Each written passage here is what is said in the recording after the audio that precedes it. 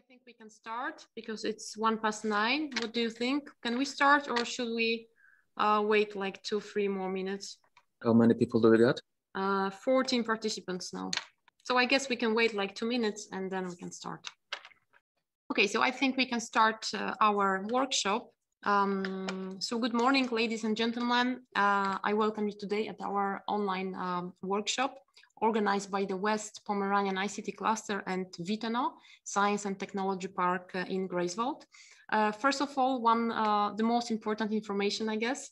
Um, the interpreter, um, Kamil Krzywicki, is today with us. So if you would like to uh, use the German uh, interpretation, so please um, choose the uh, German channel at the bottom of, of the screen.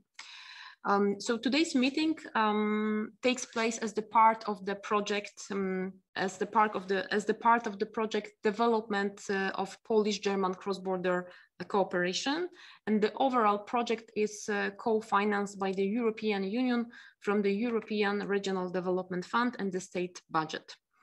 Uh, on behalf of West Pomeranian ICT Cluster, I would like to welcome you. My name is uh, Magdalena Ławicka. I'm the Chief Operating Officer uh, at the cluster.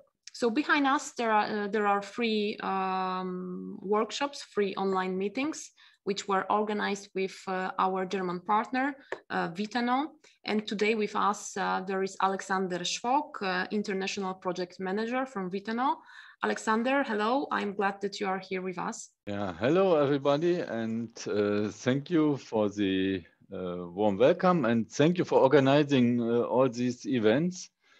And yeah, I think uh, all activities are just a starting point, and uh, I hopeful uh, I hope that we will find the possibility to continue the cooperation also in the next year and the upcoming years. And uh, therefore, it's really great that you have organized all these events where we learn each other a little bit uh, better and uh, uh, how and we learn how to cooperate with each other and yeah that means there will be several, several other workshops also jo joint workshops and I think uh, after this training, the next workshop will take place on the 1st of June.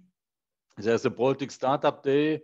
And uh, yeah, every uh, SME is uh, very welcome to participate also in the Baltic Startup Day.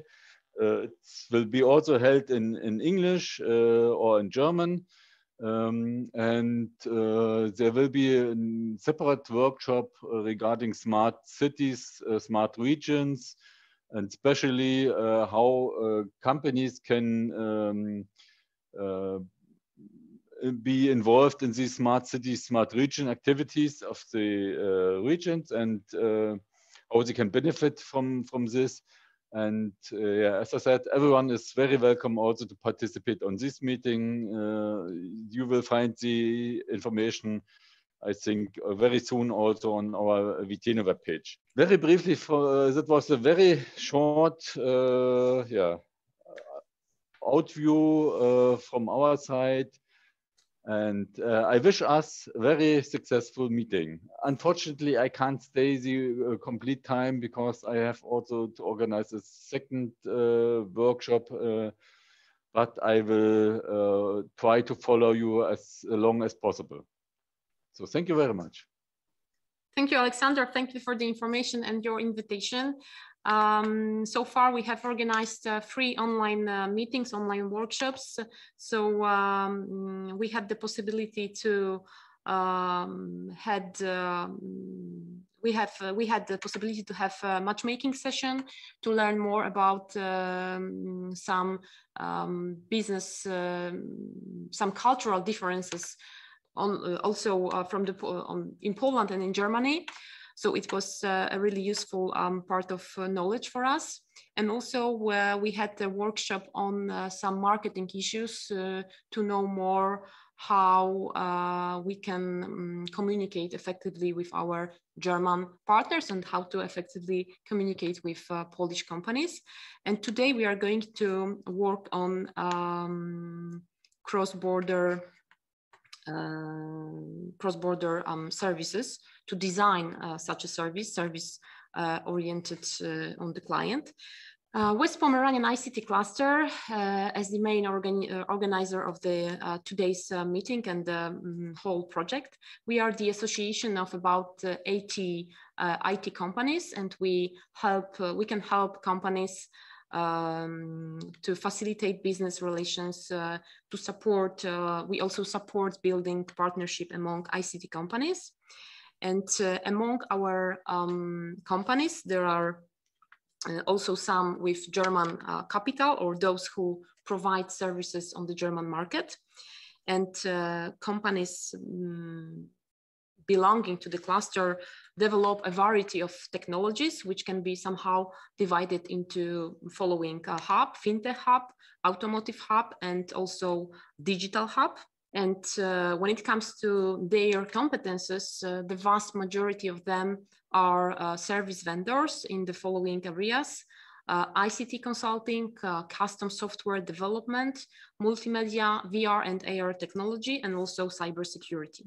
Uh, when it comes when it comes to today's uh, workshop, we are going to work uh, together. We are going to design cross-border services um, and the main objectives of the workshop is to possess uh, knowledge uh, about tools, about methods, how to create new products, new services. We also um, we are also going to have the possibility to acquire the practical ability to use um, methods and tools. And also the final result is going to be uh, mm, the new cross-border service uh, responding to the identified regional challenges. So we are also going to identify and then identify some um, challenges. And uh, Hubert uh, Dyba um, is our trainer. Uh, Hubert is also um, uh, an innovation consultant. And as for now, I would like to congratulate Hubert uh, defending his PhD thesis a week ago, which made Hubert a PhD. So uh, congratulate uh, Hubert. Hubert is an expert uh, of the European um, Commission in the field of uh, human-centered design. Um, and also he acquired uh, knowledge uh, in this area about innovation and design thinking at the Stanford University in the USA. The main goal of the, so today we are going to focus on um, um, designing of the service uh, so I hope that uh, by the end of the workshop, we, uh, we will all know how to design uh, a user-oriented uh, service. And today's workshop is the final one when it comes to the project. Um, the main goal of the project um, was to achieve a better understanding of German and Polish cooperation needs. And the final results uh, the final result is going to be the uh, ebook, which is going to be elaborated uh, in the um, following, following days. Um, it's going to be the concept for further cross-border cooperation. So um, now I can give the voice and running the workshop to Hubert Dyba, and I hope today we are going to possess um, a useful knowledge and information how to design Polish and German service. Yes, yes. Hello, everyone. Give me a second. I will turn my okay. Don't worry. My my screen on. If you need, please use the interpretation. I mean the German channel. Okay. Before I start, please let me know if you see my screen now with the title. Yes, we can. Yep. Okay. Great. Thank you. So, uh, from my side, also, hello, everyone.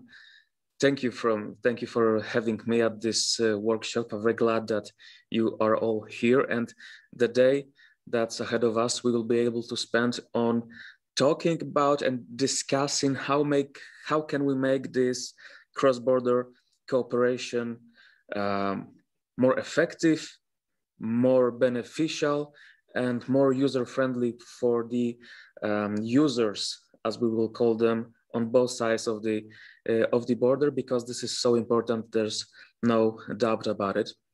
So this day we will spend on the topic of creating new services. And uh, thank you, Magda, for the uh, introduction. Uh, I'm Hubert, please call me Hubert. I am innovation consultant, but I wear many hats. I work with uh, startups and with big companies on, on, on, on innovation processes. Um, I work with the uh, government bodies like European Commission, where we are creating the uh, user-centered IT tool. I'm also doing a academic research on innovation, especially in, in startups, where I'm looking at the business models. So many things, but all are oriented to the innovation and to the search of how a value can be created. The, the value will be a thing that we will discuss today a lot. We will uh, look for the value, discuss how more value can be created. And if we find a right problem, and then we will ideate for a best solution, you will see that value is often not um, a outcome of big affords huge projects, but additional value may be found even in small changes. But if this change is based on the insight that we made about the human, that's always source of the opportunity, the, the, the value can be created with even small moves. And we will try to look for those small moves and maybe find the opportunity to, for big moves that could be continued after the workshop. But this is all ahead of us. Uh, I'm Hubert and I'm very interested who you are. So if uh, each of you could say just a few words who you are, what do you do?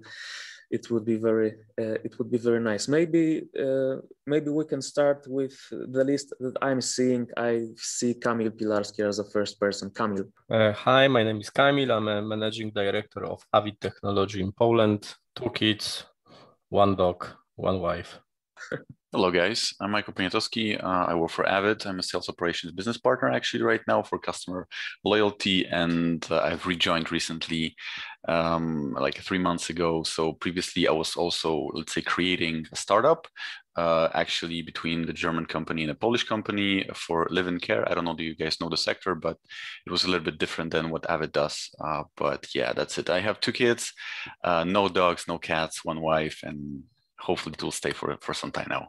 So thanks for having me here. That's it. Thank you guys. Thank you. Kate. Hi everyone. I'm from Avid and I'm manager of analysts. So I look after all services that are provided by Avid. And I have no wife, but I have a dog.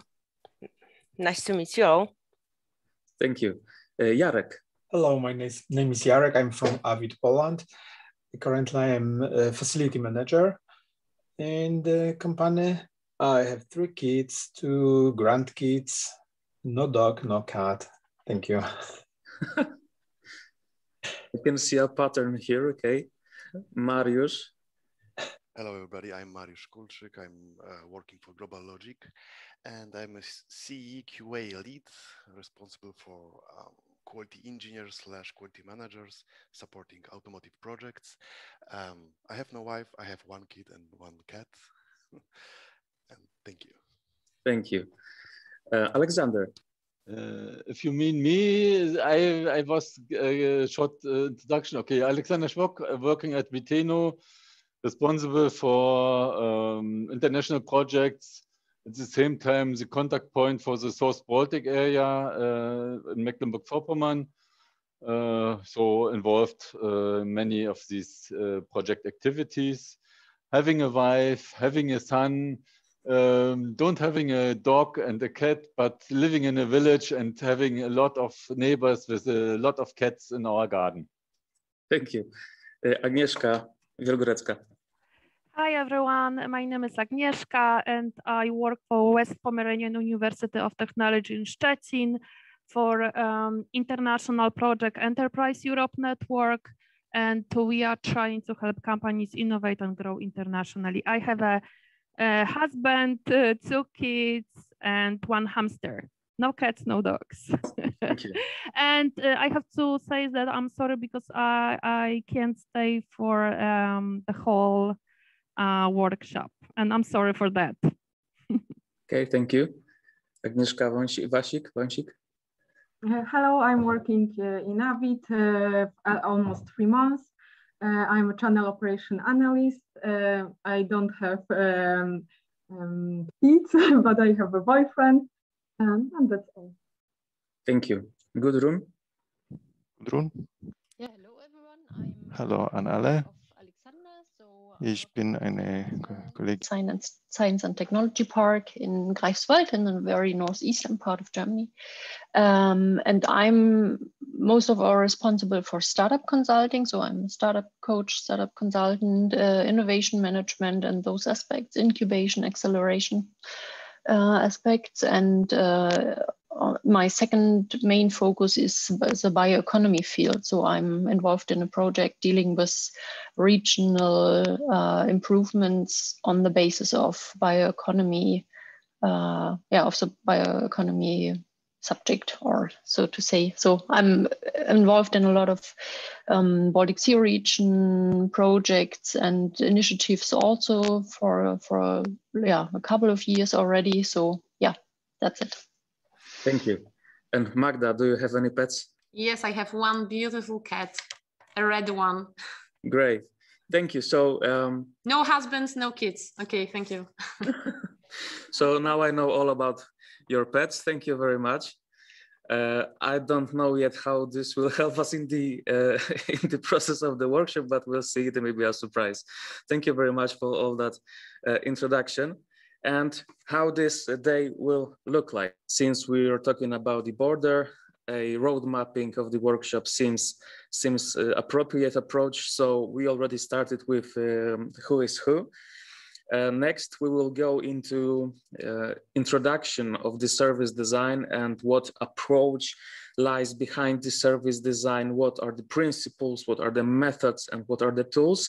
I will present you all this um, ground theory so that we can go into the practical part. So first we will discuss what are the daily challenges that you face when you try to make this international cooperation. It is so valuable, but still there would be a lot of challenges that we face every day. And we will have a discussion to find these challenges because if you face something personally, it would be the best starting point for the further uh, design process. And once we map those challenges, we will uh, conduct a empathy process where, we, where we will try to understand not from the process perspective or the legislation, but from the human perspective, what are your problems, what are your pains, what gains would you like to, to find in this new service? So we will try to understand our users. After that, we will go to the stage of creating an insights and deciding what is really the problem that we will try to solve in the, in the, in the following steps. So here we will uh, synthesize what we learned about users. And after that, we will go into the ideation stage where we will try to find as many ideas for the solution as we uh, will be able to. And finally, uh, we will present those uh, ideas, those solutions of course, in the very draft state, there it, it will be, we will see maybe some canvas or, or, or some idea for the process or some any other way of presenting this, the, the idea that I will, uh, that I will tell you about uh, in a second. And uh, we will conclude with giving the feedback and discussing how can we continue with the ideas that we will uh, prepare today. About the logistics, I suppose uh, after this first part, after about two hours, we will make first uh, uh, bigger coffee uh, break. It will be 20, 15 or 20 minutes.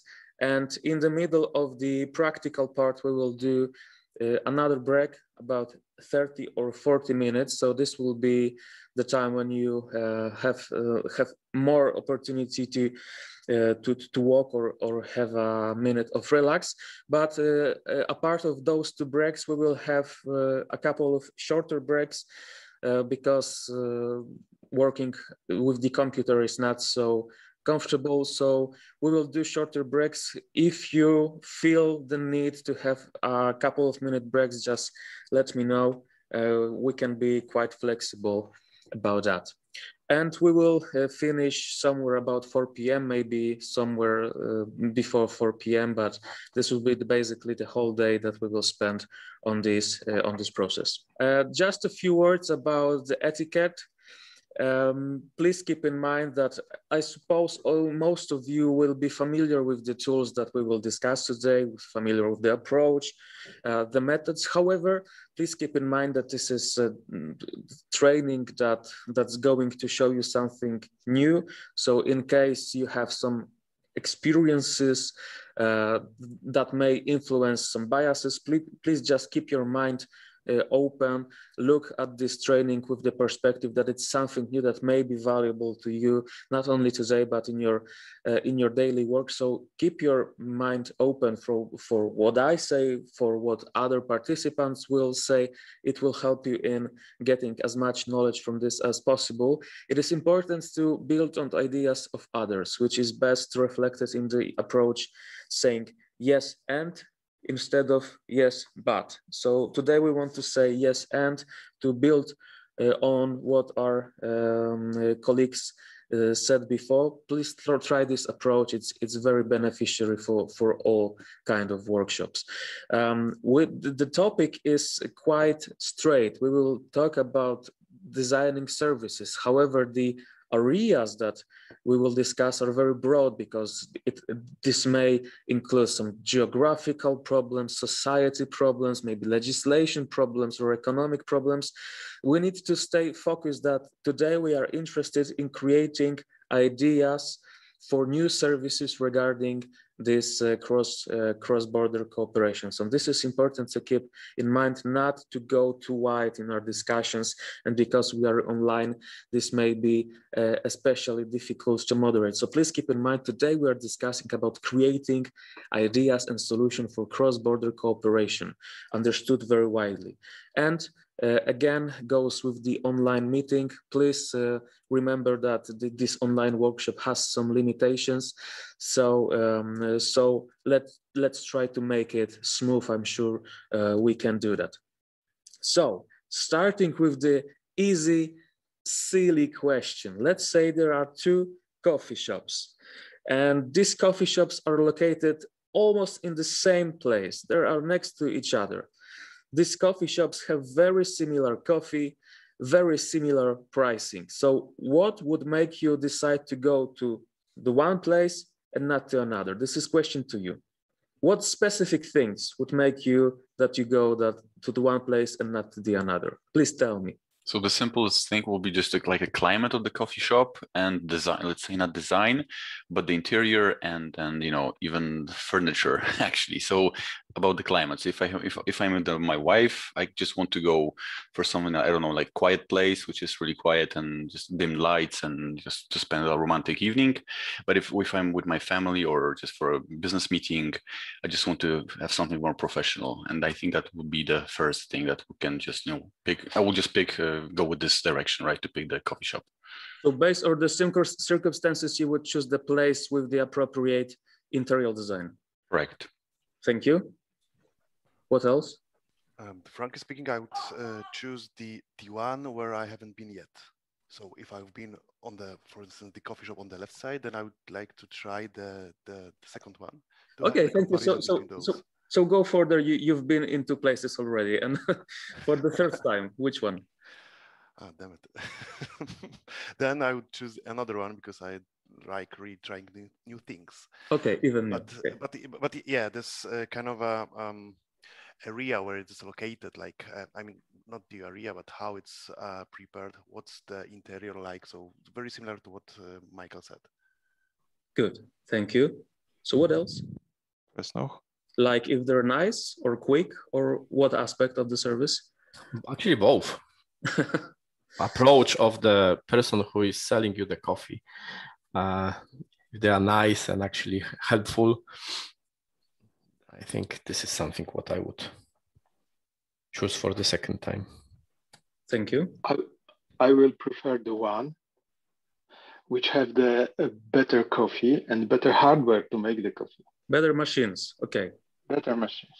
Thank okay, you. So I will, I will add uh, communication style I mean, of the staff. and also um, Alexander Schwok has written atmosphere of the shop. Atmosphere. Thank you very much. So, um, uh, yeah. yeah.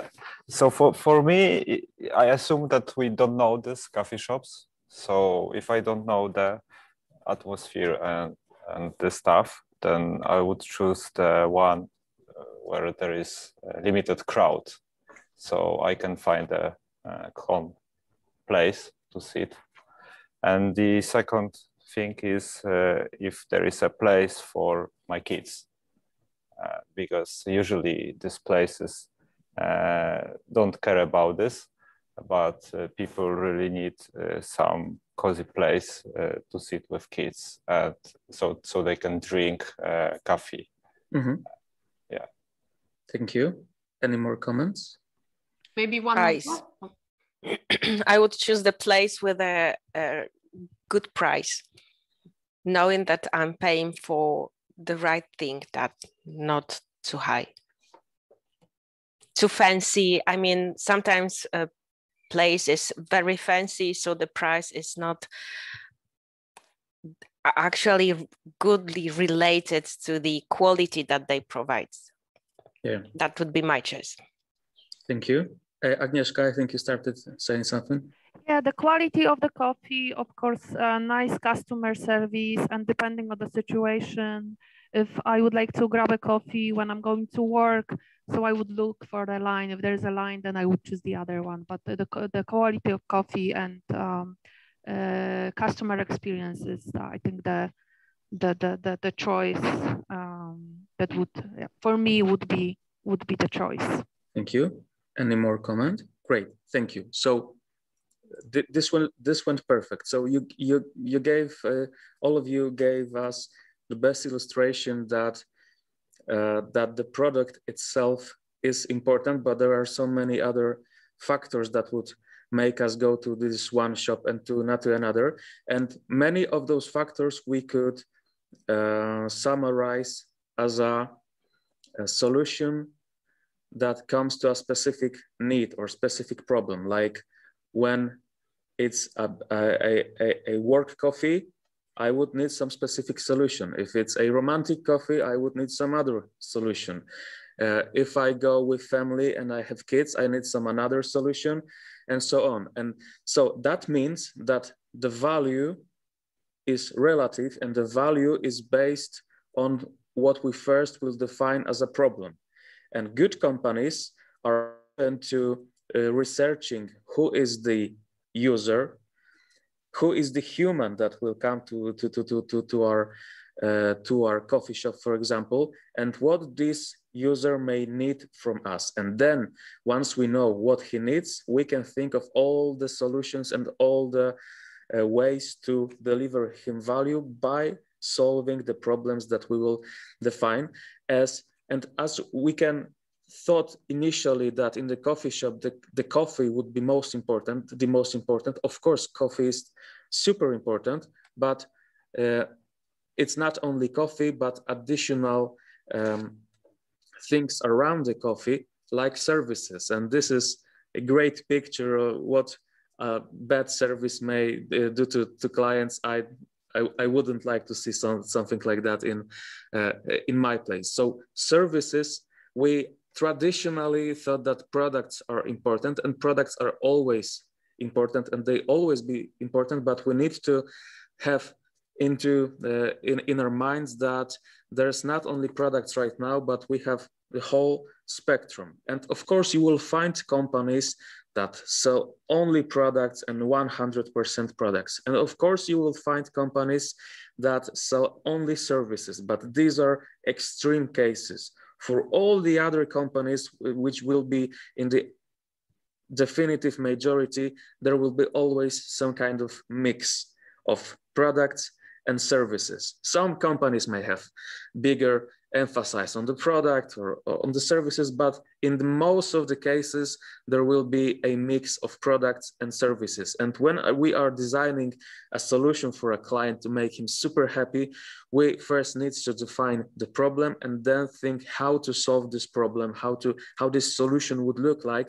And in most of the cases, this will be a mix of products and services. To, to create products, you in your companies, I'm sure have uh, um, tested methodologies and you create great products. And probably most of your uh, of your companies most of you also think about how to create service. And what's uh, valuable to mention here that the um, corresponding to product development methodology would be of course service development which which is called service design. And this is nothing else as a um, a mix, a combination of methods that aims in creating new services or improving uh, existing services so they are more useful and desirable for clients. But because service is always a complex uh, thing to design, the service should also be uh, beneficial for the organization that delivers this service. And there would be many uh, uh definitions, but how I would like to, to call a service design that this is a mix of methods that aims in creating a combination of products and services that, that, that aims in creating value for all the stakeholders. So this is the general but also helpful definition that will help us in going further today. So service design, as all let's say modern approaches to designing anything there will be uh, there will be some kind of principles that i would like to uh, to present you. And the first which is not a surprise is that service design designing services or solutions is human centered which means it is not product service oriented it is not service centered it is not process or organization centered it is human centered which means our souls the source of inspirations and knowledge is human.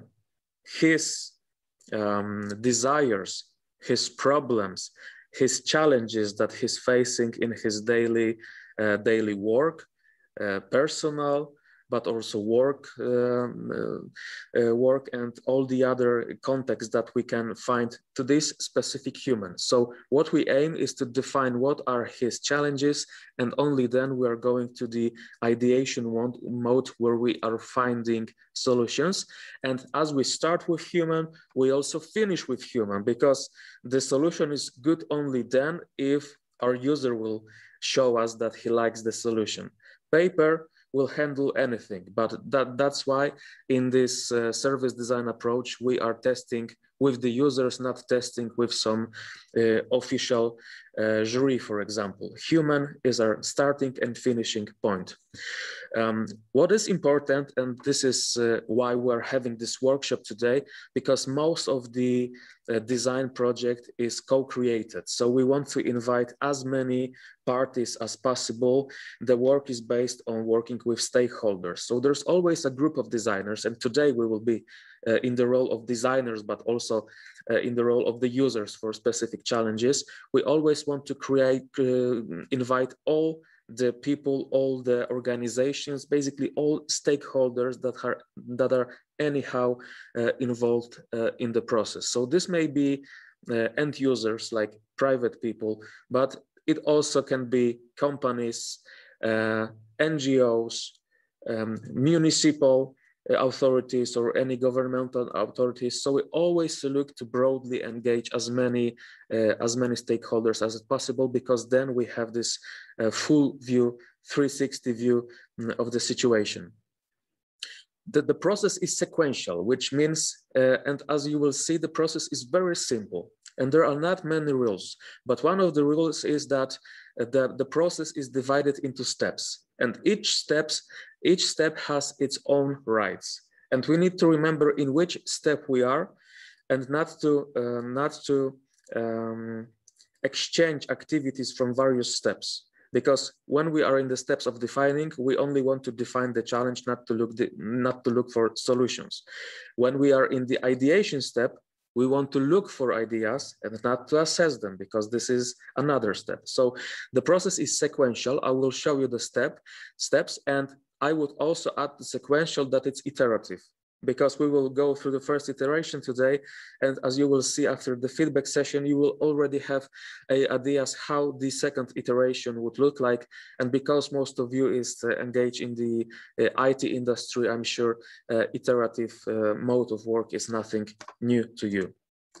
Another um, principle is that service design or designing approach is evidencing. What it means that when we have a, a physical product, we can grab it in a hand and we see it, we can feel it.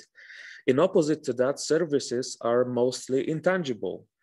We cannot see it, we cannot put it on the shelf, and the services are consumed at the time of delivering the service. So, so this experience is quite intangible, and this is why we tried to make um, anyway some physical evidences, some physical artifacts. Like when you're in the restaurant, you, you can see the printed menu you will have printed a receipt, you will have some souvenir that may be uh, delivered to you. Uh, when you're going to the hotel, you still have um, the, the, the, the, frontier, the people that will that will greet you, and so on. So services are intangible, but we always try to make it as physical, as tangible as possible. And the last principle is that service design or human-centered design in general is holistic.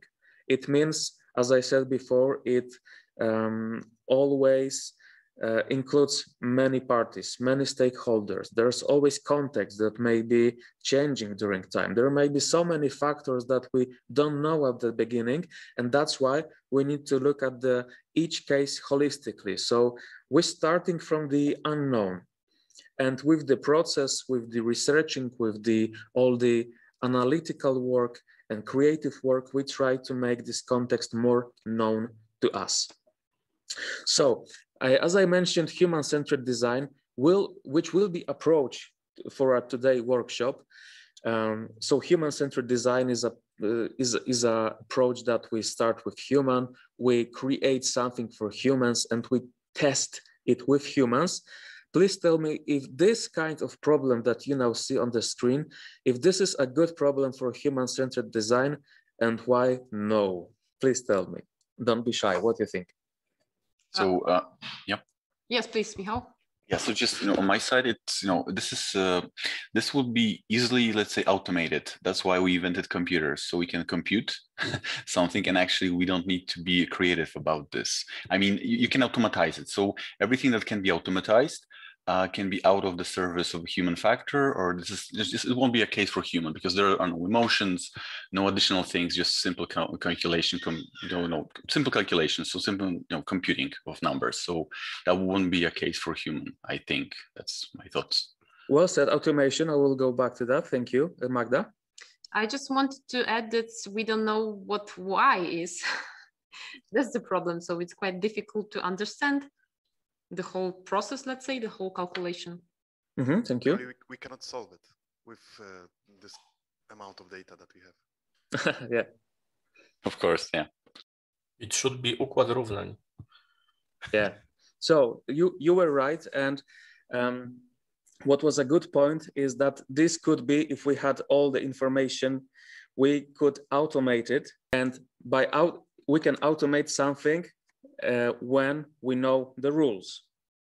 And we know that the rules for solving this problem won't change. And after automation, we have also testing automation. Once we have a solution for this, uh, for this, let's say, problem, uh, we know if this solution is right or wrong. And this is the case that, uh, that is very rarely uh, available for the human-centered problems. Uh, because for human-centered problems, it will all, uh, often be so-called wicked problem. For wicked problems, there is often difficult to say, to define what is really the problem. We have some situation like there's a poverty or there's a problem with the healthcare or with the education or whatever other uh, social stuff. What is really the problem? What is the source of the problem? It is very often hard to define. Um, unlike us with the mat mathematical solutions, there is no stopping rule. So we don't really know where, when the problem is solved. There's no stopping point like, okay, there was this problem and now it's fixed, it, it's perfect.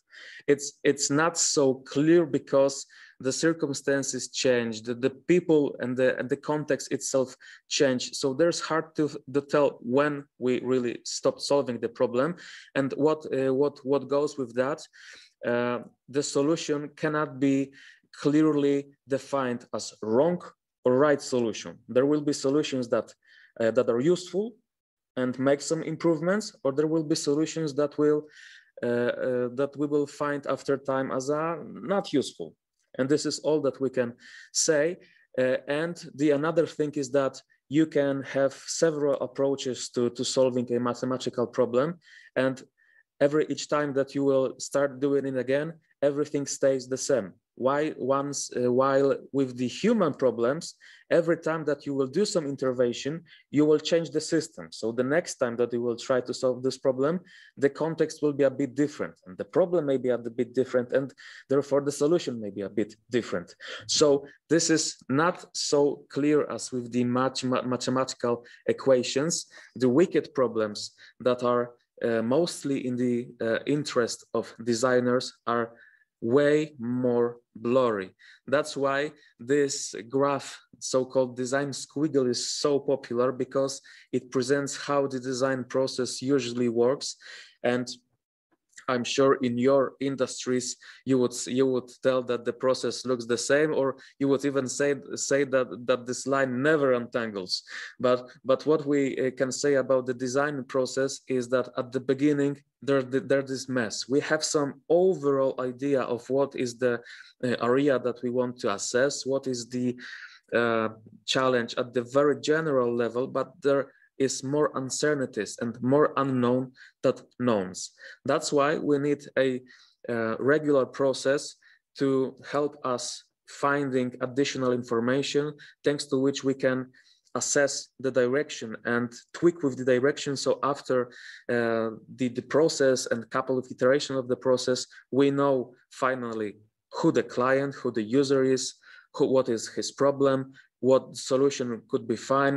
We have tested this solution two or three times, and then we know that the actual product design process or service design process may go into the, the final um, stage when we will invest bigger amount of money to create the, the final solution. So what's the process?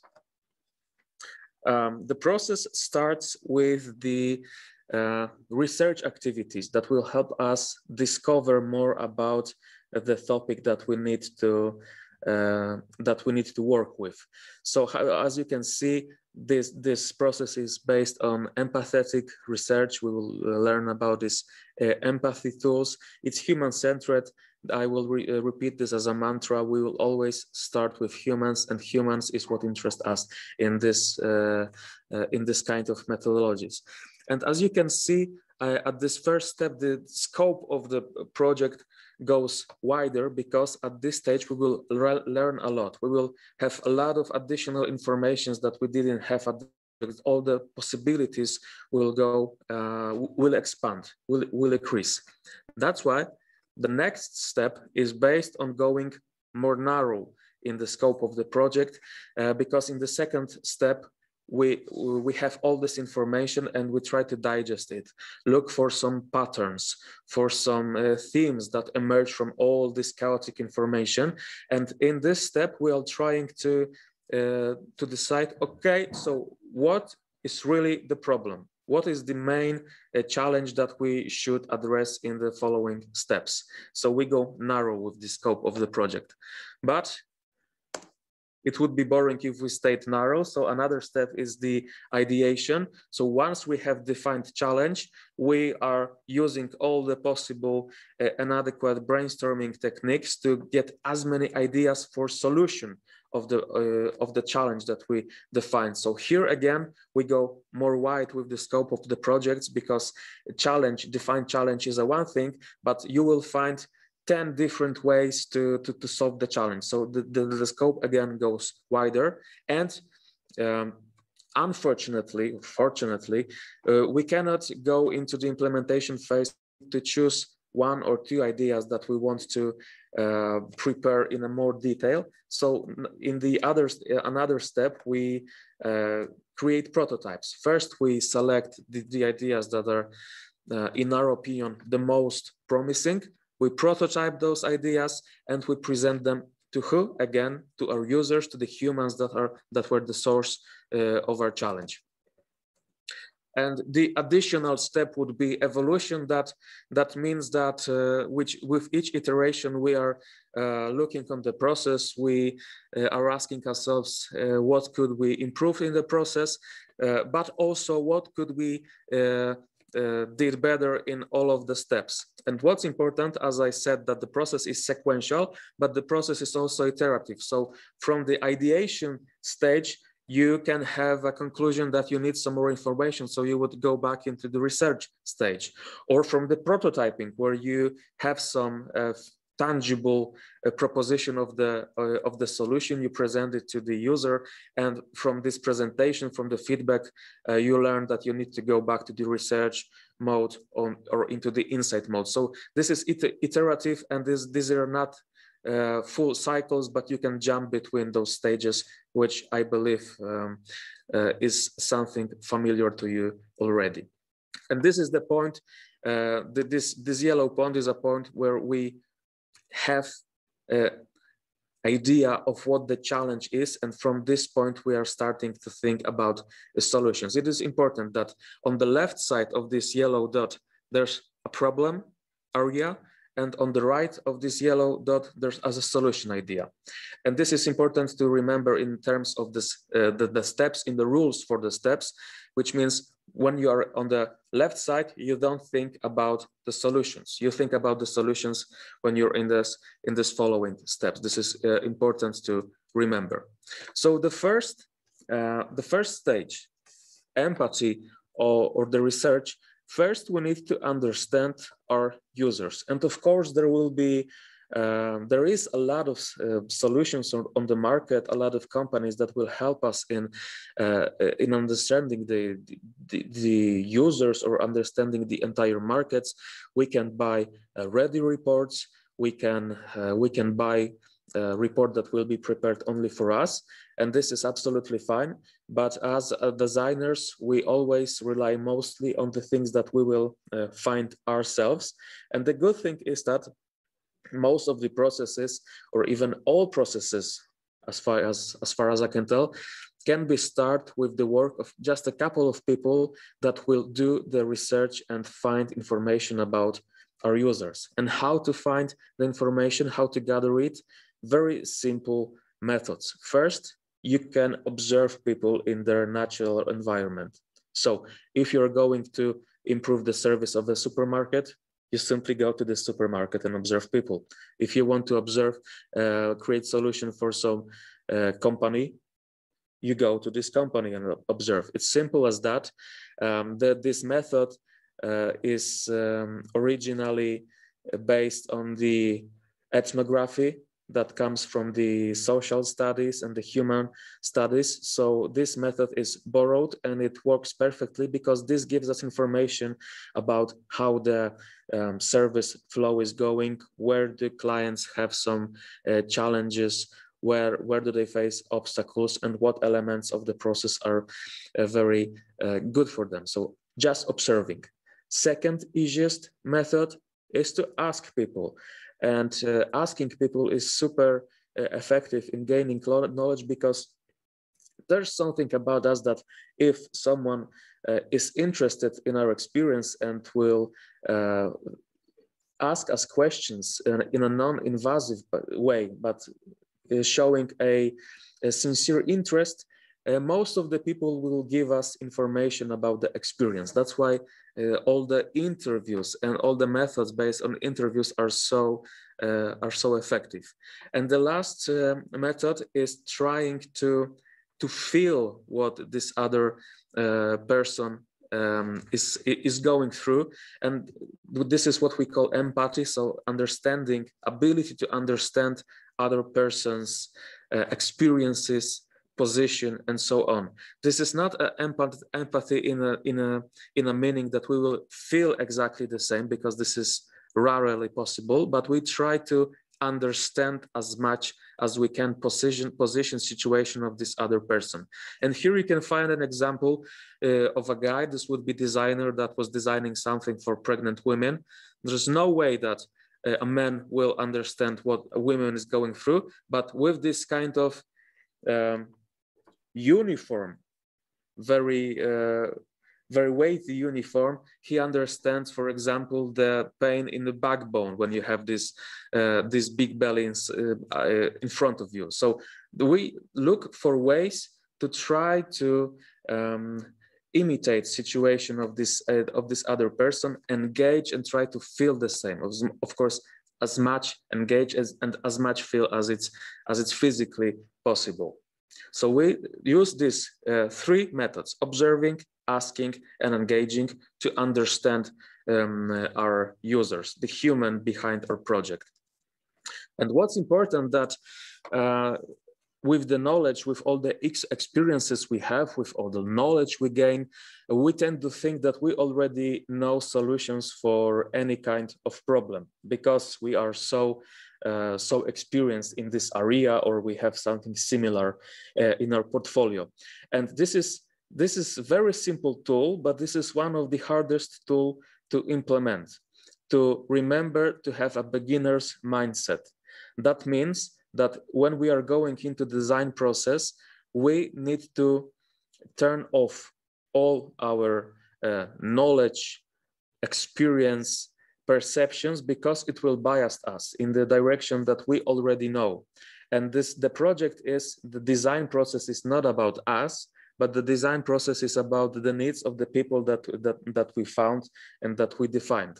That's why we need to uh, keep in mind that we are carte blanche and this is not about our um, assumptions, but about what we learn like a scientist, anthropologist, what we learn from the people that we're assessing. So we're not judging, we are curious, looking for patterns and listen to people. This may be hard. We, we tend to, to, to, to, to have an approach to talking.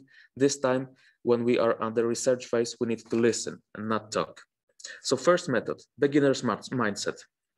Second method, as you can see, this super, super simple. Another method that we use is conducting interviews. This is the best way to, to, to learn about other people's experiences, approaches, uh, or attitude, or, or the things that they are paying to them, or the things that they would benefit. So this is the best way to, to, assess how we can create value for this specific target group.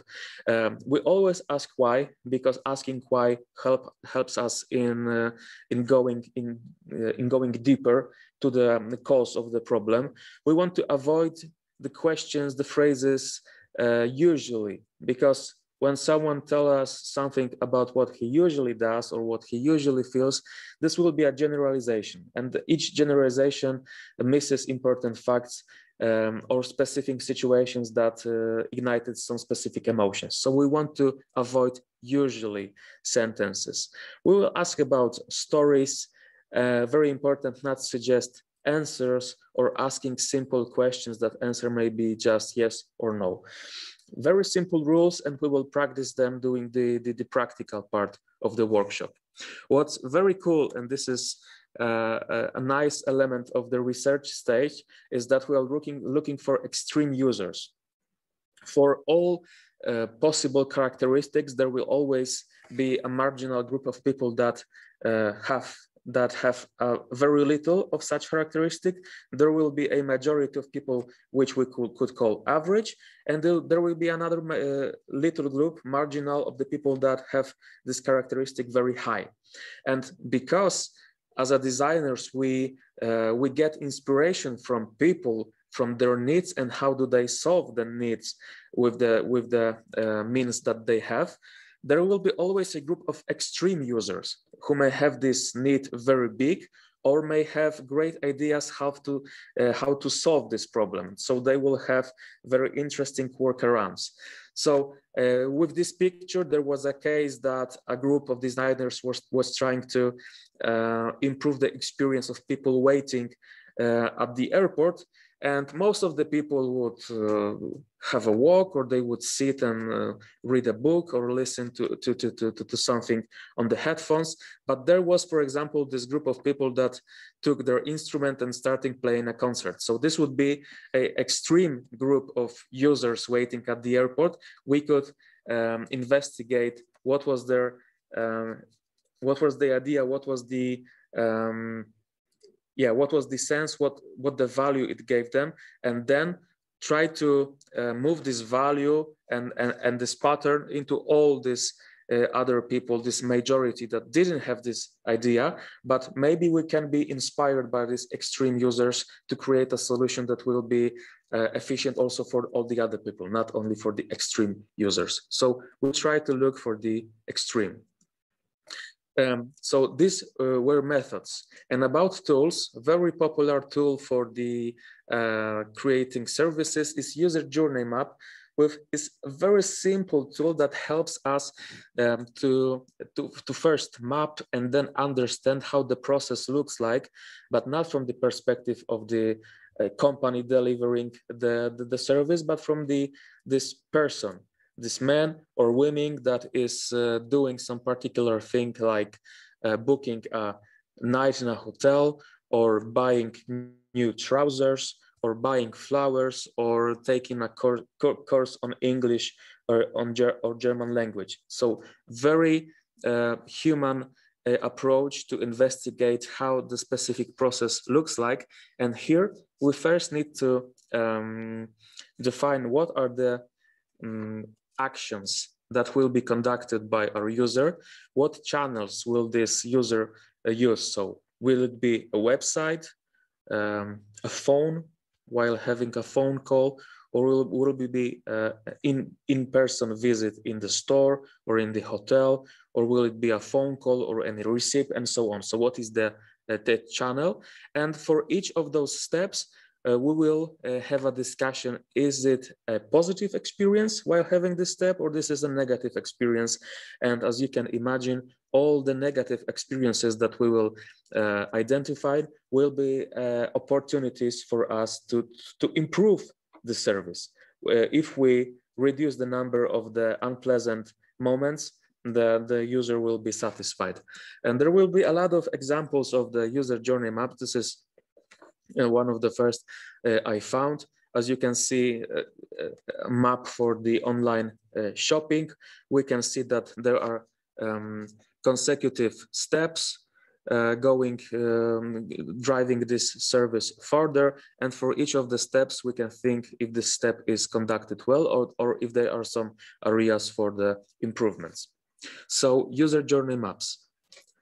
Personas are very popular tools and the persona is a um, composite uh, of a characteristics for a specific target group.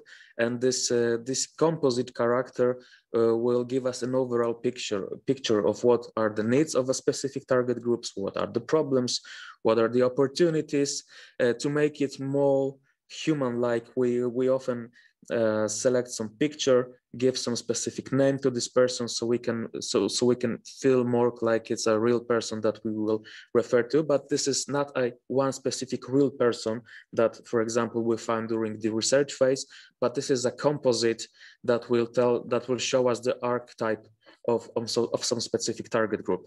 So this uh, tool is very often used but the another tool that I like very much is called Empathy Map, and it's very popular.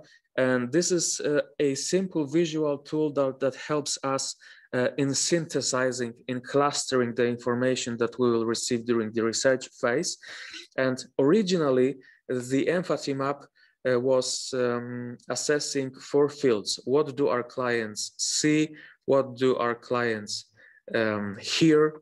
What do our clients say and what do our clients do. So we could um, write all the information. Und wir können alle diese Informationen, die wir hier aufgeschrieben haben, äh, analysieren. Und nach einiger Zeit wurde dieses Werk. This is the field number two. So what this client need to do? Or what are the jobs that this client have to done? So what specific outcomes does does he or she need to achieve? Because this is absolute starting point for understanding uh, needs of the of the client. What this client really needs what does he need to achieve? And additionally what are his pains? So what is he missing?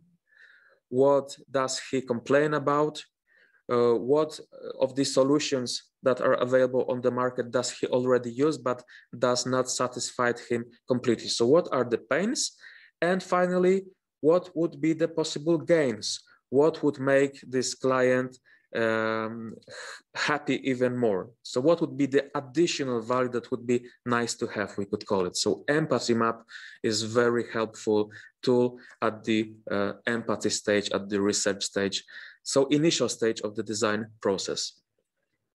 And let's say we have conducted our um, research interviews, we have made some desk research, we've got some uh, secondary information, we've got our primary information, we know a lot about our clients, uh, we have discussed the, the client journey, so we know where, audit, where, where there are the down points of the process, we've got idea what is really the pain for the client.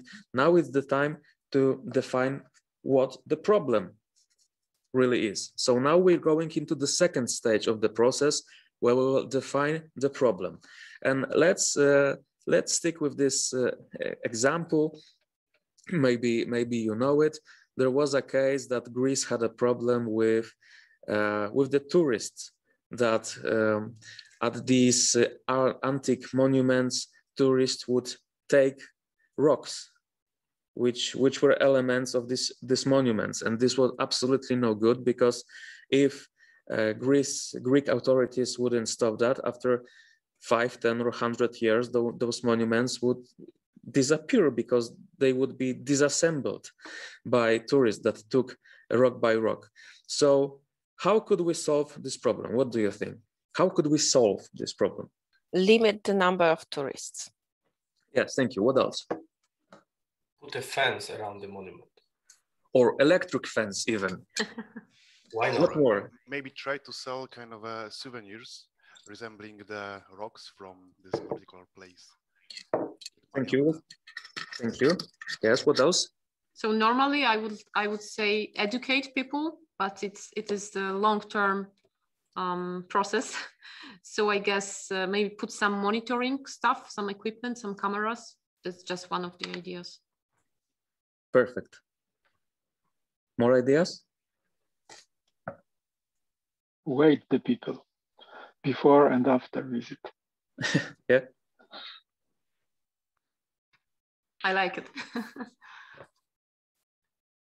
so this is uh, uh, this is a good question, but the trick is that before we think of solution, we should uh, have a consensus what the problem is really about because we can see what are the circumstances that tourists are taking those rocks but what really is the problem? What is the cause of this situation? And the solutions that you proposed of course all of them are good solutions but the, the solution will be really effective only if this is a solution for the right problem. Um, if the problem with if we define problem as a lack of education and lack of the imagination of the tourists that this will make those monuments uh, hurt the solution would be some educational campaign if we thought the problem is that the people are uh, hardly speaking just thieves. We could make so fences we could make some cameras that would allow us to find those thieves. But maybe uh, and i think that was alexander the, the maybe the problem is that people have not the chance to get a right souvenir from from this place. So they are taking the souvenir that's available to them which may be element of the monument. So if we define the problem in this way, people have no chance to have a satisfying souvenir, then we can think of solutions. And one of the solutions may be a, a shop that would uh, sell not some um, fake rocks made from the concrete that everybody would know that this is fake rocks, but maybe those Greek authorities could look for the monuments that are falling apart this way or another, and they, they could collect those kind of rocks and sell it in the shop. And all those rocks would be certified that this is not just a fake uh, concrete uh, piece of uh, piece of rock, but this is a real ancient Greek rock, for example, with with a certified let's say. But another solution that could be made uh, if we defined the problem that people want to have uh, a piece of history in their home, if we define problem in this manner, a solution could be that uh, the area of this antique monument would be filled with fake concrete rocks. And once tourists would know that all those rocks that are laying uh, in the neighborhood of the monument is not real, but it's just uh, concrete from, from China, there would not feel the need to take this rock because this is not real. So we could go into this souvenir kiosk, or we could go into uh, using fake cement uh, uh, concrete rocks that would be laying all over the, the antique monument. So even if tourists took it, they would not took the real antique rock, but they would some they would they would take some Chinese uh, concrete. And what's the good twist in that? That once tourists will know that the rocks that laying all around this monument are not real, would they take it? All the guides would tell uh, tourists that these rocks are not real. These rocks are fake because the real uh, rocks was stolen. And to make the character, to, to keep the character of the place, authorities uh, left all over the place fake rocks. Would anyone take it? Probably, but still that will be worth to have this fake rocks because majority of that wouldn't be stolen. Yeah, exactly. So uh, this is a, a, an example that show us how tricky is defining the, the challenge. Then there, there may be a, many possible solutions to the problem, but based on the problem that we will choose as the right problem that we want to solve, the solutions may be very different. We may start with the security cameras, but we may finish with, uh, with using fake uh, concrete rocks all over the place. So that's why we need to uh, have a time and define the challenge because the challenge will influence solution. And what's important, uh, we may also find at the uh, prototyping or the testing phase that the solution that we present does not resonate as we expected with the clients. And this may be an information for us that we need to go back to the defining stage and think about uh, the challenge again. Maybe we uh, define the challenge somehow wrong. And this is absolutely normal with this kind of processes. A very useful tool to use in the defining stage is so-called point of view, which uh, is a simple sentence that will help us in uh, reframing all that we know about the circumstances, about the challenge, and reframe it into actionable sentence that will help us uh, make an ideation process in the next move.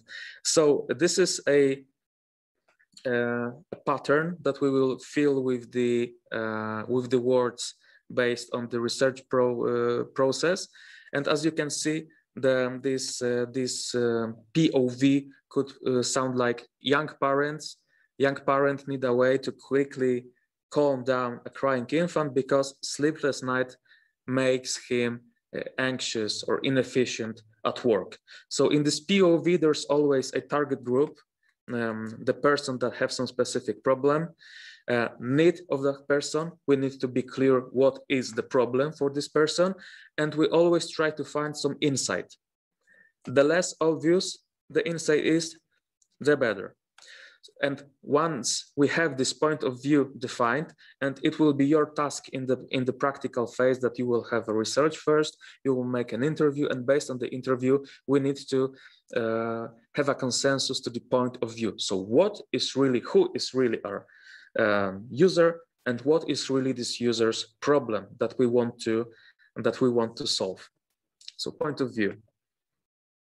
And once we have the point of view ready, that means we are clear about what the challenge is. We can go into the process, uh, the stage of the ideation. So the process of creating solutions for the, for the challenge that we defined. And this is very important. And this is always um, difficult at the beginning that we already learned uh, uh, and teach that the mistakes are not very welcome. We should be right for the right the first time, and if we are not right, it's some kind of failure. It is a completely different approach because this this approach assumes that we will not be right, that we will make failures in the research process, in the definition stage, in the ideation stage, there will be a lot of failures. And one of the way to make this process more effective is generating many ideas, of which 95% will be not adequate, not effective, or maybe stupid, but we still want to have this lot of ideas because one of these ideas may be the idea that we are looking for, or one of those ideas may make our colleague think of another idea because we are building on, on another people's ideas. So we want to have as many ideas uh, as possible. And about the failures, it is worth to say that once I was in the in the D school at Stanford University, the D school is one of the pioneers in this human-centered approach. Uh, we had a case study and, and visit study of all the of, of, all the places and, and, and the classes and so on. And what was very important thing for them that they emphasized is that once they have classes with students on design thinking, the first assessment, the first project that students needs to deliver is uh, structured in a way that this is impossible to deliver this project on time and with the uh, outcome that was expected. They, get, they give them so big scope of the project and they give them so little time that this is important to succeed. The first project is to make them fail. And the, the, thing, the, the big thing that they learn the students that during the design processes, you will fail many times and the failure is a natural part of the process. So you want to fail quickly to learn about what doesn't work and to quickly go back to the to the steps that uh, may require some uh, adjustments to go back to this uh, to the, go back to this process and try again and again and again so uh, this is natural uh, in this process that we will make failures and we want to uh, be creative to, to, to get even crazy ideas to increase the chances that the process will eventually will work. So we want to create as many ideas as possible and there is many brainstorming tools that uh, there would be no time to discuss uh, them today, but we have tools like opposite thinking, analogy thinking, the thinking hats, and so on. Uh, and these are resources are available. If you'll be interested after the workshop, just let me know. I will be happy to, to provide you with, all, with more information. But today we will stick with two. One is the brainstorm, which, uh, which is op obviously known to all of us. But uh, as I observed dur during uh, years of workshop that we tend to change the brainstorm so it so it's more like our education that we want to have many ideas but we are challenging the, the ideas uh, on the go and there's no room for this creative um, creative uh, flow with the ideas that may be crazy or stupid. And this is what we try to do in this brainstorming approach. There, we are really going for quantity, not for the quality. Uh, we are not elaborating the, the, the ideas at the stage of the brainstorming, but we are trying to uh, use keywords or headlines if you wish. And this is important that we are building or, on ideas of others. This is super, uh, super easy uh, exercise to explain, but it was super difficult for, for the people that I tried it with. The, the exercise yes and. There's this exercise that you uh, have a discussion, some mini brainstorming session in a two people group. And there's a rule that the only thing you can say at the beginning of your answer is yes and instead of yes, but when you're saying but you will be challenging somehow the the the, the, the, idea you will uh, you will be pointing so, so so so weaknesses and if you say yes and you need to respond to the uh, answer of your colleague and build on this uh, on on this answer. I highly uh, encourage you today to use the yes and approach, and even if it will be fun, try to use the yes and approach. And what's uh, what's more, fair judgment because judgmenting making making all those uh, uh, judgments is is is very typical in the business environment.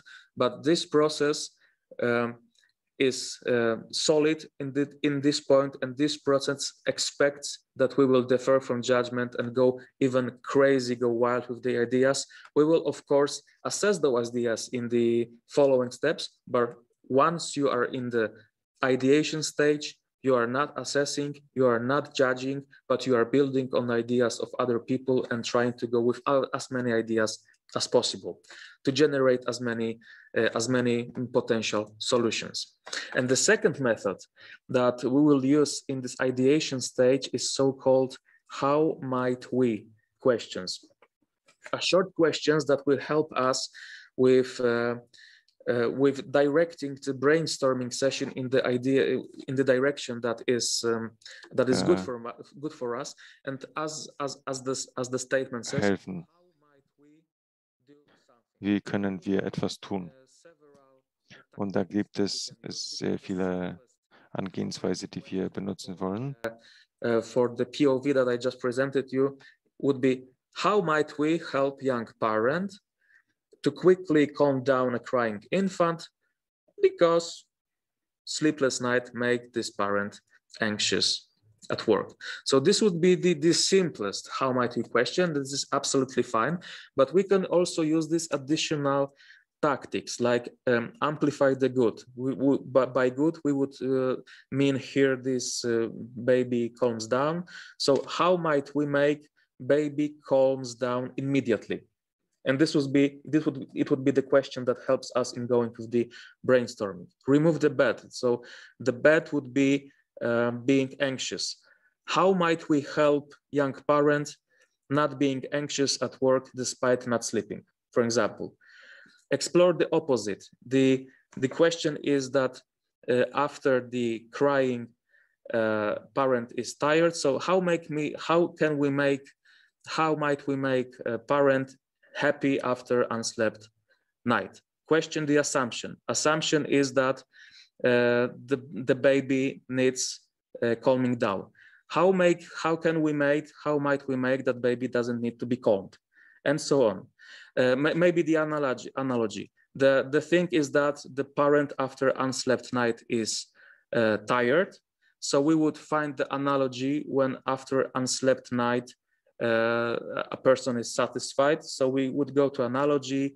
And what I now find is that if I go to the dancing, I, am not sleeping at night, but does it, that doesn't make me anxious. So how can we make, uh, how, how might we make parent uh, happy in work like he was in the uh, dancing? So we are looking for the how might we questions and when we run out of the, the, the, ideas that we will naturally have in our head, and you will have naturally 5, 10, 15, 20 ideas without any uh, external helps, then we can go with the how might we questions that will ignite the brainstorming and will move the brainstorming in the direction that is interesting for us. So how might we questions? And let's say we are after the, um, we are after this um, ideation session and we go into the um, process of the prototyping. So once we have these many, many ideas, what we will do is we will uh, group similar ideas because not every idea from these 100 concepts will be totally different uh, there will be ideas that will be in some way similar. So what we would go, we would group those similar ideas and we would call clustering ideas. And um, then we would have a discussion which of these um, ideas are for the time being the most um, promising to develop. And we will do a, a dot voting you will you will decide which idea is most promising, and then we can go into the prototyping stage. And for the prototyping, the the the, the main uh, the main rule is that in this design approach, the rule is that you can prototype everything. You can, of course, prototype products, tangible products, but also digital products.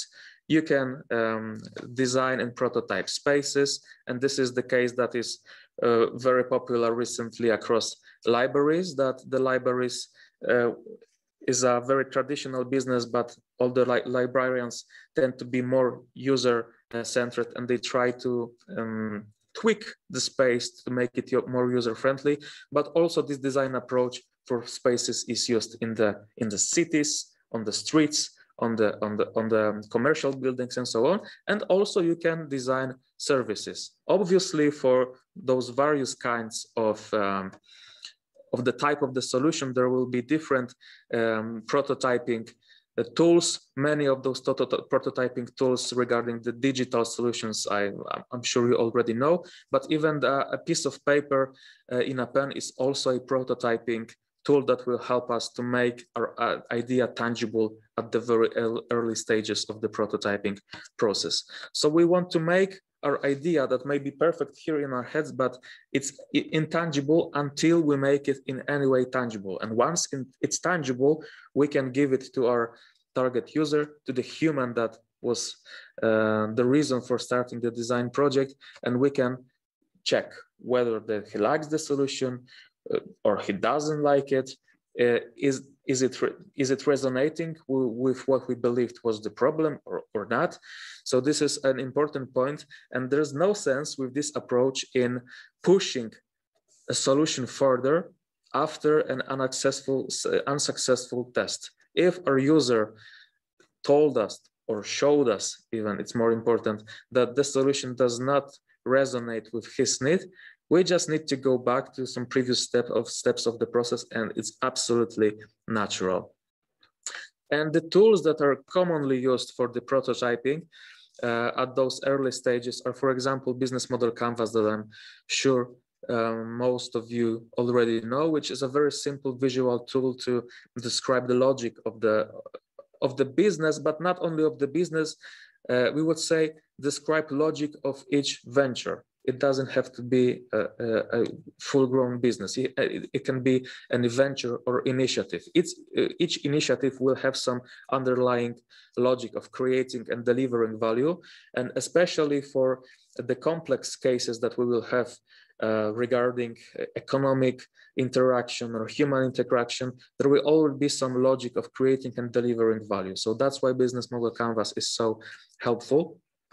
Another uh, helpful tool uh, strictly related to the service design would be the service blueprint, which is uh, a kind of more sophisticated client journey map, uh, like I presented you before, because here we would um, uh, identify the moments, some specific moments, and we would um, elaborate what is the physical element with each specific moment, what is the action that client do, but unlike with the client journey, we would also um, discuss what the service, uh, the, the person that is delivering service do, and also what has to be done on the backstage because not everything is visible, which is clear.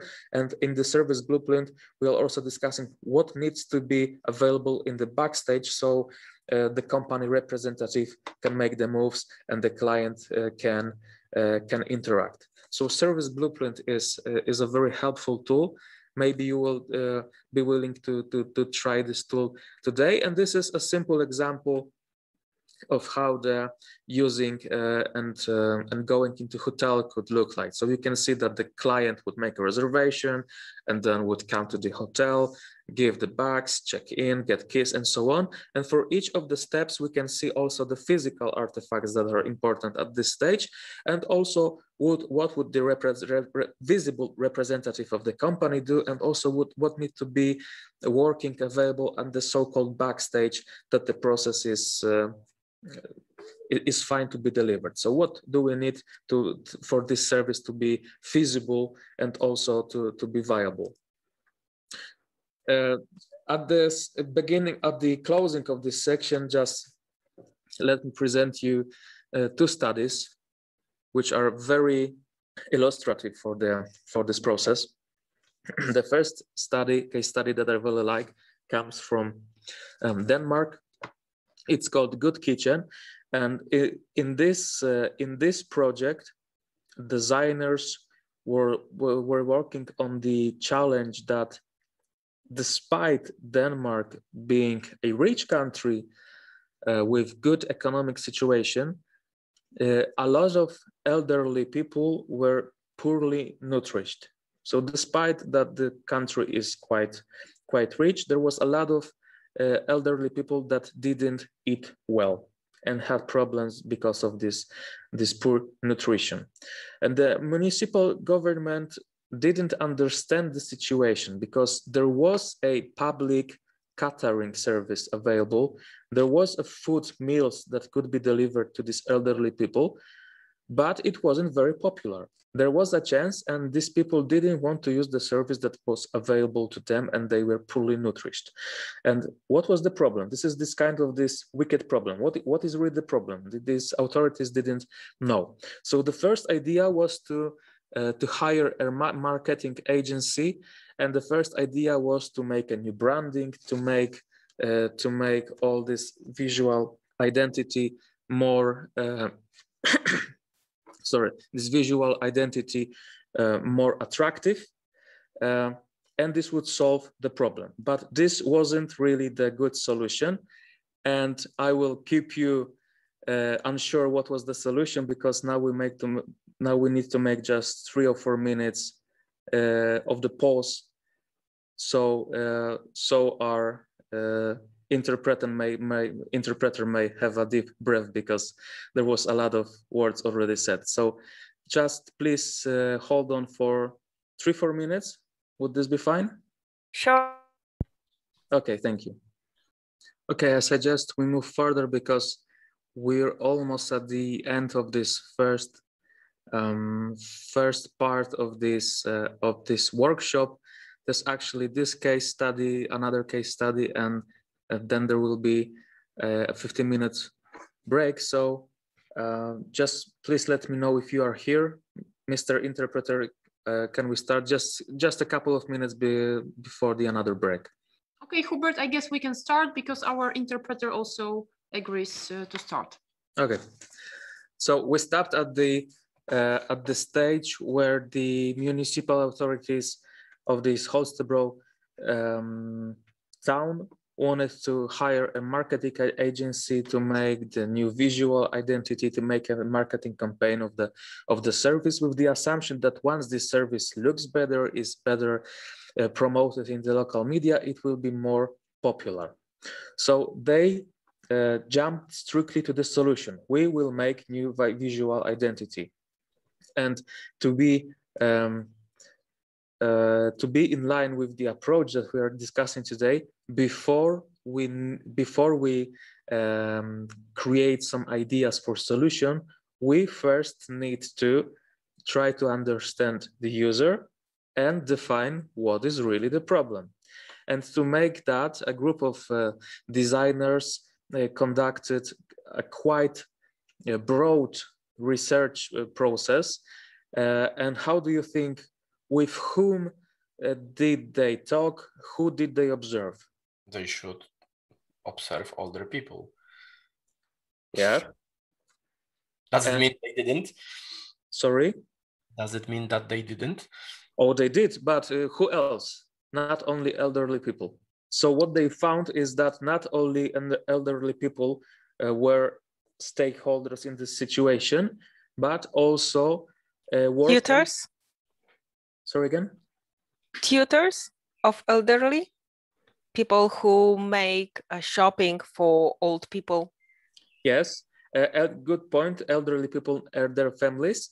And what was not expected uh, and yet was identified that another group of stakeholders are workers of the kitchen of this public catering company, this public kitchen. So there was working, uh, let's say, uh, some employees, some chefs because someone has to prepare those meals. And what designers found is not only problem on the side of the elderly people that are that were obviously not satisfied from the existing service, but the problem was also in the uh, in the kitchen that was preparing those meals. But starting from the beginning, uh, the, uh, the designers found that the elderly people have their uh, reasons for being not interested uh, in this in this service. Uh, the first thing that would be the most convenient for those people would be that they have enough money that in case they are not able to go to the grocery store, buy all the things, go by themselves back home and prepare the meals. If they are not able to do this, uh, in the first place, they would love to have enough money so they can go to restaurant and, and buy ready food like a regular customer. And this would be the, it would be the best solution. If they have not enough money to to work out to, to eat outside all the time the second best solution would be to rely on the family that would help them. With the uh, with the shopping or with the making those meals or with or financing with some, some financial help. So family would be the second best choice. And only if they not cannot afford by themselves uh, those meals and they cannot count on the family, the last resort, the, the, the worst solution is using this social, this public catering service. But they still do not use it because they will feel ashamed they knew that every time this this public worker with this meal uh, would come to, to, to his or her, her uh, place, there would be this ugly gray bus in front of the building. And this elderly person knew that all other neighbors will see this car and, and they will know that this person is somehow not able to, to take care of, of himself, of herself. So they just felt ashamed and didn't want this shame to be uh, to be to be going back each time that this ugly gray bus is coming under the uh, under the building. Uh, additional thing, the meals that were prepared, they were of course um, right meals from the nutrition point of view. There was all there, there were all the nutrition agreements that will uh, that that were important for the body, but there was no uh, no nice look, no nice name, just a just a simple names that these are potatoes, these are tomatoes, this is piece of meat, and that's all. So they felt it is not very elaborated, not very sophisticated. It's it, it was very simple. They didn't like it. And what also um, designers found that these elderly people like to do anything on their own with this meal. So they would add some additional salt, or pepper or herbs. So these people wanted to have the impression that they can in any way influence the thing that they that they eat. And elderly people also didn't like eating alone. So when they have when they had the possibility they would invite a neighbor uh, or anyone else just to have this eat uh, this this meal eat this meal with someone in a, in a in a company so this is what designers found on the side of the older people. But what they also found out is that on the backstage of this process, as, as we say, in the kitchen, the um, the morale was also very low because working in this kitchen was uh, kind of last resort for the people that work there if you couldn't find any other work you would you would go into this public service and you would go these boring meals for for for these people uh, that don't even like those meals so uh, the rotation people uh, often started and and quit work in the uh, in in this kitchen. The morale was very uh, low. And this was another problem because in order to make a positive experiences for, from our clients for our users we first need to take care for the uh, persons that are responsible for creating this this service. And that wasn't uh, that wasn't uh, well took care of at the time that designers had this research process.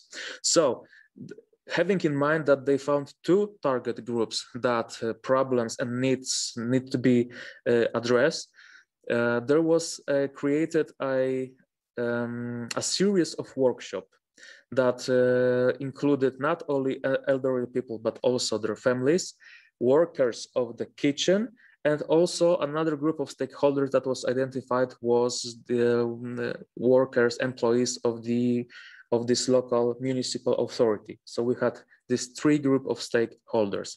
And in a series of workshop that use some um, innovation ideation tools, uh, and the tool that was uh, mainly used was the analogy.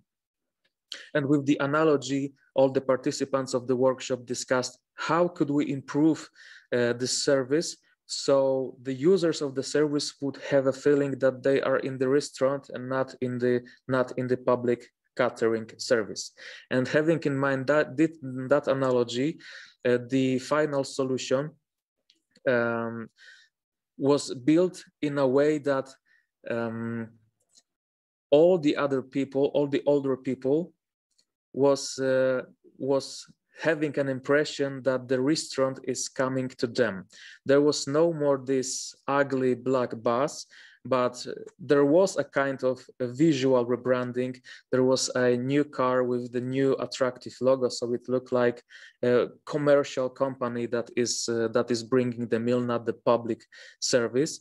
The the drivers that would deliver these meals were um, trained uh, with the customer service. So they had to be polite, uh, suggest not only one meal, but the older person had the possibility to choose from the two propositions. So not you're taking what we will give you today, but you have two propositions and you can uh, choose whatever you want. There was a big emphasis of the name on the names of the of the food. So there was not a, just a piece of meat, but there would be name names for each meal as you would find them in the restaurant and uh, people liked it very much. These older people had also the possibility to uh, to order two meals for two people. So so they could easily invite a, a friend for example from the neighborhood to eat together. And also there was a possibility to take a meal that would be um, that would be not spiced in a final way but the older person could also make some changes like salt pepper herbs and so on because this was important to them. What's important uh, when the process, when this process of uh, delivering food meals changed, uh, many of these older people give compliments uh, and had a good opinions that they would tell to those drivers. And what changed on the backside is that every time that a good uh, opinion was uh, was given to driver, it would be uh, delivered to the people in the kitchen. So each good opinion, each good recommendation was Uh, told aloud on the front in the front of all the employees so they knew that the that their work is appreciated. What also changed is that those workers of the kitchen were not only workers to prepare what was told to them but they also had the opportunity to propose new meals. And those meals were easily tested and if the, the meal was accepted and uh, welcomed by the old elderly people, it would go into the menu for, uh, for, for, a longer time. And each of these initiatives would be uh, appreciated again on the, on the forum of all employees. And this change uh, caused that from the uh, workplace of a last resort, this kitchen change into the place that is nice to have in the CV if you would like to work in the um, in the food sector and if you would like to be a chef. Uh, people started to apply to have an internship or a month or three uh, stay in that place because this changed into nice to be place. So radical change that was uh, perceived super uh, super good in all the uh, on the all the society. This this um, project received many awards from the holistic view uh, of the of the challenge focusing not only on the end users but also looking at this backstage and wondering how can we deliver value to all the stakeholders involved in this particular experience and uh, uh, another case study that you're probably familiar with uh, regarding the magnetic resonance, a great technological product from GE Healthcare company, a great magnetic resonance technology that was invited by the uh, medical doctors and the medical staff in hospitals. The medical uh, apparatus was awarded in many technology contests.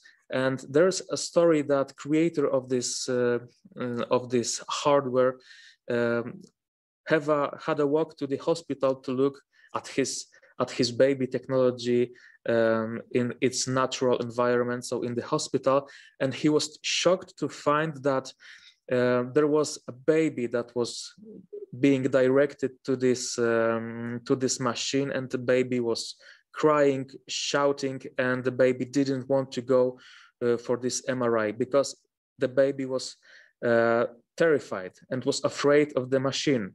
And this creator of the of the hardware was shocked because he thought that this technology is unique. It will help. Uh, it will help people. And he sees this this this this child that is terrified and didn't want uh, to go uh, to the to the MRI machine. So then he learned that uh, the technology is very good, but with the babies, they have a problem that babies are afraid because you need to go into this tunnel. It's it's dark in there. The, this this device is very loud with this with these noises during the uh, during the MRI. So this made him uh, and and because of that the efficiency of the of, of the mri for children was very low like 10 percent of the patients had uh, had a well done mri all other all other need to be um, uh, conducted again and so on. So what this guy found out that the challenge was not preparing a great technological tool. This was this was already done. This this tool was great. But the another challenge that he defined was how to make the experience of this MRI more pleasant to children, so they can handle it and not be afraid. And once this kind of challenge was was defined, the solution uh, appeared to be very simple, didn't require any technological changes or low or high cost investments.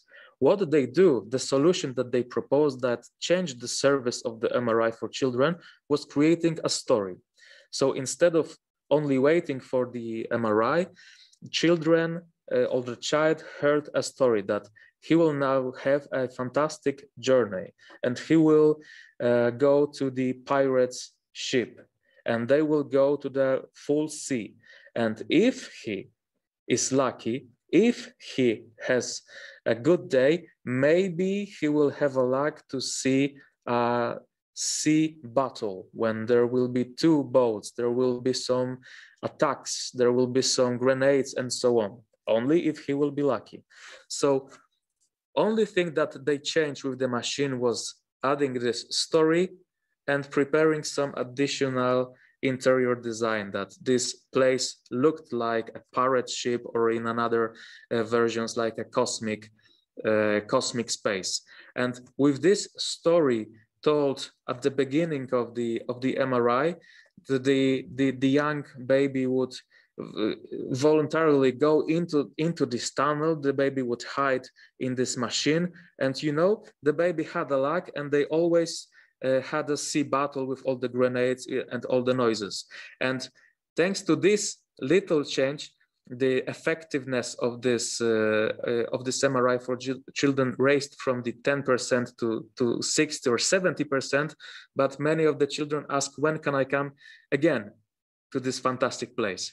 So because the challenge was formulated in a new way, uh, and new solutions were available to make, which which those solutions are so helpful to to keeping children safe, which is which is very important.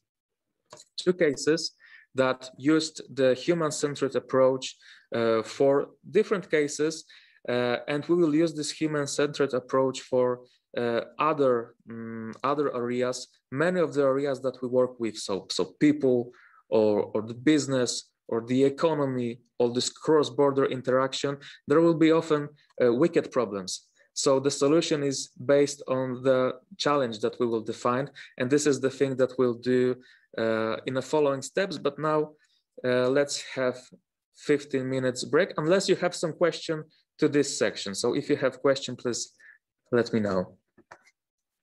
Okay, so 15 minutes break. Okay, thank you. So see you soon. See you at uh, quarter past 11. Am I right? That's right. Perfect. Okay. Thank you. Thank you. Thank you, Thank guys. you. Okay, so 15 minutes has passed. Please tell me if you're already here. Yes, I'm here. What about the rest of our Yeah, I'm- participants? I'm, uh, I am as well. I'm here. I'm back. here. What about the rest?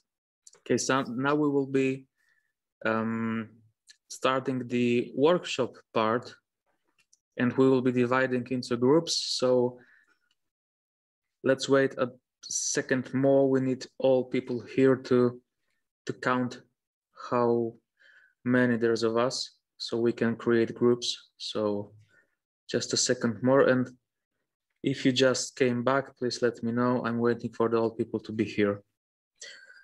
So in the meantime, I've got a question. Agnieszka, I mean Agnieszka Wielgorecka, you told us that you will not be on the entire workshop.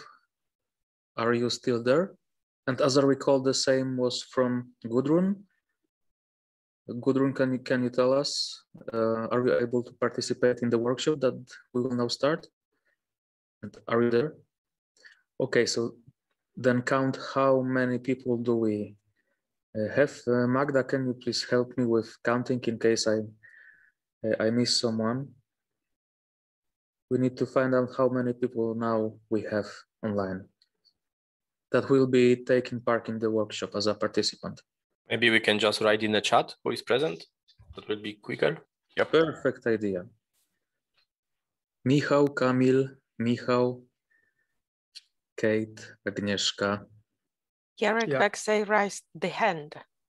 Yes. Okay, yep, I see it now. Okay, so Hu- Hubert, uh, how many people do we need to have uh, in one group? I mean, in each group?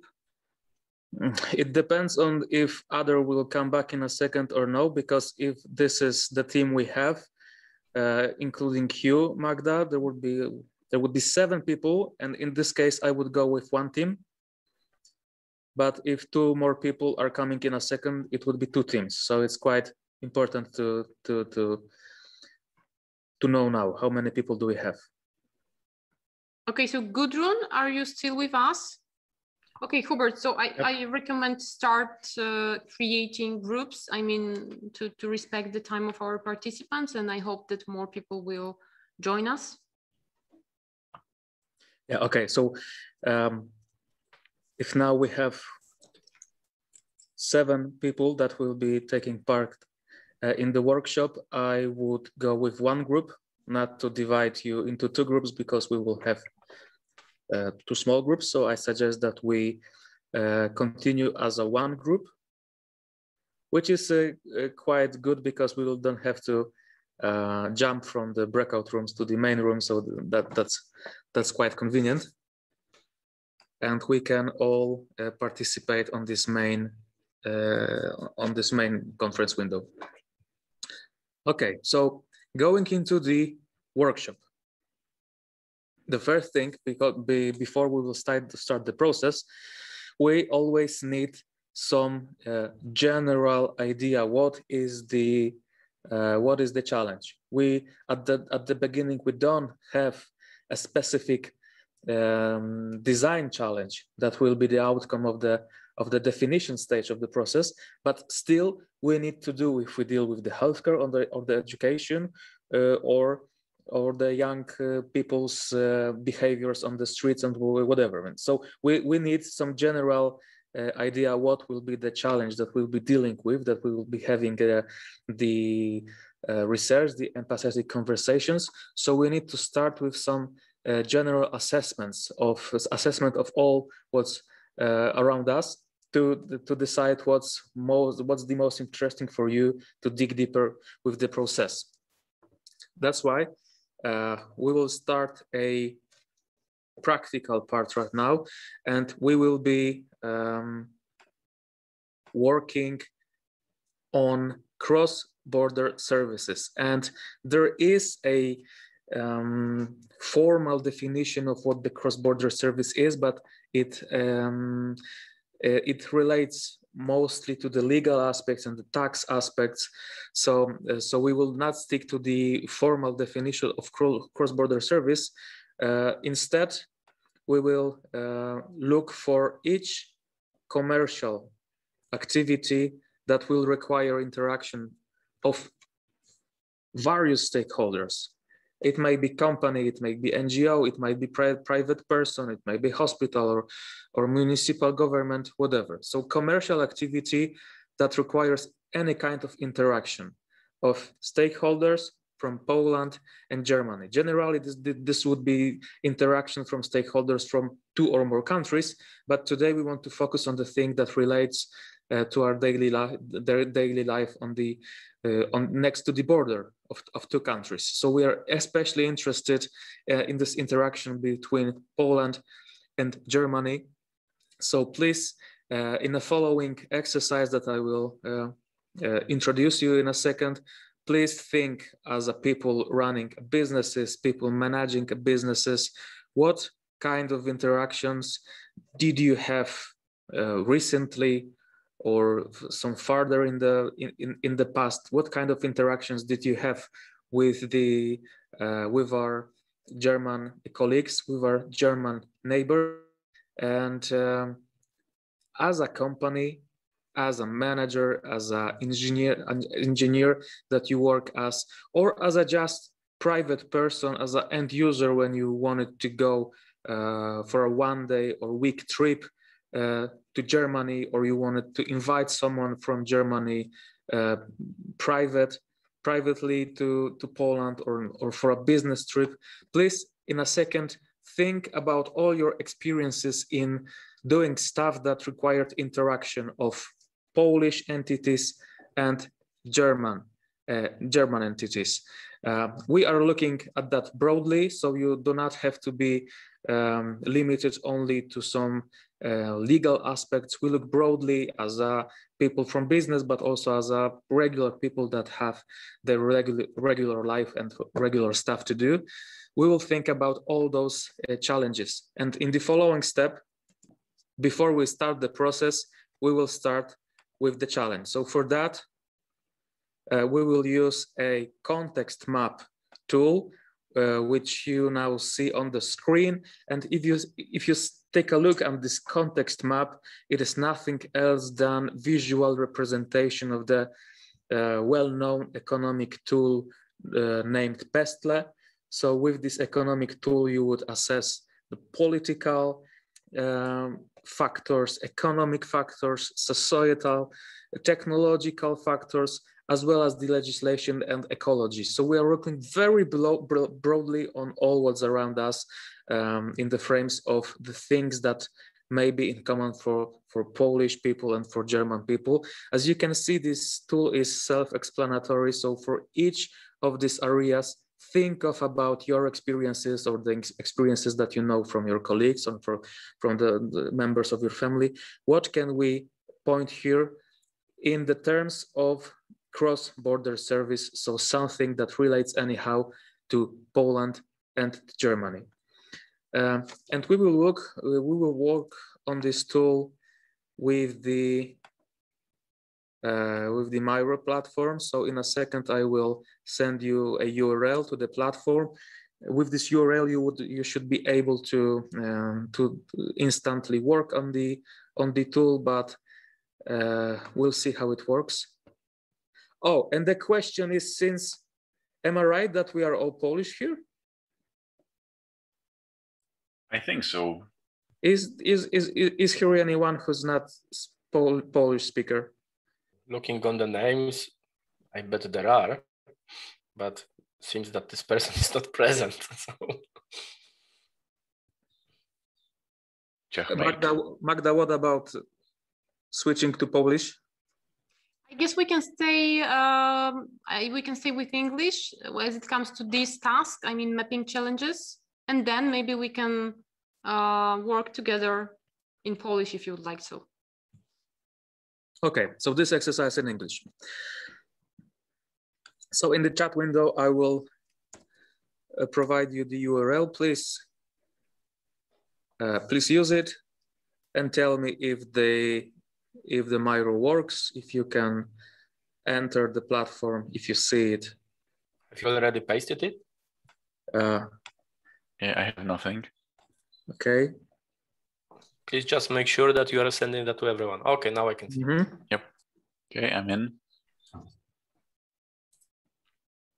Okay, thank you. Waiting for others. Does anyone have problem with accessing the, the platform? Nope. No. Perfect. Okay, so now what we want to do is to use this context canvas to discuss what I mentioned just a second ago, all aspects related to cross-border activities. And once we have it, we will vote on a topic that will be the most interesting for you to, to, to start the uh, design process. For both the discussion and, and the voting, we have 20 minutes. So that's just enough time to, to have discussion and vote. So please, uh, please stay on the uh, on the platform. Okay, I can see that it seems I didn't block the, the canvases, so so they move. But please, uh, there you will find uh, uh, on the Miro, there's a canvases prepared from for three groups. I always make it uh, uh, prepare the canvases for more groups that we need. For now, it seems that we uh, will be working as a one group. So please all focus on this first row with the caption team number one. And what we want to do now is focus on the first on the first uh, canvas, context map canvas. Yeah, but we need to bring it back to the place where it was. Um, for those of you who are not yet familiar with those uh, online, online workshopping tools, on the left side uh, of the window, there's a toolbar. And what we now need is a fourth position. So this square with this uh, visible margin and once you click it, it is a tool to use post-it notes. And what we now to do is to stick post-it notes on this context map canvas. And uh, each of you is assessing all the canvas uh, uh, all the canvas uh, at the same time. And each of you, please put the post-it notes to just sign the, the topics that are important uh, for you. So let's spend five minutes on individual work that everyone will uh, fill the canvas with his or her post-it notes. And after that, we will have a discussion that everyone will tell what is the most important according to, uh, to him or her. And after that, we will have some more discussion and voting. But now, five minutes for individual work. You can see all the elements of the context map canvas. So now please use the post-it notes to, to fill it with what you what you think is relevant. Uh, I suggest you can uh, select some different kinds of, of post-it notes.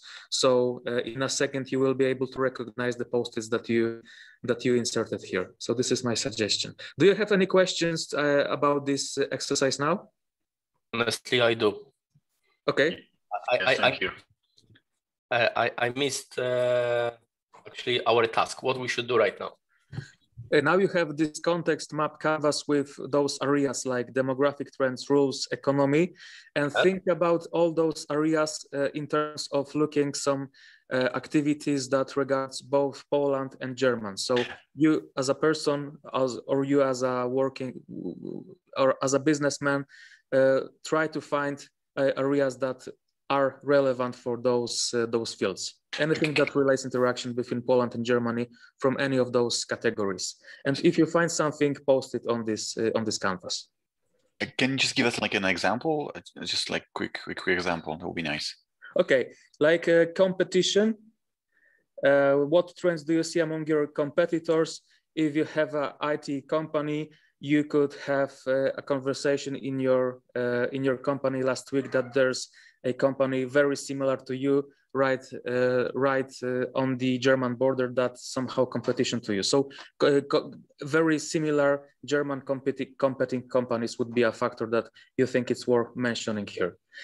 Um, customer needs, like if you're selling something to both yeah, Polish.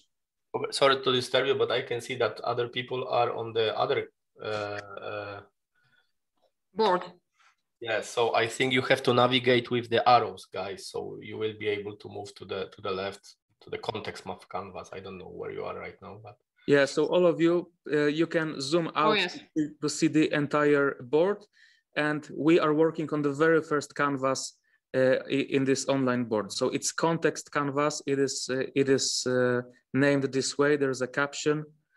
I don't know why these canvases are moving because I blocked them but yeah, they are floating now. We need to focus on the context map canvas. All right, guys. So the question to all of you, can you see context map canvas? Yes, I can see. Yeah, yes. I can see it. Okay, perfect. So right now our task is to, with the sticky notes, to put some comments or ideas regarding to demographic trends, rules and regulation, economic competition, uncertainties, customer needs, technology trends. As another example for the customer needs, if your company works with both Polish and German customers, you may notice some differences in approach, requirements, and so on. This is also, I think, you can put in the customer needs. Demographic trends, if you have anything that would uh, bring your attention, the same. And uh, this, this goes for the all the fields.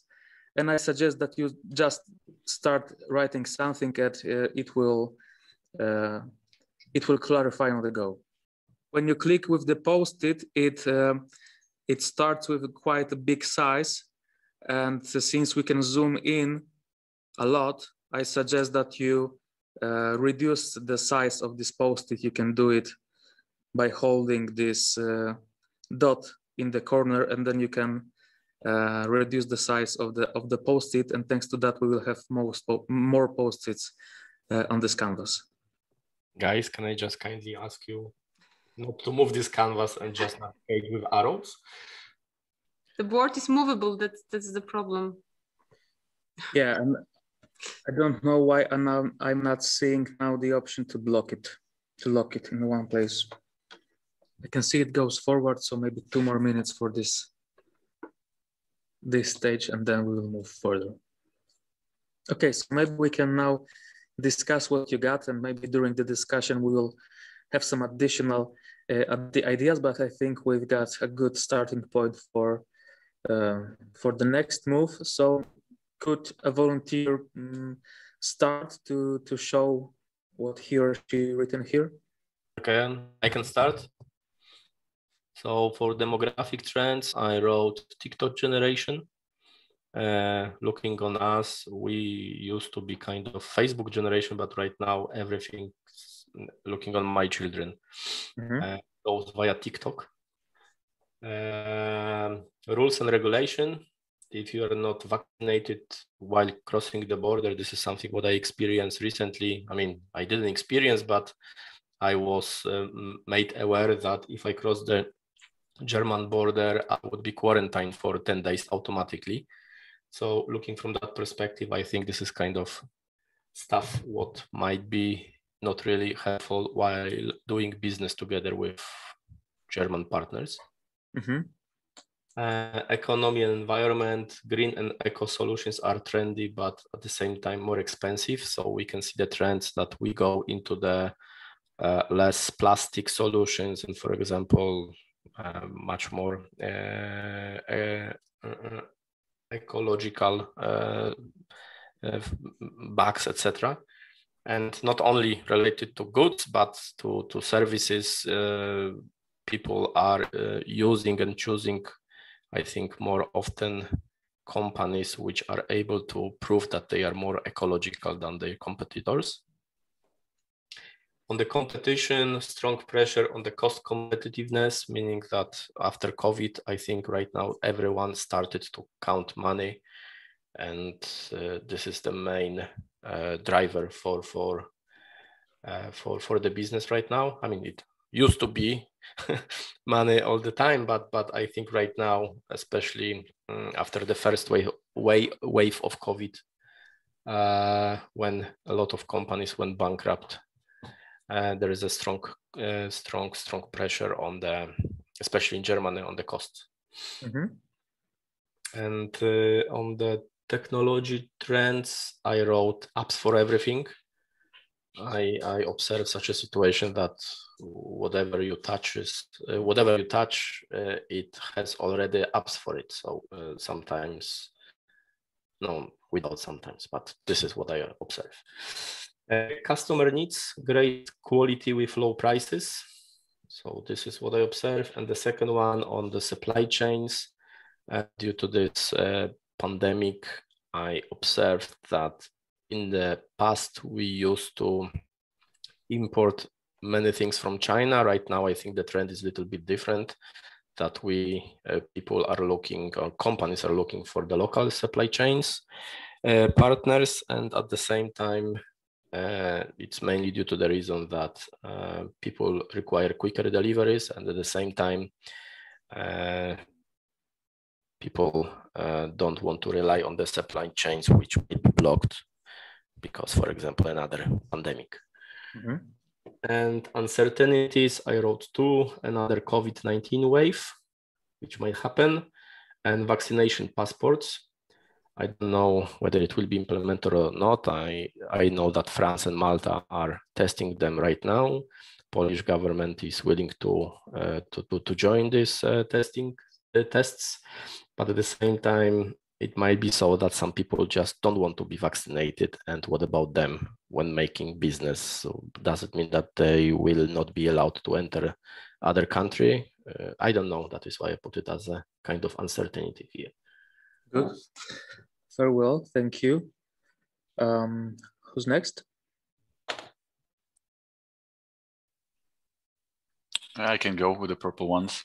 Mm-hmm. Uh, so for the demographic trends, actually, this is uh, right now the trend is right. Everyone's posting their videos, audios, uh, and uh, yeah, so in our company and so in our in our business, the problem is that previously there were huge studios, video studios, and big customers, and right now the switch is to a smaller smaller customers, which, as you said, Kamil, are TikTok TikTok generation, and a lot of small uh, mm, like video and audio creators, uh, which just basically are will be becoming the base of the customers, uh, rules and generate and regulations. So as I've, I just mentioned, that due to COVID situation there was a big problem with shipments. Uh, actually, I know that it was mostly related on the Polish-German border with uh, the people going from one place to another, but it was also a logistics issue uh, with with posting also hardware because you know the, the third COVID uh, COVID um, COVID wave, there was also some kind of a you know some issues with the regulations. That's but this is COVID related. Mm-hmm. Uh, economy envi- environment. Um, so that's exactly about the green energy, and everyone is freaking out around uh, cost saving and you know, energy savings, especially with right now when we're digging the cryptocurrencies and everything. Everyone's just uh, there's a around getting uh, um, as much hardware with less uh, calculations with less energy that it's possible. Mm, competition well, um, yes, it's since I don't know ages mm, the gap between Poland and Germany in the cost of the of, of production, cost of uh, qualified employees, which are flowing right now still into the Germany from Poland. No changes here since years. Uh, technology trends actually right now everyone is moving from uh, from perpetual licensing uh, to subscription. And uh, this is something also we've noticed in our business and this is will be this will be like a, a really good trend which will be progressing.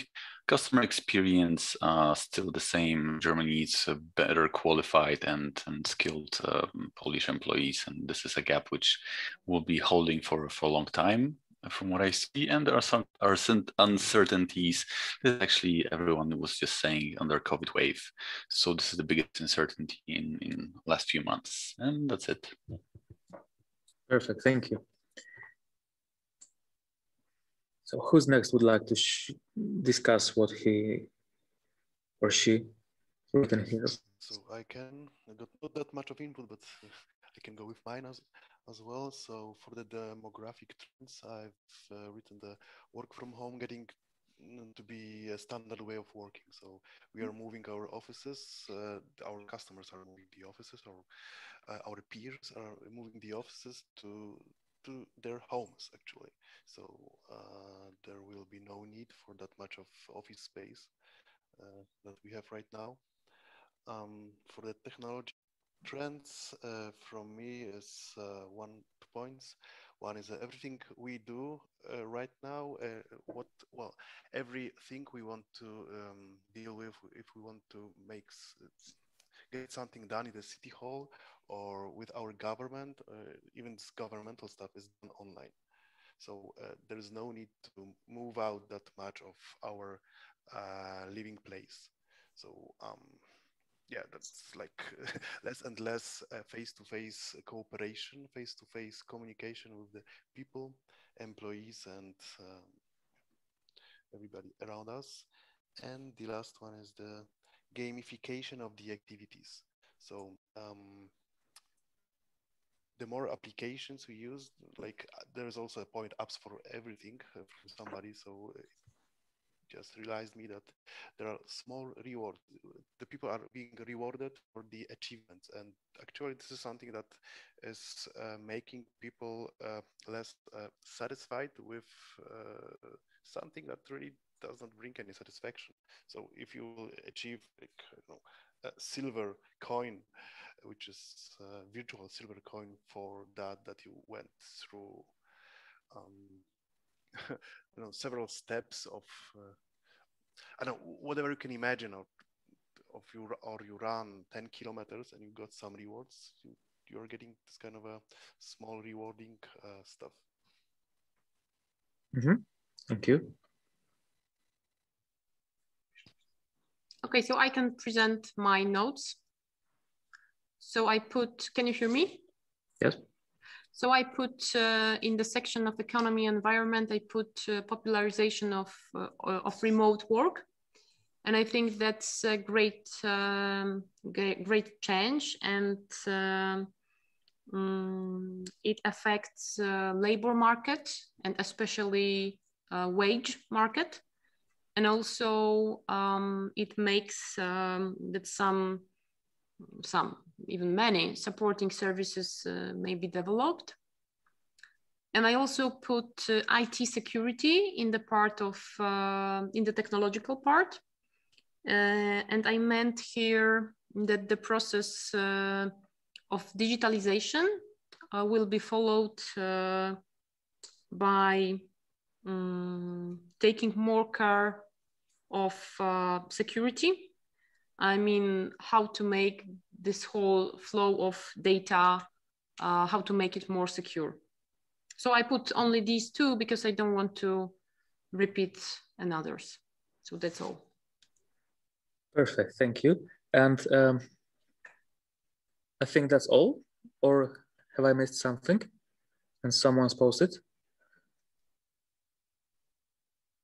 I did, but actually it was already described by, the, uh, by others. And so, which, which, one was that? Um, it's a quality on customer side, so uh, customer needs. So I mm-hmm. think there is a difference what the customer uh, expectations are in German versus Poland, because uh, quite often the quality is the first choice for German, while uh, for um, the customer in Poland, it will be the price.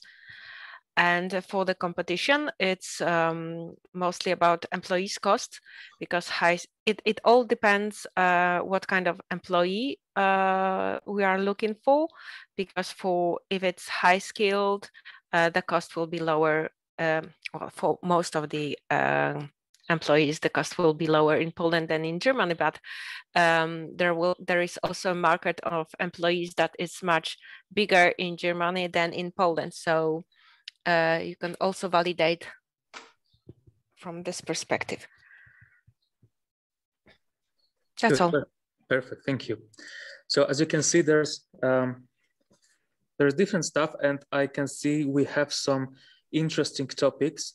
Um, uh, in a second, we will go to the uh, to the design process. Uh, we will stick with one of those uh, concepts. We will have uh, an agreement to this concept in a second. It will be important that while we are choosing, um, there will need to be a one person that is able to um, to to talk about it because we will need a user that will uh, will be making an interview with. So so uh, the topic that we will uh, choose needs to be represented by uh, at least one person from, from our group that has personal experiences with this topic. We will ask you questions and we will ask you to share your uh, story about the specific mm, area. And uh, all of those um, comments are correct. Uh, and uh, this is a, a, good example of context map canvas. If we have, if we had much time, um, uh, longer time, we could go with more uh, ideas. But we need to go with the process, and this process is more like a, laboratory exercise, not a real uh, world study. So we will work with what we uh, what we've got. And uh, another thing worth to introduce at this uh, step is that uh, when we work with design projects, we will often have so-called design constraints. So there are just things that we need to take into account in the uh, in the work and and there's no discussion. And uh, because of the frames uh, for the workshop that we are uh, now we will need to choose the element that has the strongest cross-border um, aspect. Uh, I, I, I suppose from the from the list that for example none of you uh, lives in the Germany but works in Szczecin, for example, or the other way, none of you uh, lives in Szczecin but needs to to to, to go reg regularly to, uh, to, to, to Germany. So there's no such kind. Or um, or your children uh, do not need to cross the border, for example, going to, to school. If if you had those experiences, it, it would be reflected here in the canvas. But for for the things that we can see on the canvas, I think from the uh, perspective of the cross-border uh, cooperation, important uh, and interesting stuff is this uh, um, popularization of the remote work, which means that we can work and also do many stuff, uh, a lot of stuff, formal and informal, uh, straight from home through the computer without the necessity of moving. So this is a one theme that uh, appears in a couple of boxes, which means this is an important theme. So, so the uh, so this remoting everything and personal stuff and and the job stuff, and this would be the one one theme.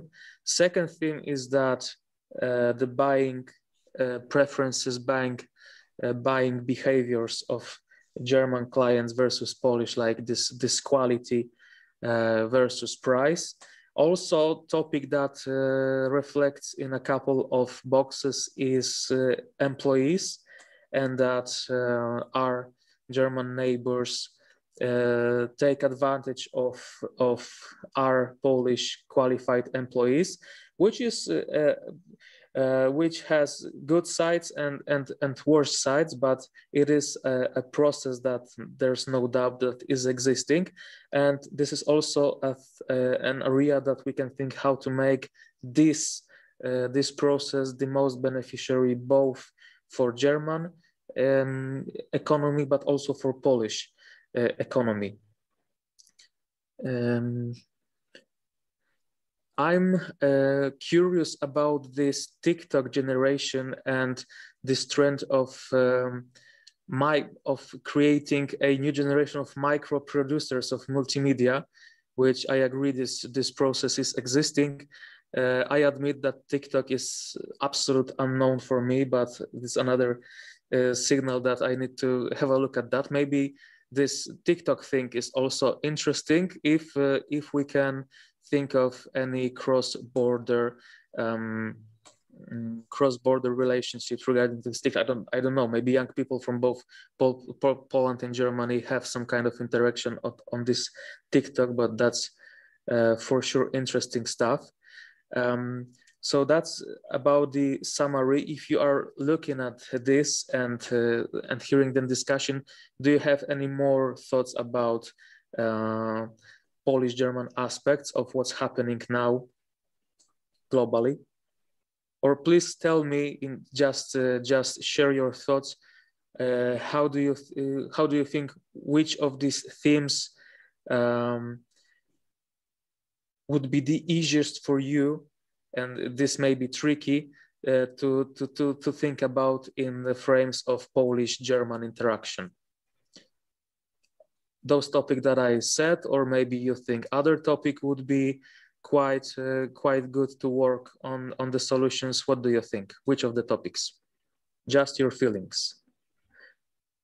Oh, and the one that I missed is about those uh, ecological solutions that we have global trends going to this more ecological stuff, which is also more expensive. There's always exchange with Poland and, and, and Germany about these ec ecological restrictions. For the time being, uh, Germany was first. Those restrictions came later to Poland, but now it, it, it's, it, it's more like the same, but also those aspects of going green, being more eco are also important now. So what your are what are your impressions? What could we uh, deal with?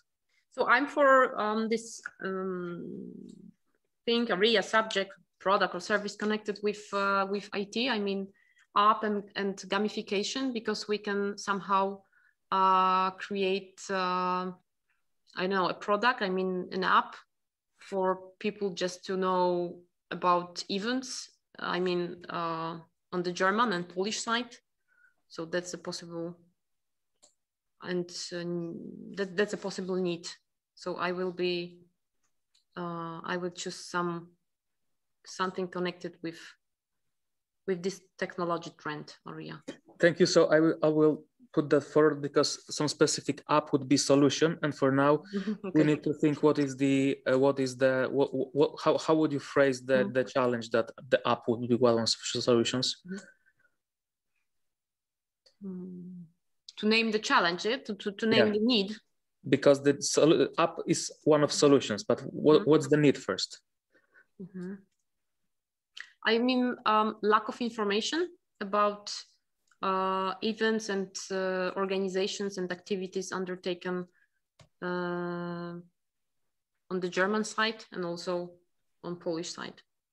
That's for sure. For from my experience, I can tell that we live very closely, and if there are any interesting events that I could attend with a half an hour ride or hour ride, I don't know. So there, there, there might be cool things that happen just right next to the border and I don't know about it. There's of course another topic now if if these uh, travels could be made with the restrictions that we also see on the canvas. Mm -hmm. But okay, the, the, the, the, topic would be exchange of information and uh, information about interesting activities taking place on, on both sides of the border. This is good. And what's next? What else? No, uh, Hubert, uh, because I I feel that I lost uh, the, the feeling that I understand what we do right now. Now the question is having the having discussed what you written, yeah. how do you think uh, how can we adapt this what you written or maybe you have some another idea what would be the good topic to work in a following process but having in mind that we need to look for this cross-border aspect. -huh.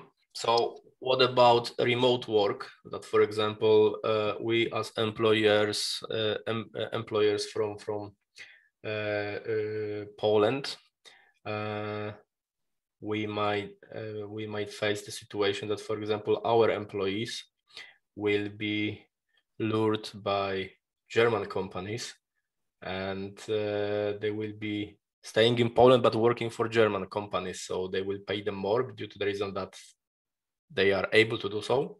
So in a way, maybe this is something what what might be interesting. It is that Polish employees now even um, easier than ever may change employer for a German company and it doesn't even uh, need to to move to another country. So the, the competition for Polish company from German employers is now bigger than ever because the, the, the employee don't even have to move abroad. Would be that, Kamil? Yeah.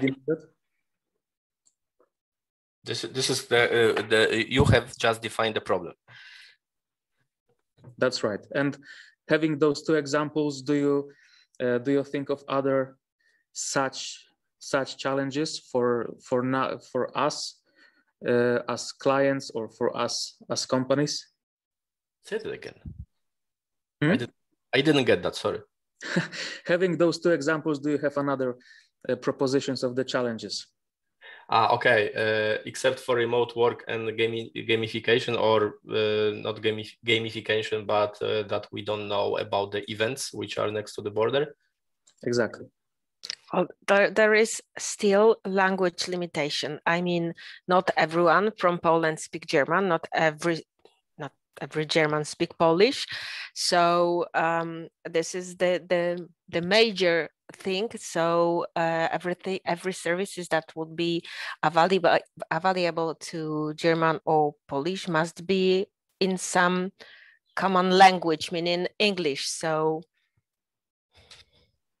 yeah, but I don't know if that's relevant to to all of that. I think it is. It is so true. So despite us living so close, there's still many Polish don't know German and German don't know Polish. So there's a language barrier. Do we have something else?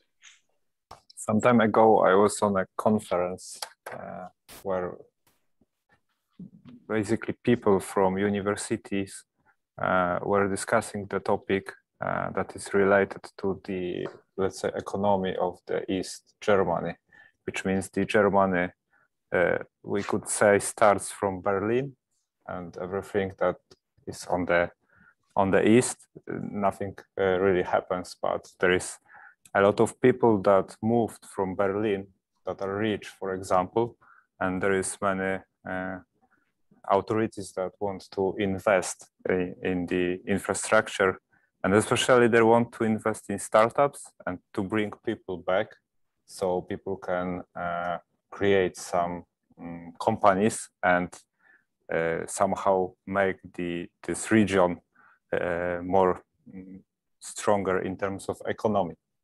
So there is a problem that we don't know about this for example in Eberswalde and in other uh, cities, uh, authorities try to make, for example, co-working spaces, and they give grants for startups to create some services, and they are looking for uh, partners on, in Szczecin and in our region, for example, to to work on some uh, on some projects that uh, also engage universities. So th there are people from universities, they have kind of small cities, but great ideas, and they are not, let's say, used to, and, and this, uh, this, this power is not uh, efficiently used to, uh, to create something and use the region and the opportunity that, that is there.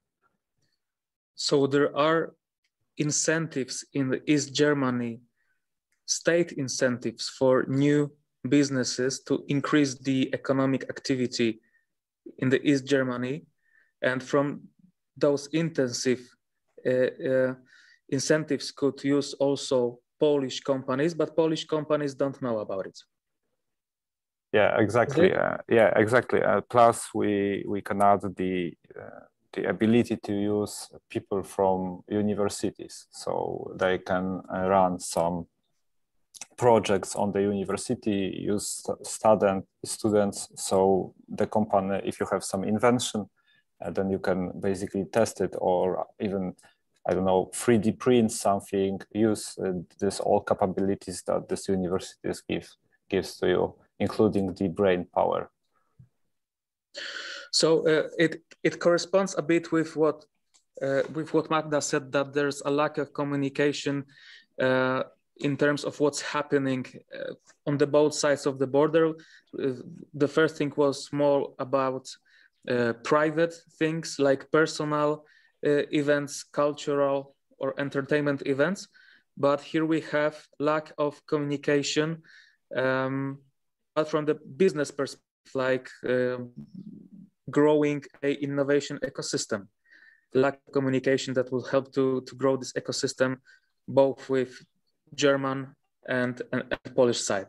This is also a good thing to discuss. Thank you. Anything else we have? Okay, so to, to sum up, we have three uh, three themes that uh, that we have found with this uh, tool. First is that uh, there are activities, cultural, educational, entertainment on both sides. This may be uh, those may be interesting events that we would like to attend, and uh, we are quite close to most of them, but we don't know about them. So this would be the first challenge and then we would discuss how to what to do with that how to solve it.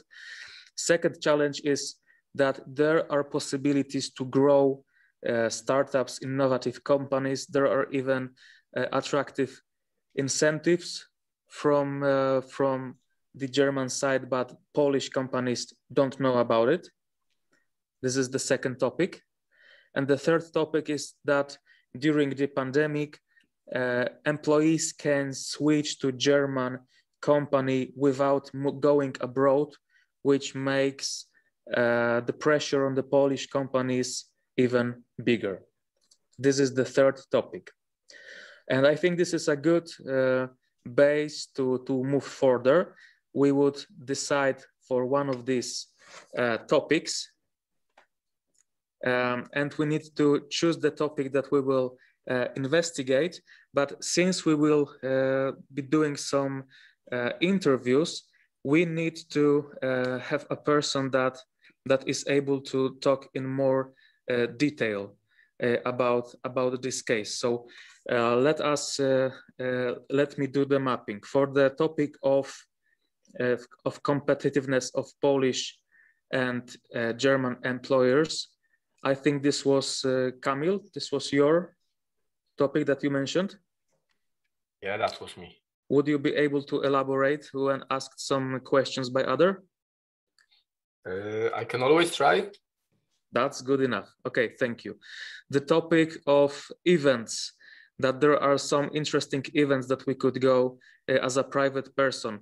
Uh, has any of you personal experience that you went to Germany to, to, to, some event that, what in, that was interesting uh, to you? Has any of you such an experience? Okay, so here Magda would be a volunteer as, as Magda gave us this example. And the third topic was about this ecosystem that there are incentives. So the question is, uh, when you run your companies or you or you worked in a startup or a company or you founded such an uh, business, uh, who of you has experience with looking for the financing, looking for the grants, for partners, for incubators, uh, uh, angels, business angels going to pitches and so on. Who has relevant uh, experience and could ask, uh, answer some questions in a second. You don't have to be uh, an eagle in that. We just need some some someone with some basic experience in this in, in this area. I think I think you need to choose a volunteer, Hubert. So this would be Michał. I I personally yeah, sure. I personally don't don't uh, have that complex knowledge because for me it was a new uh, a new thing that I have learned recently that something like that happened happens and uh, I I personally didn't look for uh, things like that. Okay, any of you had any experience in that in that area? Okay, so in that case, uh, please tell me if that's fine for you. I think we could go into the uh, arbitrary decision that we would focus on this topic of uh, competition between German, German and Polish uh, employers, because this is a thing that uh, affects us all because we are whether uh, employers or employees. So this is a topic worth investigating and uh, we would ask some questions to Kamil that uh, about it because as uh, Avit is, uh, is, a big company, uh, I am sure there will be some uh, stories, examples that would make this topic more interesting to us. So we've done it. we've done it. We have the area. If you can go back to the to the presentation, please. Can you just uh, for a second share the screen? I mean to have it on the Zoom just for a second. I mean the, um, the map, the tool, the previous tool. And now do you see the slides or do you see my screen and what's on the screen? Mapping challenges context map. And I would like to ask you to share just for a second this uh, context map canvas, just to share the screen on Zoom. Okay, okay, okay. Thank you. Oh, thank you. So that's the result of our exercise. Perfect. Thank you. Okay. So right now, shall we just swap to Polish? Wouldn't be what we agreed before? Um, it because it's in the frame of the uh, the European funds program. I uh, I'm not sure, Magda. Please, can you tell us how should we uh, behave right now? It, it is your uh, call to make it right. So tell us how should we how should we do it? So I would like to stay with uh, with English because um, yes, the workshop is under the project, and uh, um, I need to okay. show I need to show you know the the English results. So it will be uh, it will be a little bit chaotic to work in Polish and just write in English. So if you don't mind, uh, let's stay with English. Sure. No problem. It's always a good exercise to talk in English a bit. So we've got the challenge, the, the overall um, area, that's great. And now we can move to the actual process of which first step is to empathize and uh, in a in a real uh, real world process we would go to and ask uh, several people that have the relevant uh, experience now because the time frame is limited uh, and our group is limited we will do the best uh, as we can and we will make an empathy with uh, empathy with uh, Kamil, who will share his uh, his thoughts. But this will be a starting point also to to to build on Kamil's um, experiences, and maybe you will want to add something to the tool that we will use. And now we want to try to understand, go uh, and wear the shoes of this Polish employer that has a problem because he knows that the employer needs employees and the same goes with the German companies. And since uh, this remote, remote work is a new standard, Polish, uh, Polish uh, employees don't even have to go abroad. So this barrier of changing the company from Polish to German is low as as it uh, as never. So this is a, a challenge for a for a company, and now we want to understand this situation from the viewpoint of Kamil and the and the company that he's representing. It is important uh, to, to to remember that the process is sequential, and each stage uh, requires different approach. In the empathize stage, we want to get to know the problem better, but we do not thinking of new ideas right now. This step is not about ideas, but this step, this step is about understanding the situation. So we will listen, we will ask questions, uh, but not like giving feedback or, uh, or jumping into, into ideas. We will uh, use the um, um, sentences like, tell me last time when you did something, uh, walk me through the, the, the, last experience of such kind.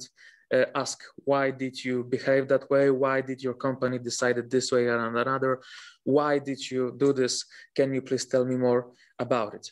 And uh, I think we will change a bit this uh, this scenario as, as I prepared because there uh, maybe many uh, people asking questions. So there, will there will be one user, one, one participant that will act as an user for this case. It will be Kamil. So we will have one user, but instead of only one person asking questions, um, let's say we can uh, we can uh, all ask questions uh, to Kamil to have to have more people thinking about the possible questions. So Kamil is answering you will be uh, asking. And the first thing that we need to, uh, the first thing that we need to prepare is some uh, list of questions. So now we can spend like two minutes, each of you write down a question that you think it would be relevant to ask to Kamil so he can uh, share with us his, uh, his experiences. And uh, you, Kamil, since we are all in such small group, on a bigger workshop, I would ask all users to uh, to, to, to, come to me for, for a couple of seconds and I would instruct users to try to be helpful uh, because we are now in this uh, exercise environment. Uh, some of the participants maybe didn't uh, use interviews before in such a manner. So in case Kamil, you can hear that there is some uh, silence, like no one has a good question to ask. Uh, please try to be helpful and to um, to continue the conversation. So so be proactive in sharing your um, experience. These are the examples of the questions that you can prepare in a second. Uh, what do we do is asking uh, for, for a story about the last time when you did something. What did you like in this uh, process? What you found annoying? What you didn't like in the process? Uh, what was the, the positive elements? What did you miss? And so on. And this is important. And we'll see how you will uh, go with it that we want to avoid any solution-based questions like if we what do you think if we made a database of something and something? This would be already a solution and we don't want to suggest any solutions. So please uh, try to be uh, aware that we do not want to talk about solutions or suggest solutions. We want to get the full story, the full picture, and we're asking about experiences. If you find anything interesting, ask why. Can you please elaborate uh, on the topic and so on. So now let's spend just two minutes, each of you, to, to prepare a question that you think it is worth to, uh, to ask Kamil in a second. And when we uh, when we are back, we will move to, to, to, to, the online platform and then there we will uh, ask Kamil all the question and you will immediately fill this uh, empathy map with the, with the notes from the interview. So now just minute or two of individual work. Robert, I have just one uh, question. Can you please rephrase the need? It will be helpful for us to formulate questions. Polish um, German companies are big competition for Polish companies because Polish employees may switch to German companies without going abroad. Okay.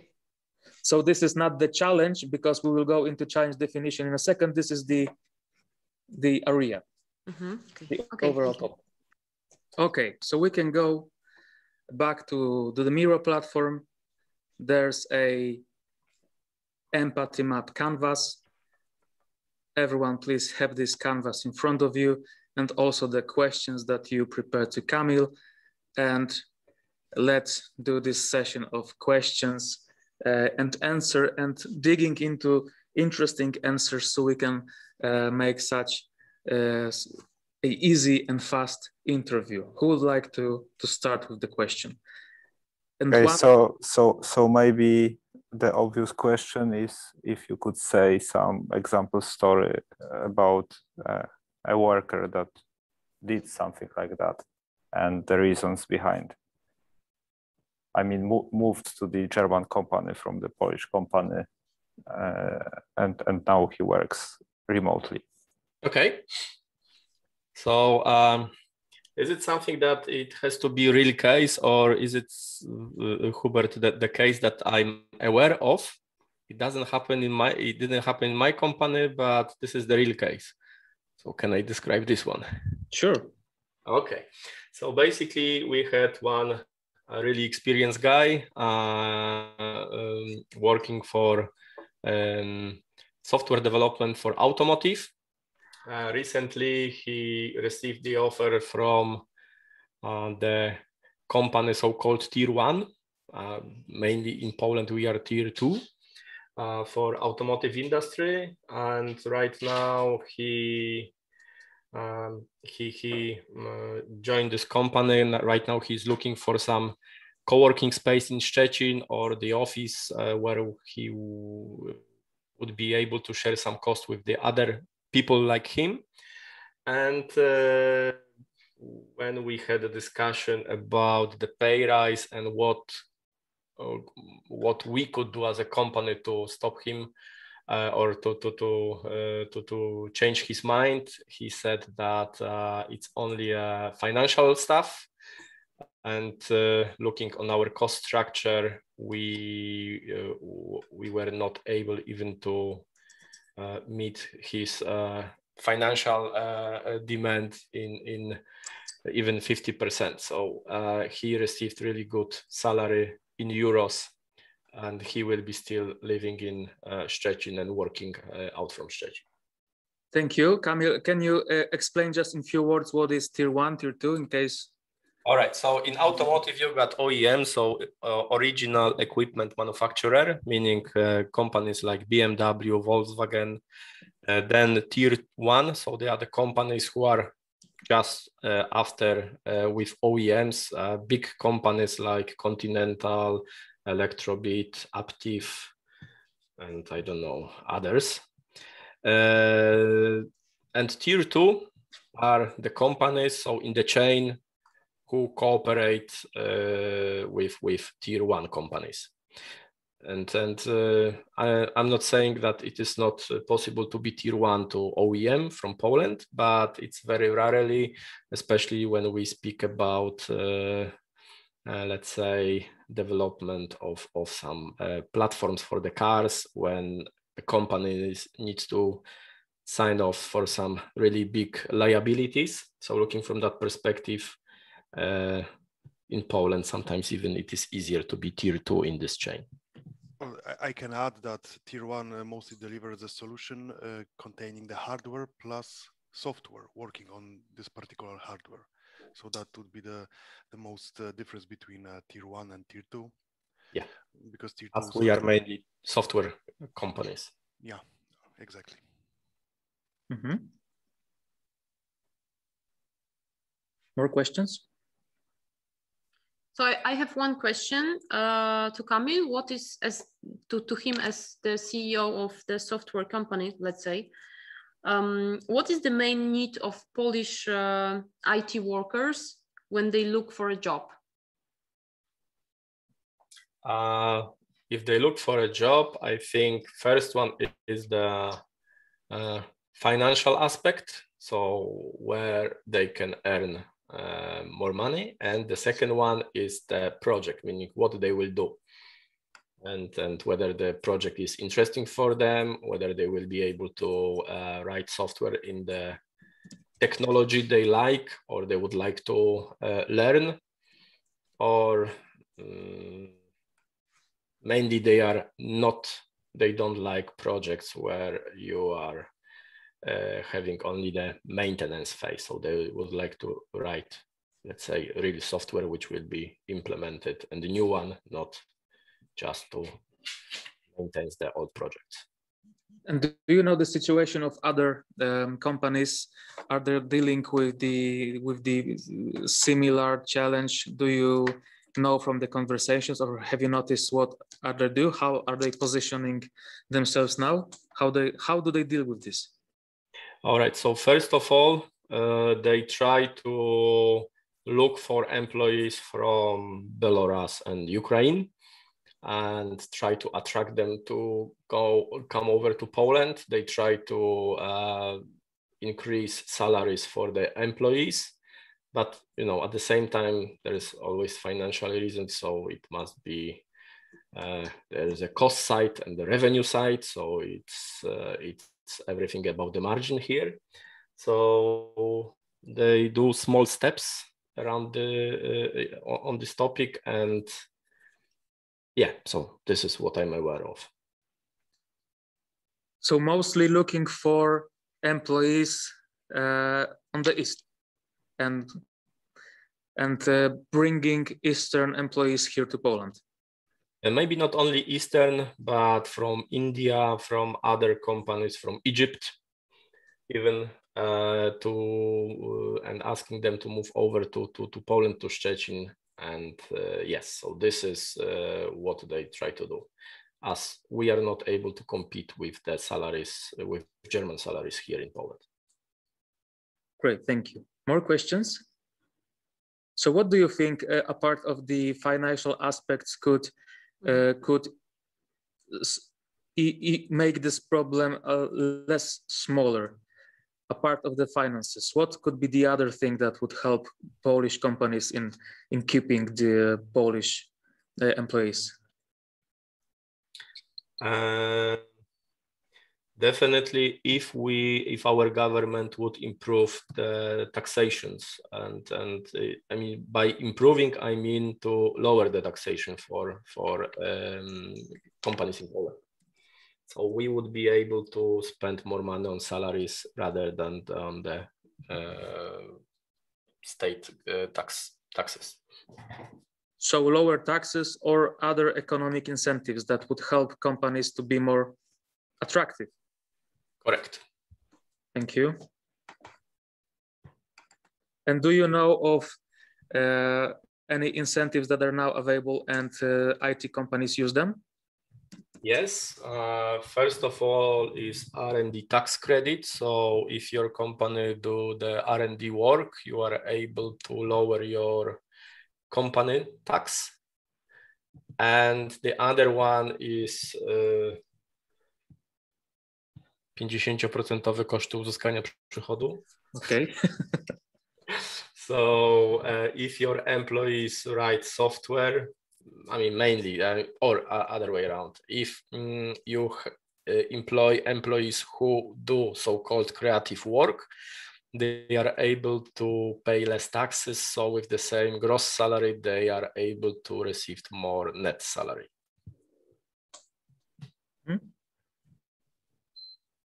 Thank you.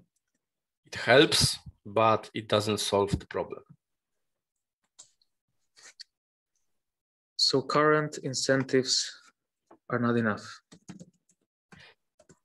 Yes, and uh, looking on the forecast uh, of, I mean, forecast of this kind of uh, proposal from our government right now, so-called new Ład, Mm-hmm. I'm afraid that the situation of the Polish uh, IT companies might, might, might even get worse. Because uh, in IT companies, uh, people are uh, earning, let's say, more than 8,000 PLN, so uh, which is considered right now as being a wealthy person in Poland. So looking from that perspective, uh, once this uh, new tax regulation will be implemented, uh, people in IT industry will be receiving less uh, less uh, net uh, salaries. That's true. Okay, so I would like to ask Kamil about some additional incentives, let's say, but not for companies, but for employees to encourage them them to, I mean, to keep them at the company. So a part of financial items, a part, a part of uh, salaries, how to encourage employees to stay at the company. Mm, because you mentioned. If I knew that, this person would stay. okay. So instead of uh, uh, Kamil's ideas, we would rather ask what the companies now do to keep this this this employees in house even if those attempts are unsuccessful, what are those attempts? Or maybe there, there are no attempts, just companies let those employees go because they have no idea to how, how to keep them. So Kamil, do you, do you know any moves, uh, marketing moves, uh, HR moves that companies do to try to keep those people here in Poland? Of course, we provide set of benefits, but this benefit is uh, this uh, set, I mean this this benefits are something like every every single not every single but but uh, many of IT companies provide to uh, their employees. Mm. So looking from that perspective, it's not kind of dif the differentiator for for the employees. So they treat it as granted, so they don't really let's say um, feel that this is something really extra here. They are just used to these uh, benefits. Mm-hmm. But, uh, adding more benefits uh, doesn't change the situation. It just accumulate additional cost on the company side. So you think that the benefits don't have much uh, of a sense? Uh, you know, benefits is something that what employee you know, looking on this situation. So if I earn more, more money in euro, I can uh, buy these benefits on my own. So they are not perceived as a particular value. Uh, while when comparing company to company, job offer to job offer, I don't think it is. Mm -hmm. Perfect. Can, can I uh, rotate the problem 180 uh, degrees? Uh, so say uh, say the, the, the fact that people leave company, uh, the company is a symptom, not a problem. And we can figure out that the problem is that we cannot pay more. So if we cannot pay more, that means that we don't have enough income, which means the problem could be that we should make more income to basically uh, yeah. So so the, the, there, there may be might be some solutions in terms of that. So how the company can be more uh, how the company can compete with the other company so the income is enough to cover the workers cost. So uh, my, Michał, i will stop you there because what you say is is, is a great insight but this is a, a thing to discuss at the uh, next step. So when we will deciding what the problem really is, and what you just said is a great illustration that uh, we may be uh, we may find uh, a problem definition from totally different angle. We will go back to that, but for now we want to uh, exploit uh, Kamil as much as we as as it's possible to to have information from the first hand and in the next step, in a second, we will discuss what the what, what the problem really is. So we, will go back to that, but the, that was great example. I, I just um, wanted to, to think that maybe we should put something that is related to that. I mean, uh, somehow, I, I don't know how this uh, map can cover this. I mean, they leave because there is uh, I don't know, the, there is not enough salary, so I don't know, projects are too small, maybe. If you, if you know what I mean, just just trying to find something from the different perspective. I know the the, the thing is if you can uh, rephrase it in other words to uh, to a question that would be directed to Kamil. So is there a chance to to basically uh, what what what limits the company to find bigger contracts? Maybe something like that. Good. Hmm. In that way, uh, definitely one thing is that uh, we can, uh, let's say, Oh my God.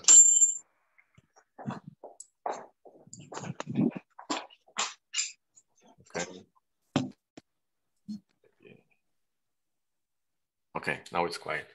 Uh, I don't think there is nothing what is limiting us except for, uh, let's say, our imagination while, while we, winning the bigger contracts. But uh, to be able to win big contracts, we have to um, let's say, be prepared for higher uh, liabilities. And at the same time, uh, it is uh, known and uh, even our government is saying that they are willing that we will, uh, the salaries in Poland will be at the same level like in uh, Western Europe. It's not possible from overnight.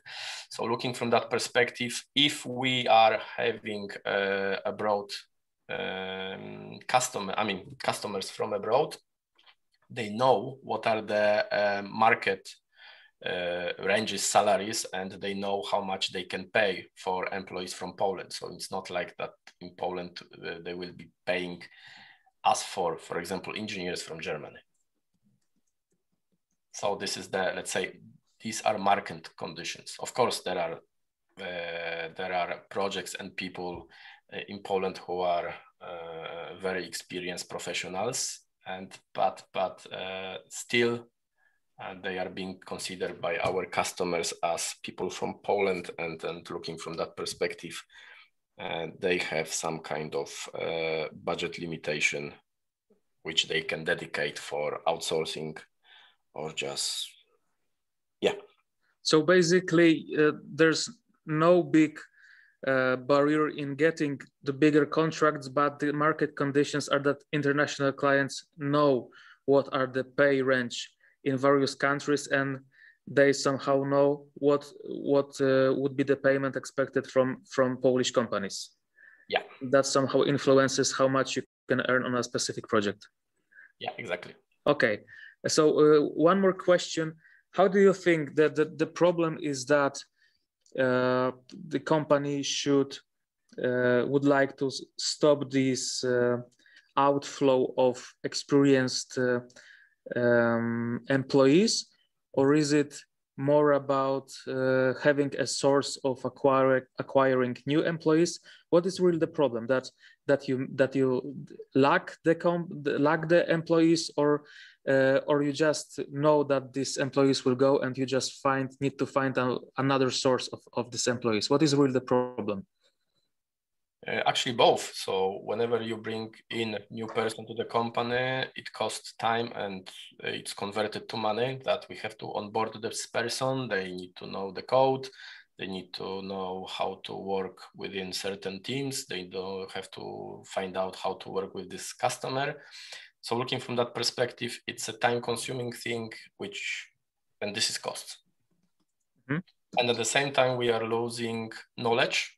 So again, if we bring in uh, younger people, not experienced, we spend a lot of time on uh, mentoring them, uh, uh, uh let's say on training programs, so they gain the knowledge and then this knowledge is uh, going away because people are leaving the company. Mm -hmm. So this is one thing that you want to stop the, the outflow of the employees. And uh, because of the amount of the projects, it is also important that you uh, still get new employees, or this is of a less importance? Of course, it is important to get new employees.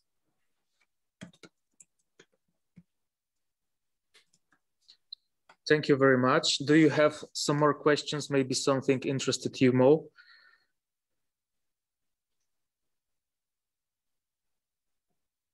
As you can see, I tried to make notes on the empathy map canvas. I missed, I may missed something. Do you think we could ask Kamil anything more?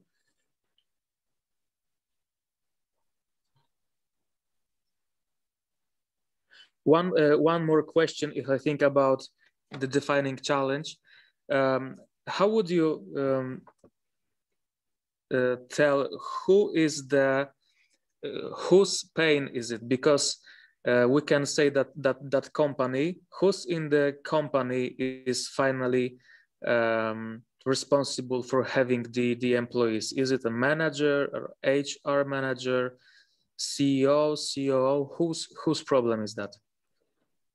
I think that uh, I mean I, I know it it sounds too generic, but I think this is the problem to the whole uh, organization because uh, if we are losing the person, we have to fill in the gaps. Uh, we might not be able to uh, write uh, the proper and test software before next release. So in my opinion, this is the problem for the whole organization.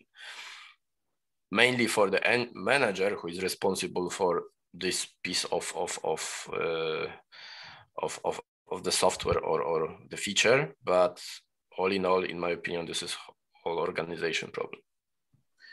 So uh, can we to to stick with something more um, specific than organization because it may be too too broad for the exercise that uh, person managing an organization? Uh, I think I mean so internal uh, organization. So this is the problem for engineering manager or director because I suppose a regular programmer, uh, it, it is not such a big problem for him whether he has uh, right scope of the task and be, good management or not. But I suppose this is not such a big problem for a, for a regular programmer. So that's why I'm asking about the uh, more specific person. And you would say that it's a engineering manager. Uh, or director. Okay, that's good. That's very good. Thank you.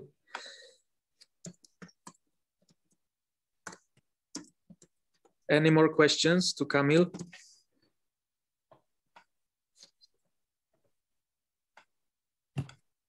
Perfect. So we can uh, we can close the session of this interviewing.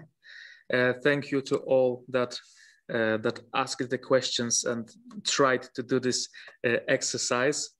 I thought, oh, it, it might be new. Uh, we've got a, a, empathy map canvas uh, filled with with the sites quotes of Kamil. If it gives us some impression about the, the challenge of, of those Polish uh, companies, uh, we could go and elaborate more and in the real project would ask several people the same questions had several empathy map canvas and then we would go have a look at all of them and then try to make a synthesis of everything that we've learned. But because we are here in this exercise environment um, we can go uh, to the another step, and this will be the last step before the, the coffee break. Uh, we will skip uh, uh, the client journey map that you can see on the uh, on the right side of the empathy map. So we will skip client journey. I think this topic do not require us to, to do the client journey, but instead we'll go to the point of view statement. So the fourth fourth block on the on the Miro. uh, please go to the fourth block of, of, the, of the Miro board. There's a point of, point of view statement. And the last thing to discuss, and this is the moment that we can take advantage of the empathy map and also use the insight that Michał provided. We need to uh, define what the problem is there are many many things that we talked about but we need to focus on one uh, one sentence one problem that will be the starting point for the ideation after the break. So please feel free and uh, i hope now many of you will try to to formulate this point of view. Uh, how do you think how could we uh, how could we approach doing this uh, this sentence? Uh, don't be shy. You can think aloud let's discuss it the same as we discussed with the empathy map. Uh, give it a try. We will, we will find something together that will be a, a good starting point for another steps. So what's the POV? Who has the idea based on the empathy map? I think IT companies, can it be such a general phrase, IT companies? We can start with that and what, uh, what next? I would also say Polish IT companies because the Germany companies wouldn't have a problem, I think. Uh Huh?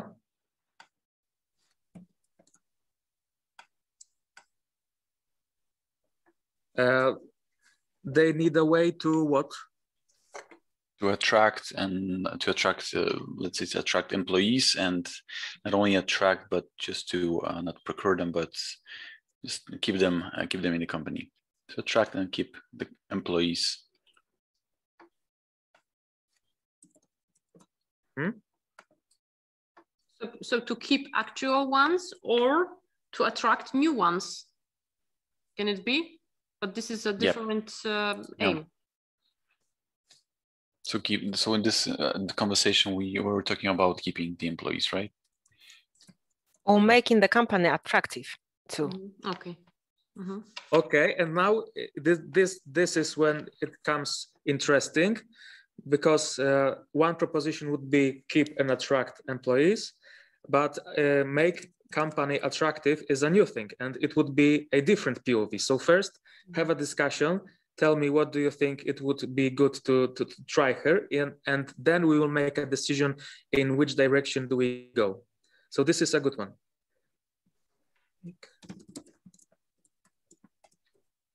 What else?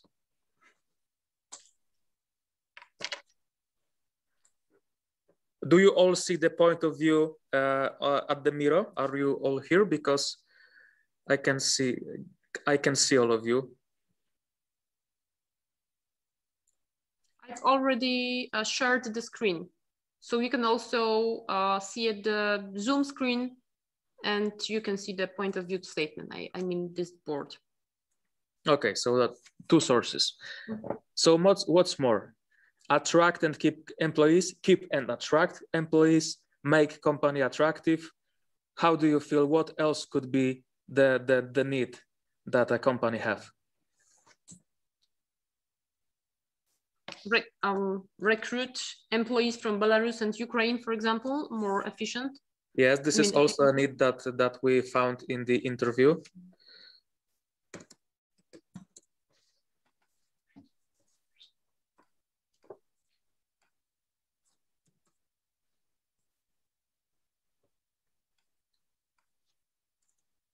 What else?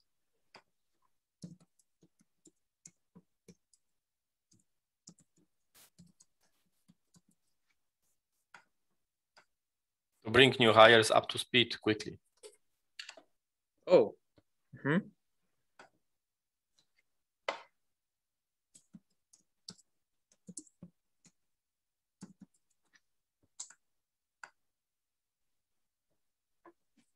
Mm -hmm. Uh, maybe uh, maybe let's go to the inside. They need this because of what? Why? To run the business without disruption.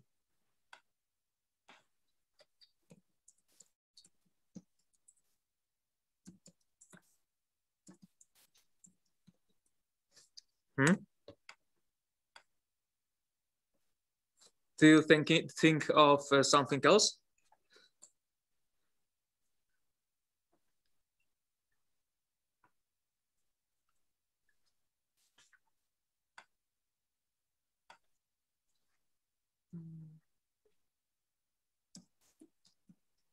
I mean, distraction here means it's a very wide definition.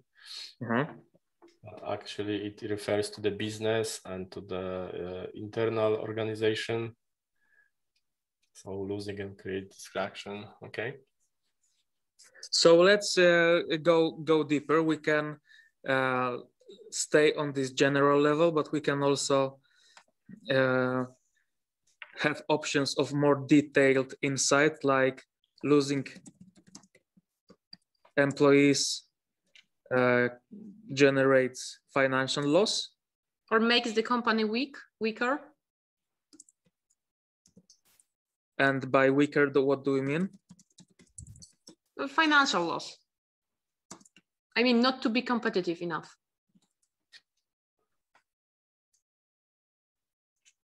So in the way we are losing knowledge from the company. Mm. Hmm?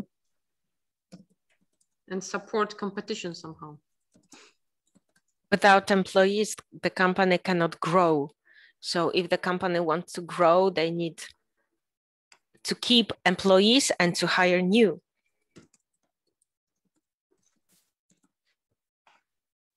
Perfect. What else? Or find new business with higher margins.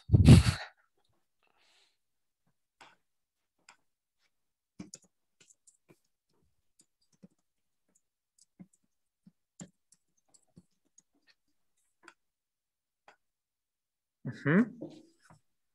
Do you have any uh, other perspectives? Um, Michał, please, uh, please, please go back to, to your uh, insight because it, it, it turned it turned the problem.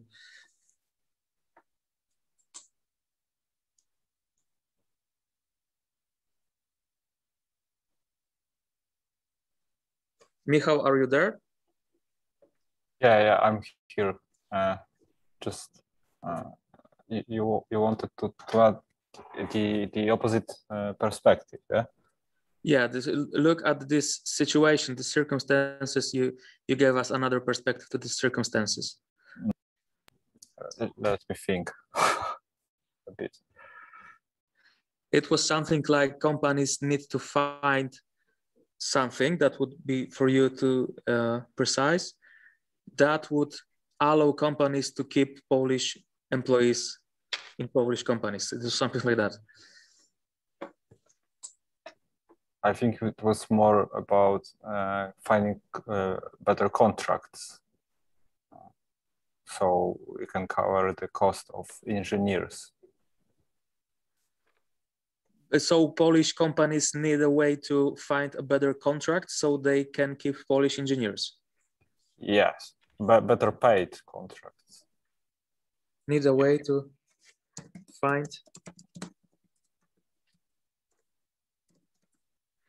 uh, some uh, practical note here that this is um, important to have as diversified team as possible because with the people from various backgrounds, various experiences, there's a bigger chance that someone will propose a problem that will be totally different for the from the things that all other people are discussing. So what, that's why this is so valuable. I don't know if we will go in this direction, but it is uh, always good to to, to hear such um, challenging uh, perspective because it's different that uh, from what we uh, already said. So find better paid contracts uh, because, Michał can you repeat? Because uh, they because they they I don't know how to uh, name it, but basically the thing is that uh, they need to cover engineers' cost, uh, and and engineers are are expensive. So if if you want to have the best one, the best ones, you need to pay more. Because the best engineers are expensive. Yeah, exactly. I also added something to the chat.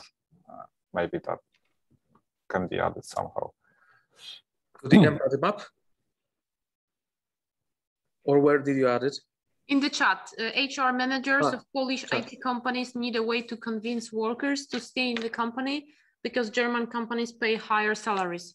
So I think uh, the need is because we have to have money for um, salary increase. I think so. Michał, am I right? Yeah, Need a way. Convince workers to stay. Okay, I will put it. it- it's not exactly about money. Maybe the way to convince workers is different. Maybe if you give them free houses, I don't know, but exactly. Uh, but the, the thing is that uh, because people want to stay close to the family and friends usually, or maybe if you give them free vacations uh, in the Egypt, I don't know, but something that basically makes them enough happy to omit the higher salary from the German company. Perfect. So now I think we've got uh, enough input uh, to make a decision. And as you can see in each of the three fields, we have uh, many options. And when multiplied, there's a lot of possible POVs that we could um, choose, but we need to stick with one. So now is the question. Uh, now is the question, and please, everyone, spend a minute and decide uh, is it Polish IT company or is it engineering director or is it HR manager? What's the need and what's the insight? And in a second, we will do the voting. So I will stick to Polish IT companies. Uh, let's let's try uh, because I haven't used it in Miro before. There's a voting. Okay. Uh, there's a voting functionality, so we've got the possibility to test it. We have it on Zoom also, polls. But I haven't tried it yet. Here we could uh, try to to just se- select the post-its. So I think it Okay. might be useful.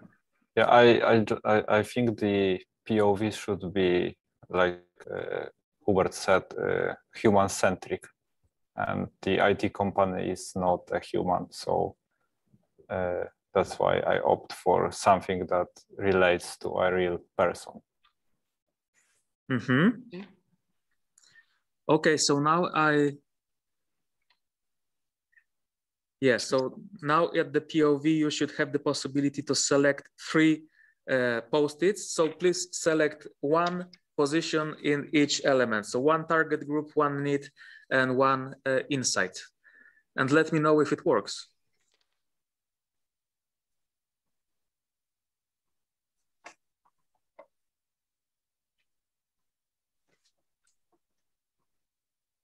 I made something wrong. I mean, the screen is so small. Can you please fix it, Hubert? So you need to just zoom in again to the point of view block because it it showed me the entire okay. wall, but I just zoomed in into the point of view. Hmm, but it's not so easy. Okay. Do you see those uh, crosses? Yes, yes, yes, yes. Now I can see. Thank you.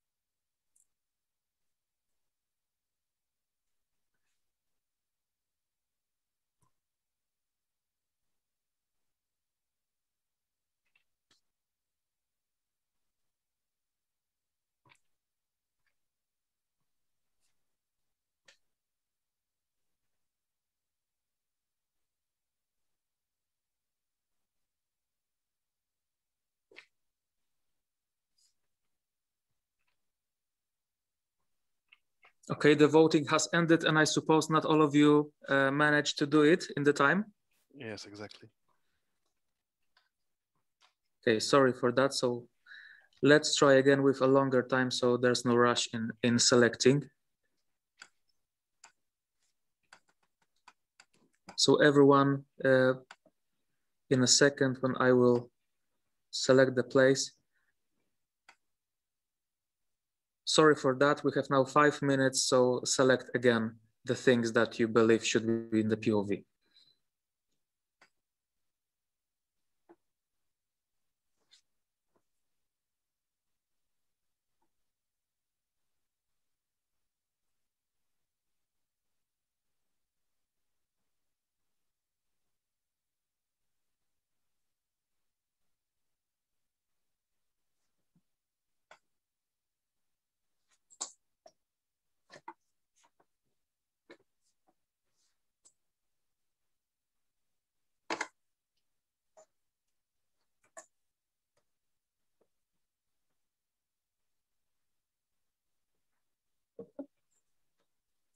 Okay, to vote, so we have to just click vote now, and then what do we do?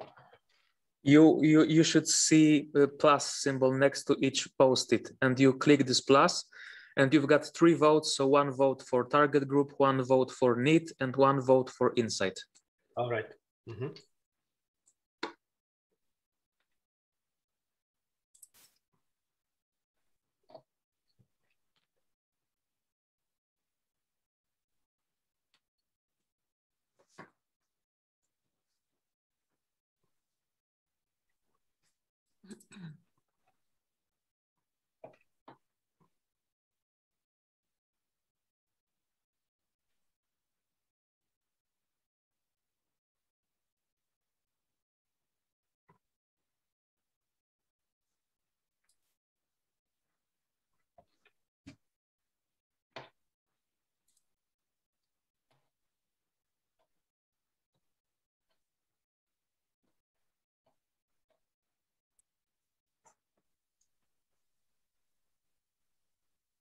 Uh, I finished the voting, but I'm not so sure. Um, did I finish just for myself or for everybody?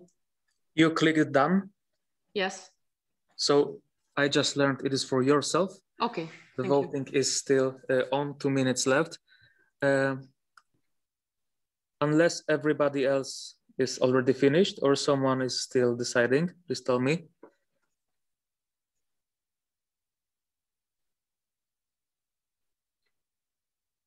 Have everyone finished voting or someone is still deciding?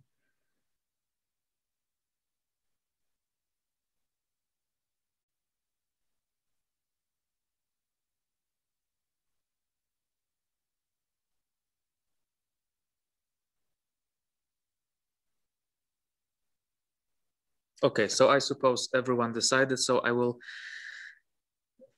and voting.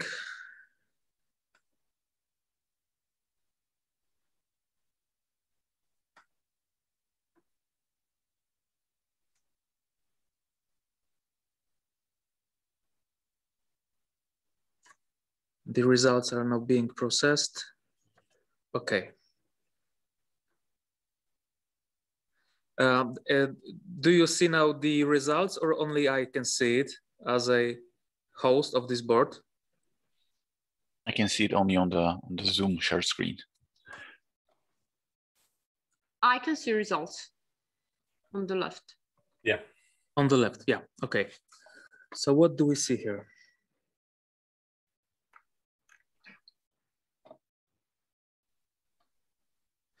So uh, because these Polish companies were divided into two post-its, they uh, uh, together gathered four, four, uh, four votes, then I would say we stick with Polish companies.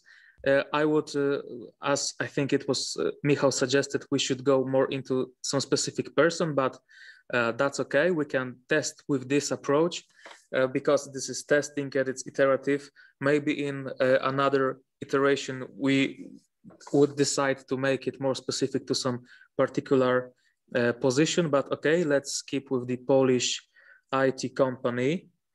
Need a way to make company attractive, has received the, uh, the most voices because losing people means losing knowledge.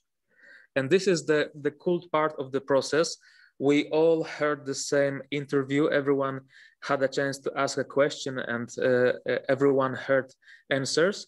And based on the same things that we, uh, we heard, we had many ideas what is the problem behind the circumstances that we are discussing and with use of this voting which is often used uh, in a situations that there is no right or wrong answers, but there are opinions. Voting is uh, commonly used, and with this voting, voting we, we decided that our POV for now would sound that Polish IT company needs a way to make a company attractive because losing people means losing knowledge. And this is a specific sentence that will guide us to the ideation session that we will do right after the break. Uh, and now the break would be a longer one, 30 minutes. So we meet again at uh, 10 minutes to two. Please tell me if uh, everything's clear. Uh, do you want to uh, discuss something before the break? I have no more questions. I think it's perfect time to start our lunch break. so guys, see you soon. See you in uh, 30 minutes. 30 minutes uh, 150. Thank you. Thank you. Uh, thank you. Thank bye. you. Thank you. Okay, everyone, it's 150. 30 minutes half has, uh, has left. Please let me know on the chat if you are already here. Let's wait one last minute and we'll go back to the process. Okay, so this is the place that we stopped at the coffee. I hope you had a good coffee break or you had a lunch and we can start the last part of the of the workshop. I can tell you that defining what we need to deal with is the hardest part of the of the process. Now it is the the the easier part.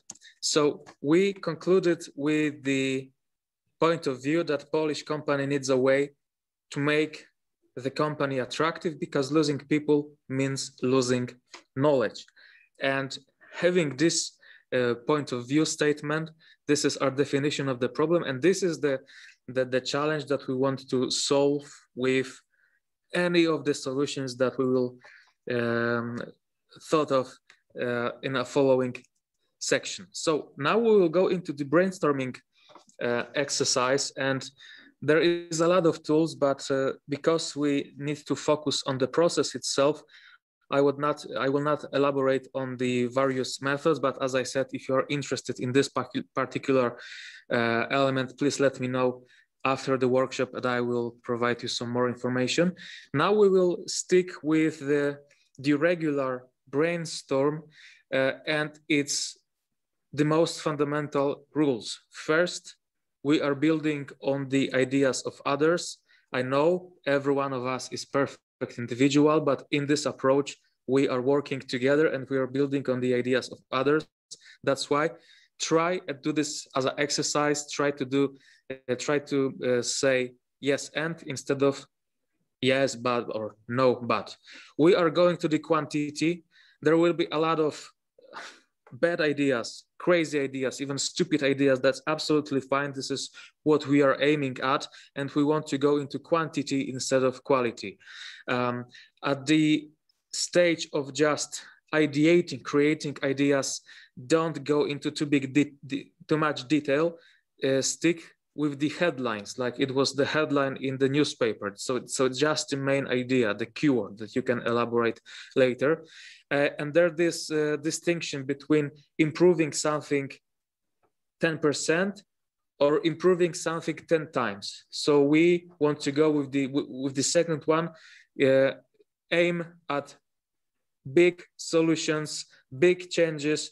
Don't be afraid that it is undoable. This is do not what we care about at this stage. And the last bullet point, don't judge. At this point, we are not considering all the ideas from the feasibility or the viability perspective. Now we want just as many ideas as possible, and those ideas may be crazy, stupid.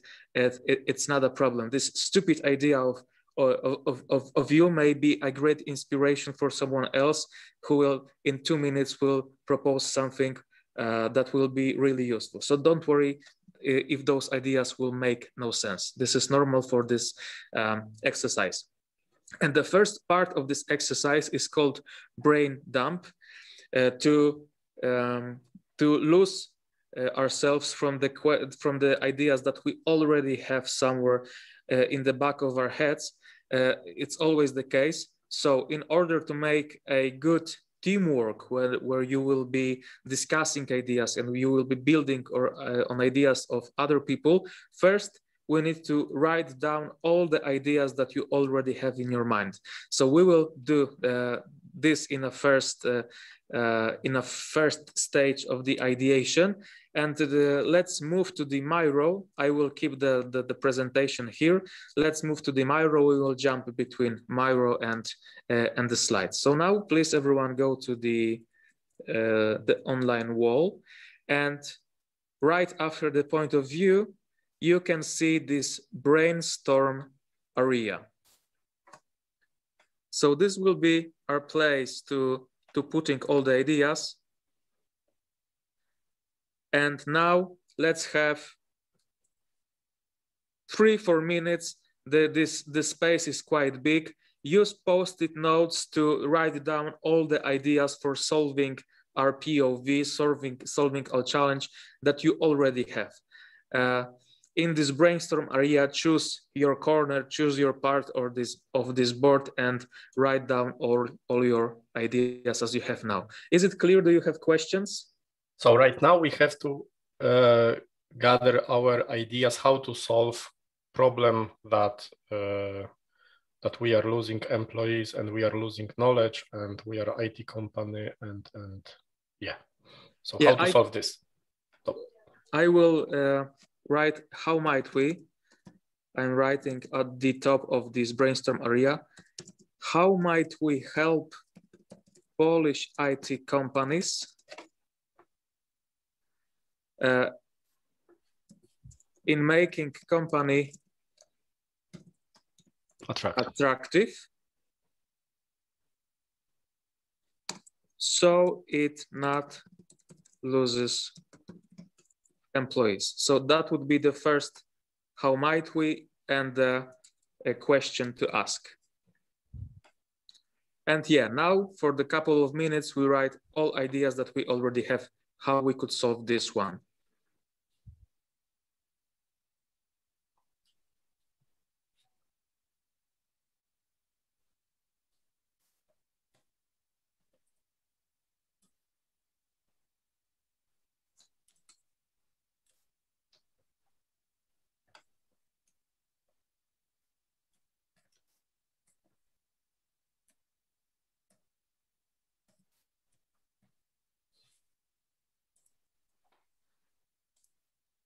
Tell me, are you all on the online platform? Because I don't see your, I can see you all. I can see there's Kamil, Magda, Kate now. Uh, for the rest, is the exercise clear? Yep.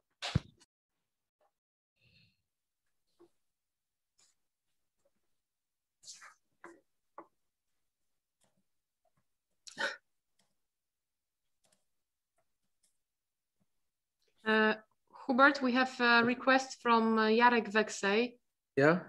Um, uh, Jarek is asking for a link to Miro. Okay. Because he would like to join us. But my Zoom was restarted and the chat is empty. Okay, just a second.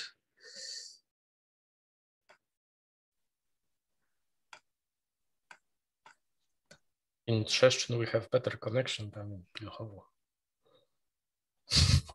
You should now see it in the chat window. Yes, it is a problem of internet connection, really.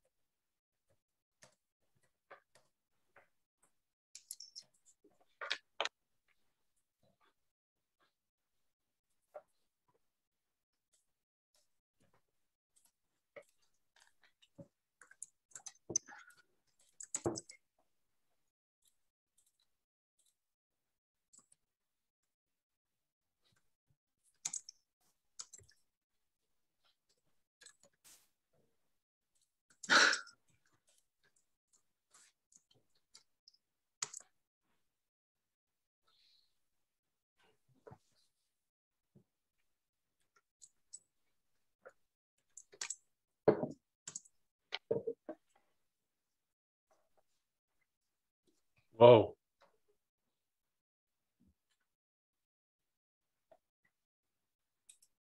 Has something big happened here?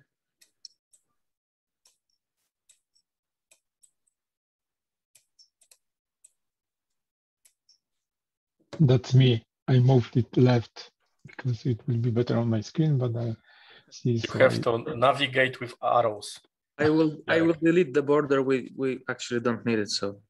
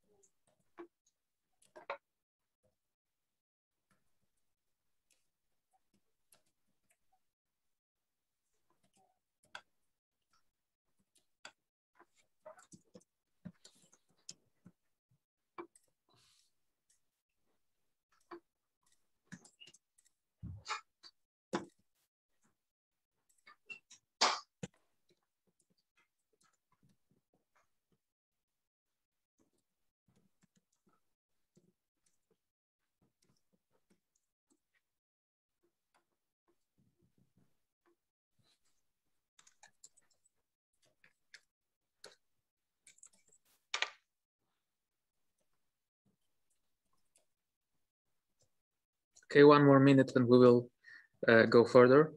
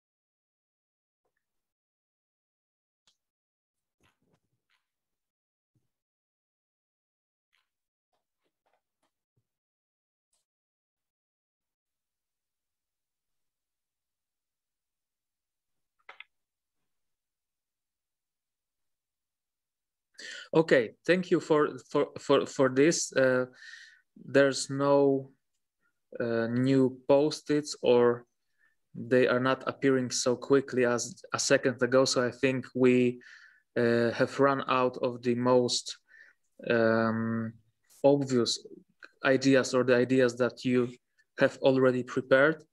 So uh, in the meantime, I have prepared a couple of um, how might we questions that will uh, maybe maybe helpful uh, in generating new ideas.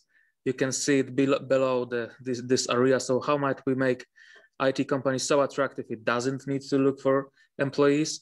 How might we help companies that losing employees is not a problem because we got the assumption that it is a problem? Or how might we use companies' knowledge to attract new employees?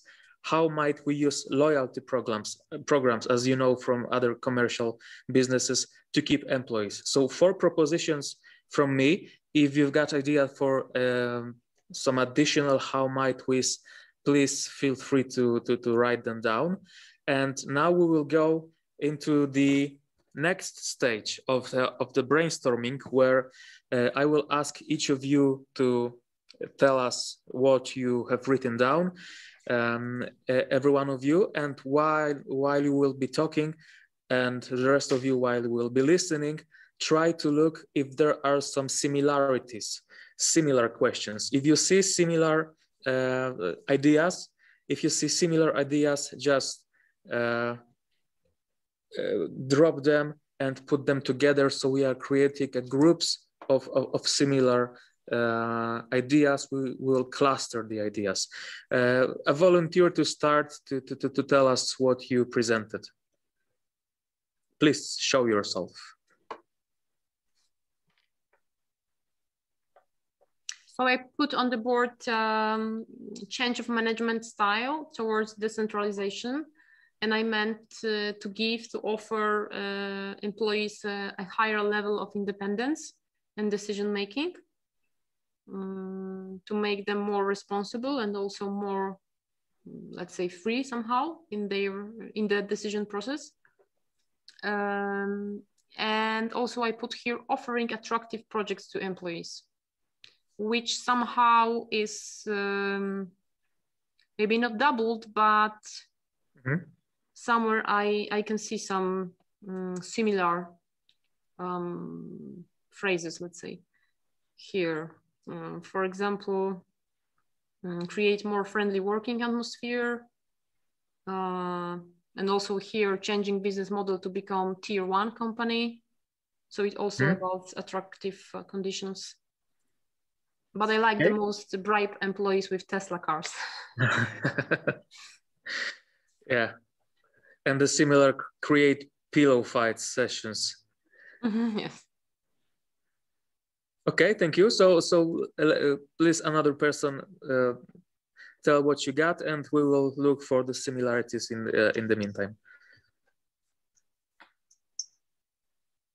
I would present some additional benefits to for employees because not always uh, the the wage is the only um, factor. Sometimes it's something uh, in in addition, but sometimes the additions that we have are not very attractive. So this is quite big bucket of many ideas uh, for the additional benefits. But as uh, one of the um, things that can be attractive to, to make a company attractive is to define career path uh, for employees that he knows that what kind of goals needs to be achieved to uh, step up or uh, the other thing is uh, their own progress, whether uh, the company offers like trainings, um, paid trainings or exams, uh, certificates or something like that, because this is a personal uh, progress that um, not only company will benefit, but the, uh, the employer, employee will benefit on that and uh, educate managers to be proactive to listen is um, this is the first uh, point of contact to um, to recognize whether the uh, employee is satisfied with the work or there's something missing. Mm -hmm. yeah. Okay perfect. Thank you who's next to reveal his ideas? Yeah, so I can just talk about mine. Um, so the first one was just to give employees more flexibility around working hours.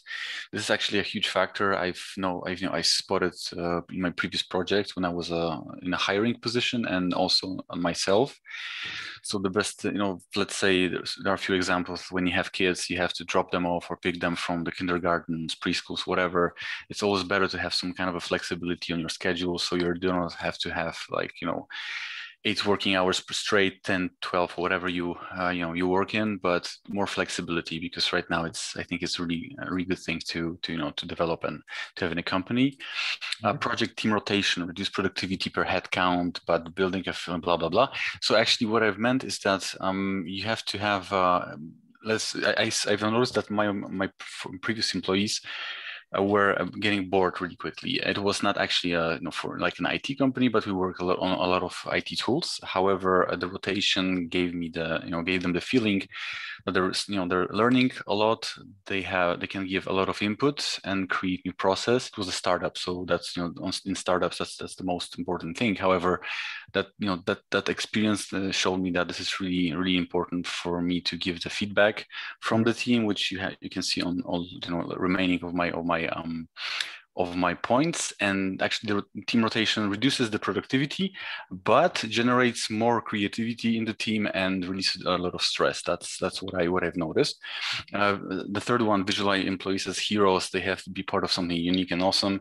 Uh, i know there are a lot of um, a lot of um, um, a lot of uh, can say not work but a lot of development being done on you know we, we have a new uh, type of employees right now on the market right they're not baby boomers uh, they're they all the new employees uh, want to be more concerned and want to be more heard uh, they want to be more seen uh, as, a, as a unique a unique person, not just like a wheel in the in the factory. So that's something that has to be pointed out.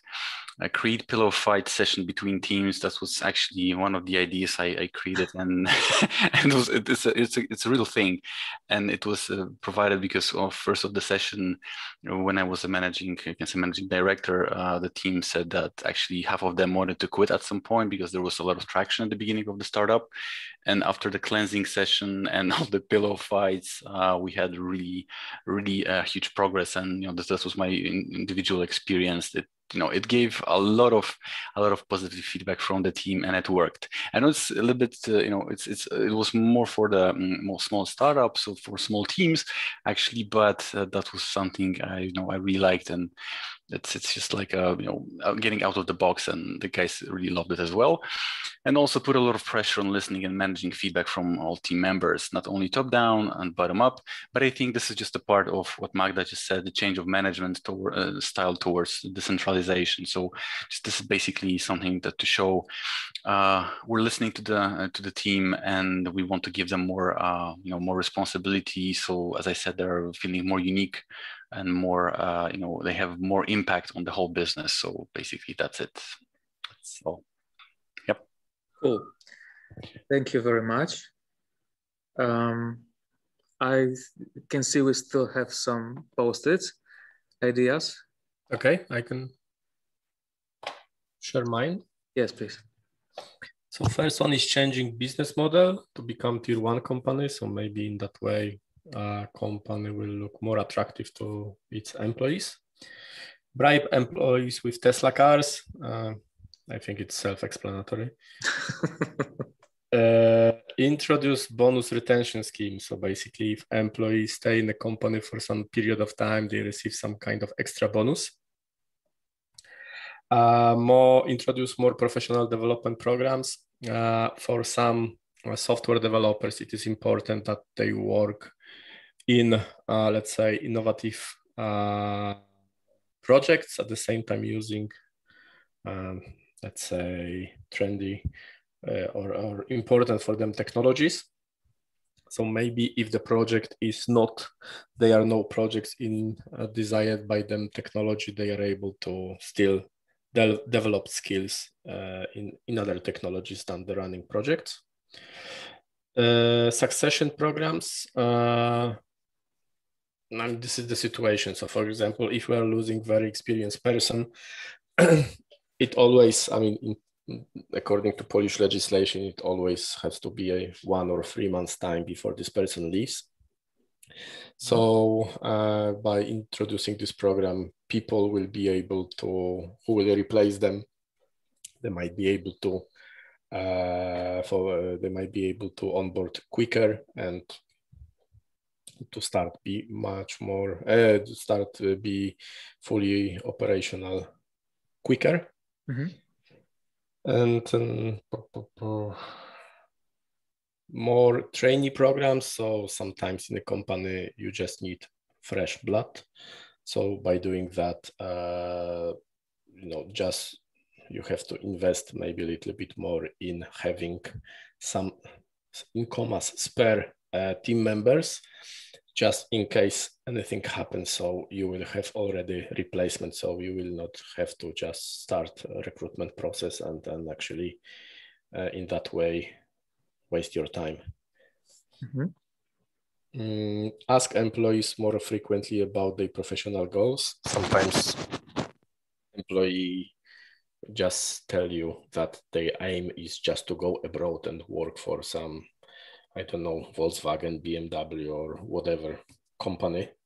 So uh, it is straightforward that this person will stay at your company by some time, but in the long run, most probably uh, this person will lose. So it gives you already direction and indication what you should do. So maybe succession program or, or uh, yeah, plan the replacement of mm -hmm. this mm-hmm. person in the some future. Cool. That's interesting. Uh, uh, I, I think these are all uh, ideas that we now have, or have I missed something? Okay, so as you can see, I've started to, to group the similar ideas uh, into clusters.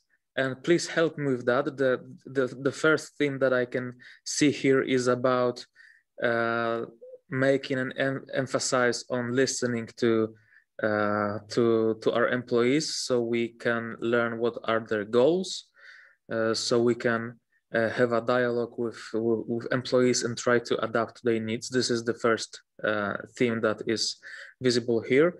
I can see uh, those two career path development programs. It's basically about the possibility for the employee to grow inside the company what I also find here is creating friendly atmosphere. It goes in line with this uh, crazy idea for the pillow fights.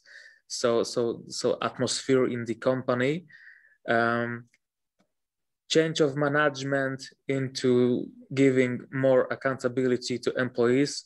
I think it's in line with the flexibility about the working hours, but if you have different opinion, just let me know uh, this bribing employees with uh, with fancy car it's of course an additional benefit uh, bonus schemes exactly. So please have a look at the list now and uh, seeing all this let's discuss what else could we uh, could we do. I think that offering attractive projects to employees may go in line with uh, changing business model to tier one tier one uh, company. And going in this line, uh, a part of changing the business model, which is also an option. What else uh, can a company do to to attract to to offer attractive projects? What do you think?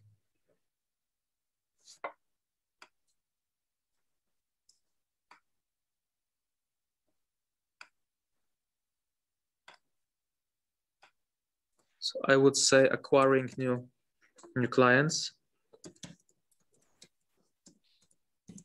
That might be one of the options. It depends what it means attractive project because that will always mean something different for people. So I think um, it's a company job to present any project as attractive. So oh. this is something like internal PR because um, what does it mean attractive project? Mm-hmm. because the final product is attractive and the developer is doing the same job for number of years every day everything is the same but the final product is attractive. Or attractive is that he's jumping between different projects doing different lines.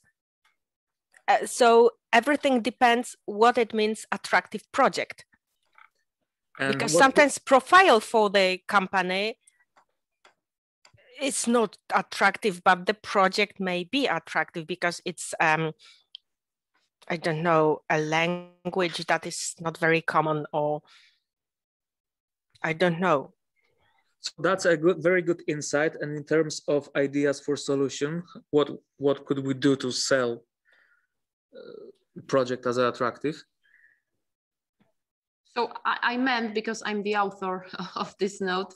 So I meant attractive project, maybe not product, not the final result, but I meant uh, this decision-making process and uh, um, I meant tasks which can be challenging somehow for employees, not um, not boring ones, but challenging or maybe uh, showing that their wor work impact the final something mm. that their ideas may may make change on the mm. um, process final product or the element of the final product.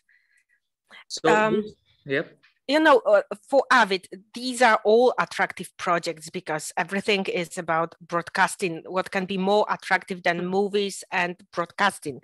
But still, the developers can say this is not attractive project. So mm-hmm. it's not about the, the, final product for sure. So I think, as you mentioned, the um, the process, the seeing the impact. Mm-hmm So I think it goes in line with this purple posted to visualize employees as a heroes that they've been part of something awesome. Yeah. How, how could we go further with that? How, how, how to show them as heroes? How to make them feel like they're part of something uh, important?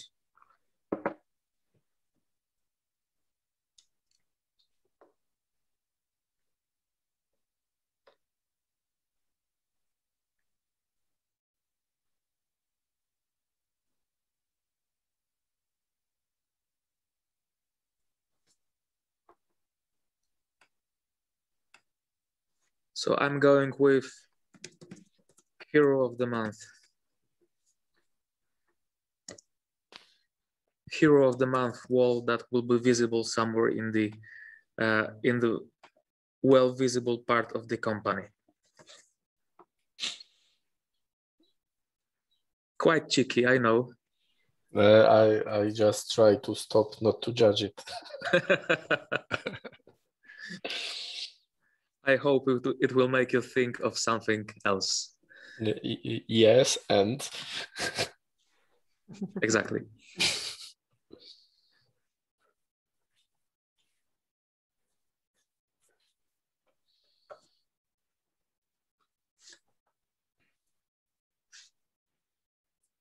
Oh, I can see that this introduce more trainee programs may go somewhere in line with uh, with this one, how employees can develop their own progress. Maybe it's a it's a way uh, to give the flexibility not only for the working hours but also some bigger program to um, to customize the the the training path from from from your perspective in organizations. How is it with the flexibility of the training paths?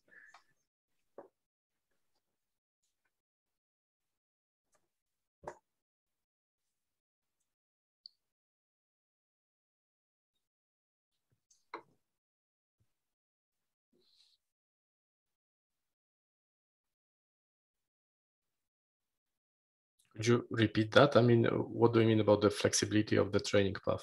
Is is there is there a space for making that training paths more uh, customizable by employees, or or the training paths are defined, or, and employee may use it or not? Maybe some some something with making those those training paths more flexible. Uh, Well,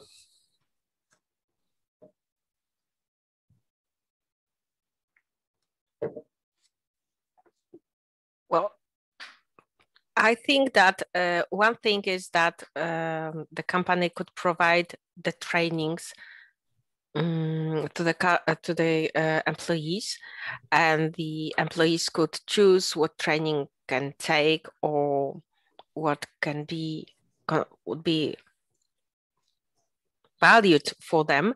But what I meant here also is that uh, there may be some kind of budget for external trainings that uh, quite often companies do not offer that at all. And then the, the employee could choose. So this is flexible from my perspective. Mm -hmm. And from your experience, does employer just um, secure some amount of money amount of money for external trainings uh, that employees may use or it is more like an agreement with a specific training company uh, and employees may use uh, offer of one two or three companies that have agreement with the with the employer. How is it done? It depends on the company. So quite often this is something that um, it's already uh, defined with a company, as you said, uh, an external company that um, provides some kind of trainings, but usually these are very generic trainings.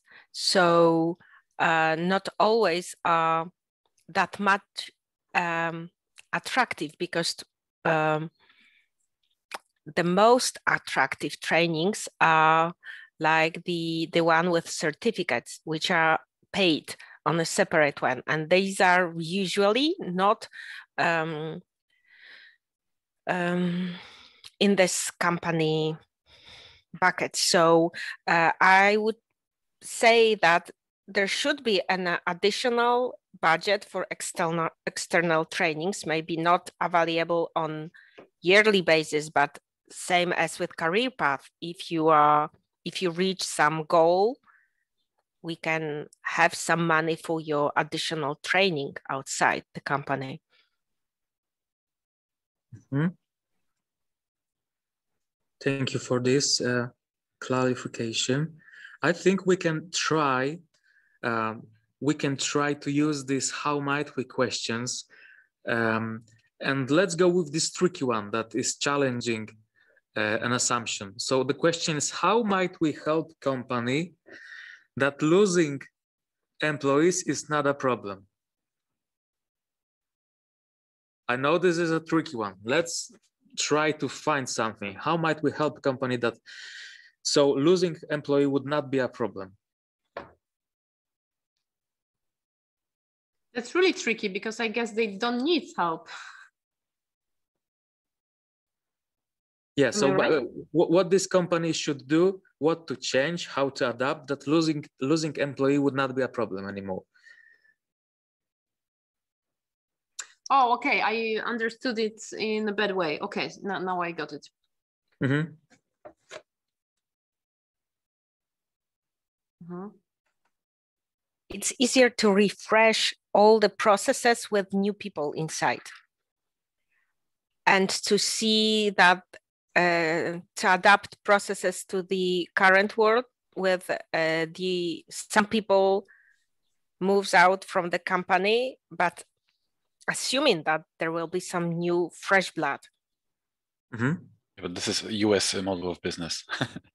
Um, yeah throw people out quickly and get new ones. Um, but you always lose some productivity in the first uh, in the first no no i mean something else that uh, here is a problem that um, the team is very old. I mean, stuck with the the um, with the com- uh, company for the many years, like 10, 17, something like that.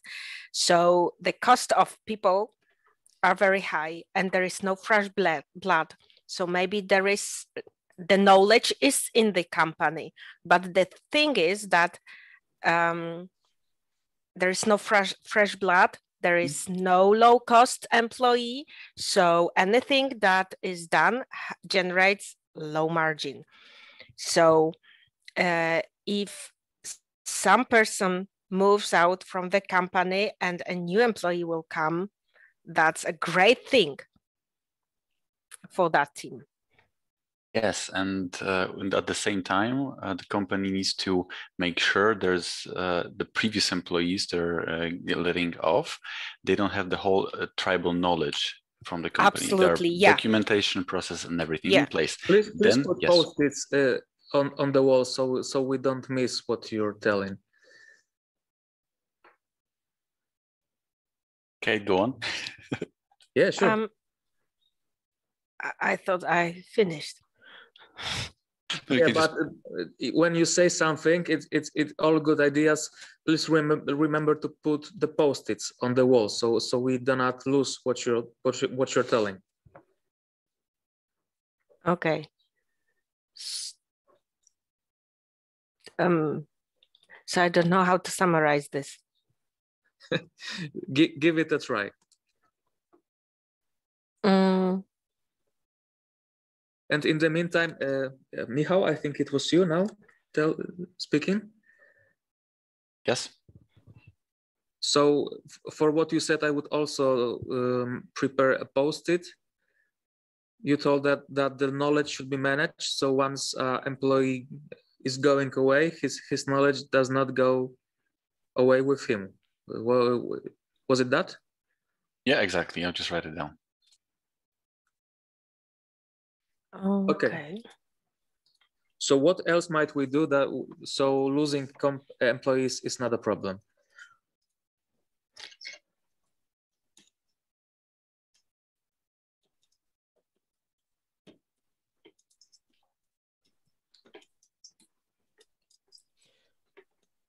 To create maybe some kind of ecosystem, that they have access to uh, experienced employees. So basically, they can always count on the fresh blood to the company, and they are not worried that that losing of the employee will impact the business. So, like, uh, there was a group of companies that have an agreement to to, to share some of the workforce to, to, to for for example, or cluster IT can be some this kind of platform here in Szczecin. Definitely, great idea. Another idea I will propose is to frequently change the uh, project so the so you have some kind of redundancy and people are skilled in few projects. So if you lose someone from one project, you can uh, quickly move another one person from another project who has a skills in the project. Yeah. Yeah, that, that, that's why we can do the rotations, right? Yeah. Yeah. So yeah, yeah. this is about this rotation here, here on the Yeah, exactly. And Exactly. I didn't notice it. Yes. so good that you are going back to this, and I think it would uh, fit with what just Kamil said about creating this uh, supporting group of companies like Cluster here in Szczecin. Uh, Kamil, have you uh, put it as a post-it so we No. can group it? No, I didn't. I added losing an employee may force company to change, to change a process or to change approach to to make a change, like in general, to go further, not to be stuck in the same place. Yes. So they- and in the same time improve, right? The old Yeah. habits and all the process. Yeah. I so add it- yeah, please. improve. So in other words, uh, this was Kamil's idea to change business model to tier one, but maybe uh, the option was to is also to change business model just to adapt to the new reality that uh, employees may go away quicker and we just need to adapt the processes so this uh, rotation just is bigger and we are able to to handle project with this bigger rotation maybe it's about changing the processes Yeah. Agree.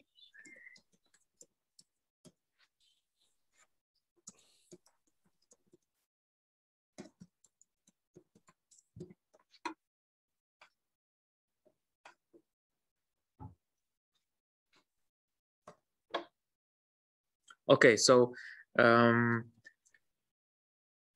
i know this is a, a energy consuming exercise but we uh, already have some good uh, themes that emerged. We've got uh, uh, groups clusters of the ideas that you can see uh, and i think we can now go into the uh, stage of choosing the the topic that seems the most promising to you now uh, we do not assess uh, in specific um, uh, according to a specific criteria that we would do later on but the criteria that we can now use every one uh, of you is if this idea or the set of ideas would be desirable to companies uh, if it's feasible to, to, to, be, to be done and if it's viable. Uh, in a later stage of the project, we would discuss the more uh, specific criteria, but for now we can just uh, assess it individually if it's desirable, if it's feasible, but not going too much into the details because it's very early stage. So we're looking more on the overall attractiveness or the uh, how much is this idea in, interesting than how much is it uh, possible to be done in a technological manner, for example. So uh, let's do a voting again, uh, spend some two, three minutes uh, before that to, to have a quick view over all those ideas. And after that, you will have three votes again, but this time you can use those three votes however you wish. Um, you can add uh, all those three votes to, to one group of ideas, so for one topic, or, or you can select three, three topics uh, giving for each one the one vote. Uh, and with this democratic approach, we will select an idea that we will try to uh, elaborate a bit more uh, in the last uh, stage of the process, which would be the early prototyping. So I will now turn the voting on.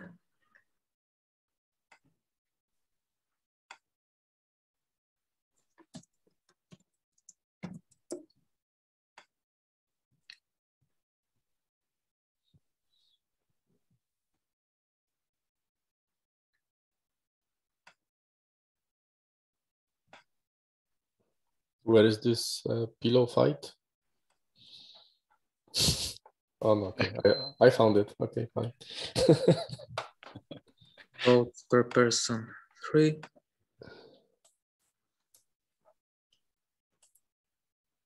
Okay, and you should have now this voting active. So it doesn't matter which particular post-it you you choose, we, we're voting on the entire um, groups and let's have five, six minutes to, to, to first uh, read again all the things and then um, and only then having a vote. Please tell me if it's uh, clear what we are doing now or you have some questions.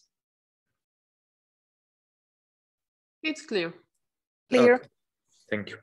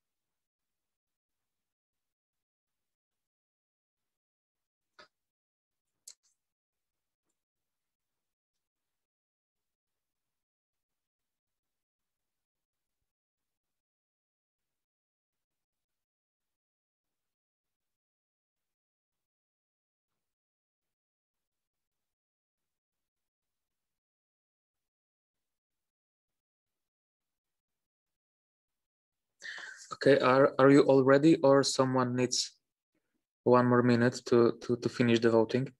I'm ready. Fertig. Ready?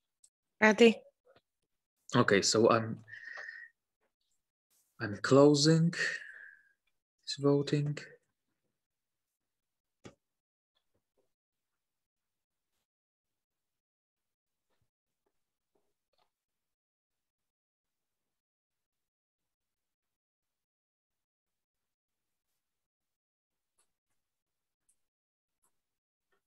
Do you see the results? No. No. No. Hmm. So okay, so maybe only I see it. And the winner is Okay, so I will count it.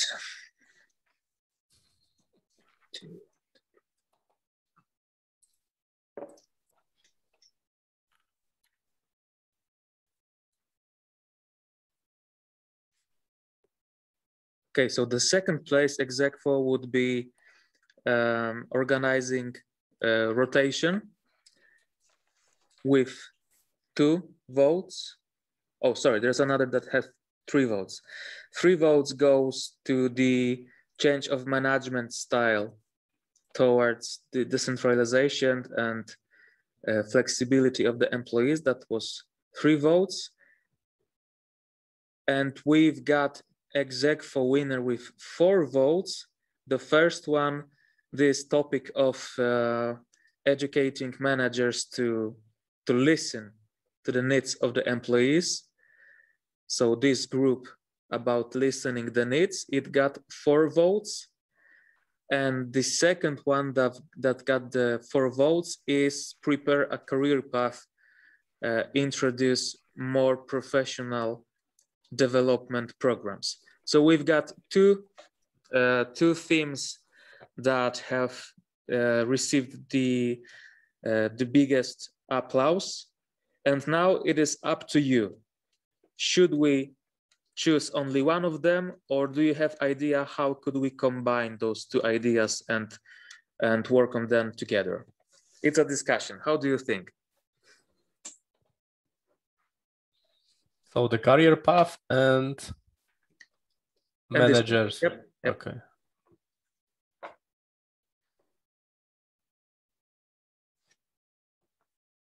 Everyone, tell what you think. I think it might be one kind of uh, group because career path definitely needs to happen together with managers. So they have to be proactive and try to find a solution for and development But, plan. but actually career path is something that should be developed but rather by HR. So it's less managers, more HR. But uh, But if you follow the career path, I think it's not it's not it's not purely HR. Okay. Because on every single stage, you get manager who has to approve it or or give indication, the person who will rate your performance. Others, what do you think?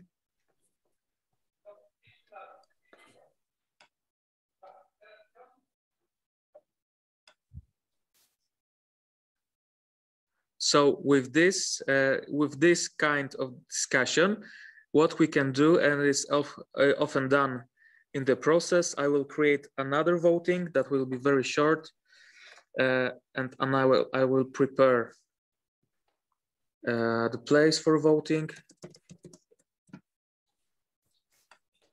The first one I will call career path.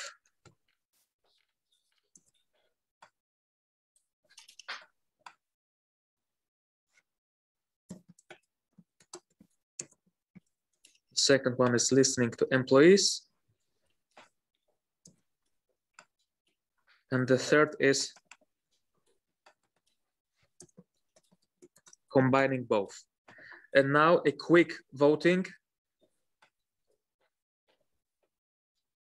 Please select if you want to go with the only career path and um, elaborating more, only listening to employees.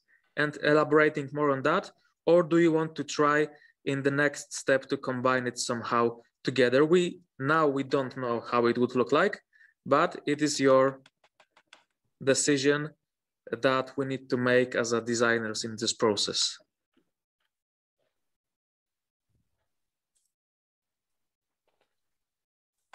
Just a second, I will prepare.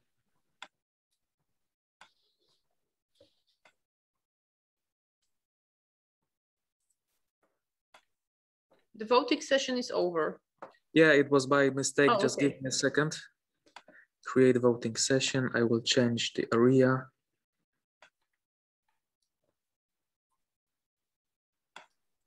I'm setting the area of the voting so it's clear.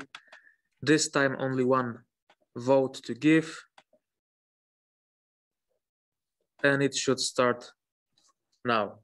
Only career career path, only listening to employees or we do somehow combine both in our solution.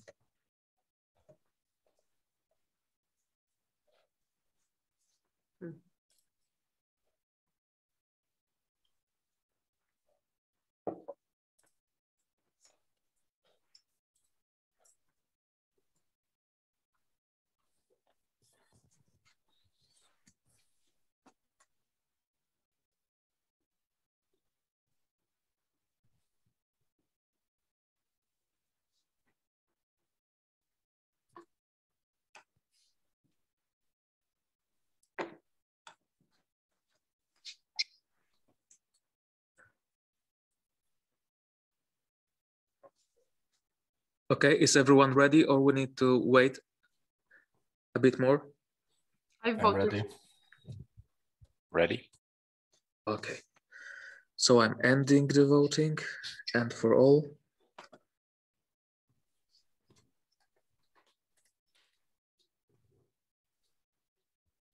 okay, so we've got uh, three votes on listening to employees and we've got four votes to combine those two. So this is our uh, uh, common decision that we will somehow need to combine both ideas. So the solution would be based that there is some career path that is more sophisticated professional development program. And at the same time, um, it is a solution for the managers to, to educate them how to um, have a bigger attention for the needs uh, of employees. So now we, we know this is the thing that we want to uh, prepare. And now we need to think what would be the best way to prepare a first prototype. The next uh, is the, this prototype will be very, very early prototype so that we have some initial assumptions about this idea. How do you think, based on your experience, uh, should we use business model canvas or the service blueprint just to play a bit with, uh, with the tools? Or maybe you want to prepare uh, a poster that would, that would include some general um, assumptions, general ideas about this uh, initiative, this solution. How do you think, how we can go with that?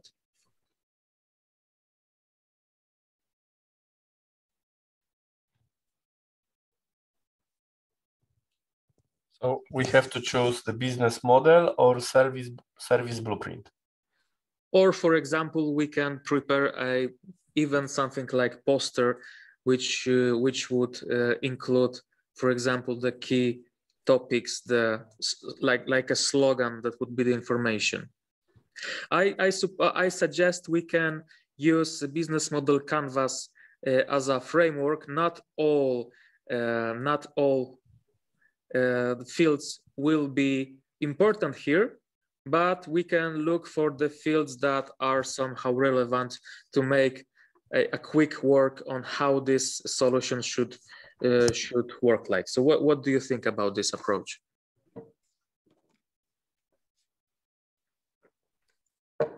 Let's do it. You Yeah. are the you are the expert here.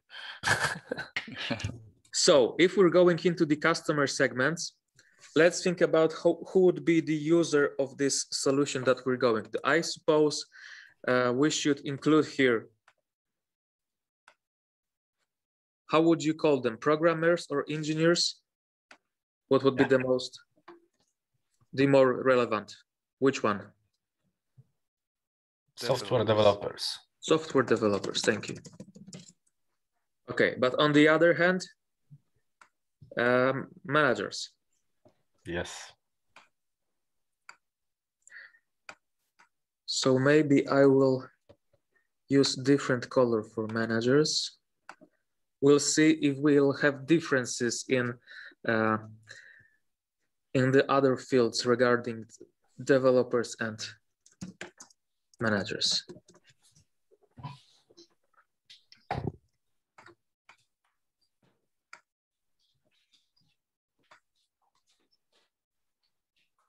Goes here.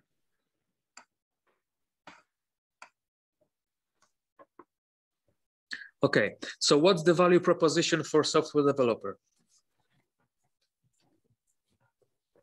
What's for him in it?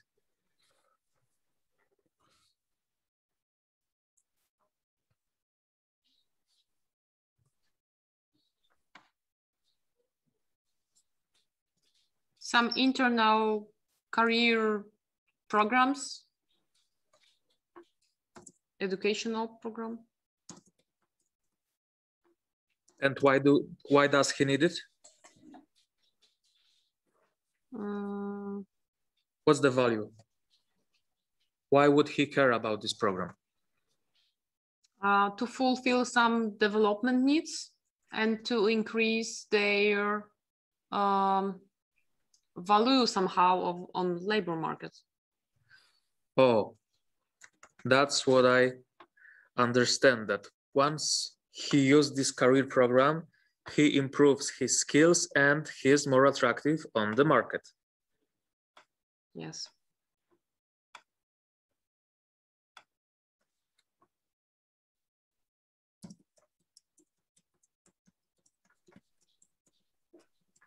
Yeah. Think that's quite important. And what's the value for IT manager?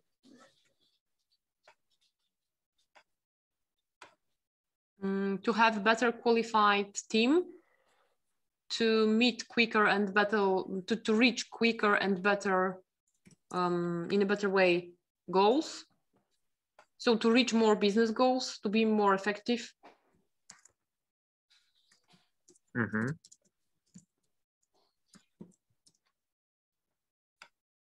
attain reach uh, more ambitious um, projects mm -hmm. competitive projects, yeah. Be more competitive at the market. For the manager? Uh, yeah. For the actually that would be for the cus, uh, company, but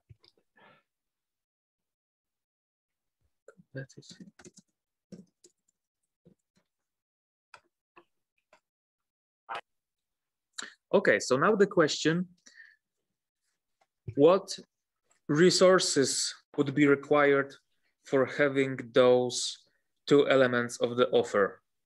What would what would be required by the company to have? What should the company have? Budget. and a plan. And, and right people. Good HR.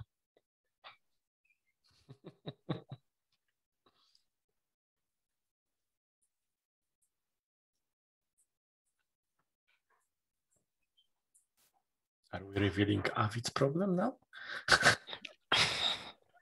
Why? Uh, just, just guessing. What activities? What would need to be done in order to have this solution?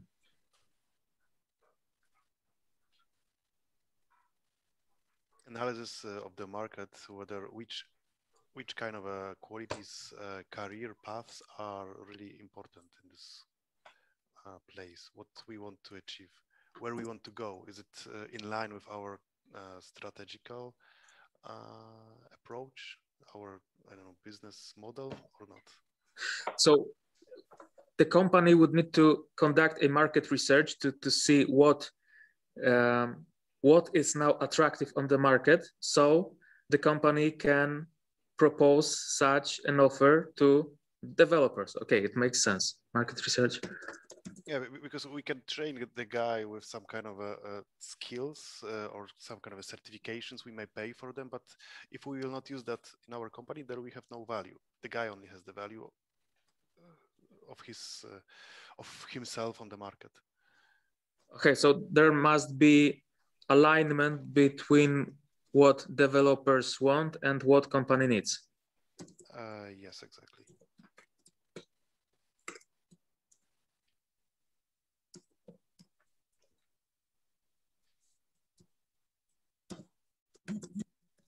perfect something important to do on the beginning or on a regular basis?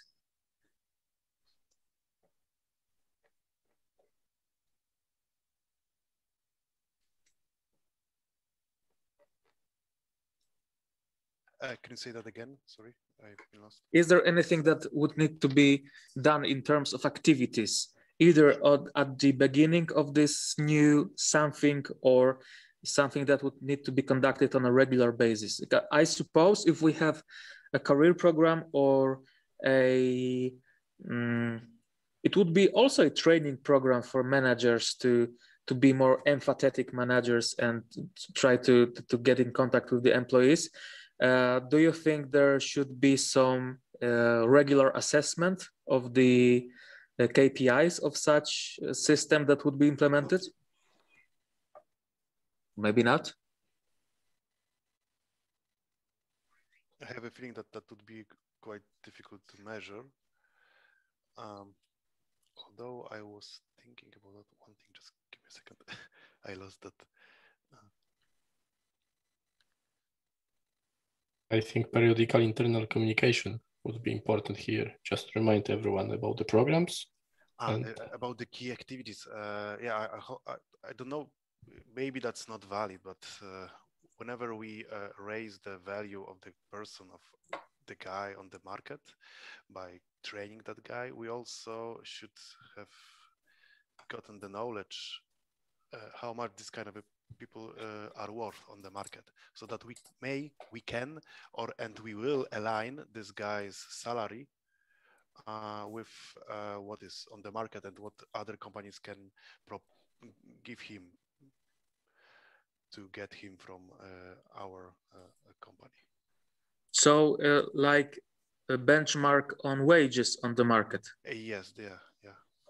Some kind of a benchmark that will take into consideration the factors of those particular trainings that we will provide to the guy. Mm -hmm. Because we may train him, we may have a budget for the training itself, but he will leave in six months because of he's worth much more than yeah. somewhere else.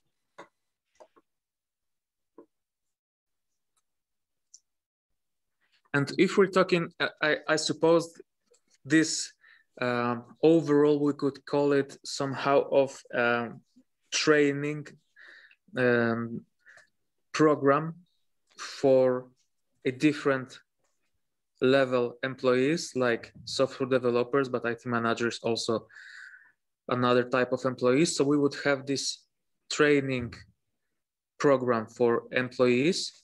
Do you think it would be beneficial to to have a cooperation with some external partners?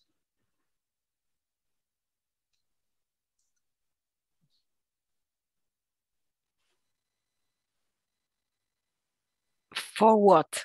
For providing trainings, yes, but for um, define career path or to validate whether everything is going in the right di direction, not sure. I could say that uh, if we will make kind of an agreement with our tier one customer uh, of the the roadmap where we want to go, what kind of qualities we want to train in our company, then we may uh, try to, um, I don't know, mutually do something, do some uh, internal projects, some proof of concepts that could uh, improve those uh, those qualities of the people. Oh, that's interesting, and this is the idea could, that could uh, join a couple of dots here. So if we have a long-term uh, agreement with the tier one customer, we could know what are their strategic intentions.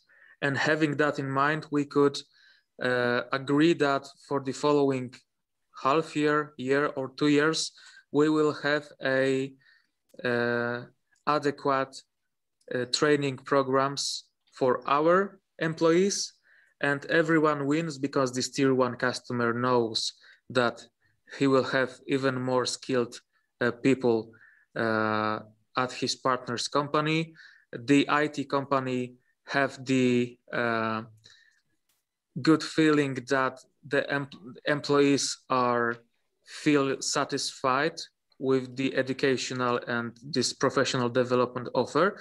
And employees also have something interesting because they know that the skills that, that, that they can acquire in this training program are uh, strategically attractive for the market because these are the skills that were required by, by some big uh, company that is the customer of, of, of, of his or her mm-hmm. employee employer.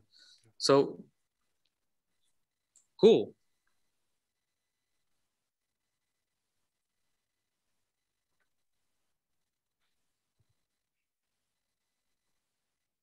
So I think about external experts, which uh, who may be useful for some companies, maybe not for every company, and maybe some business partners.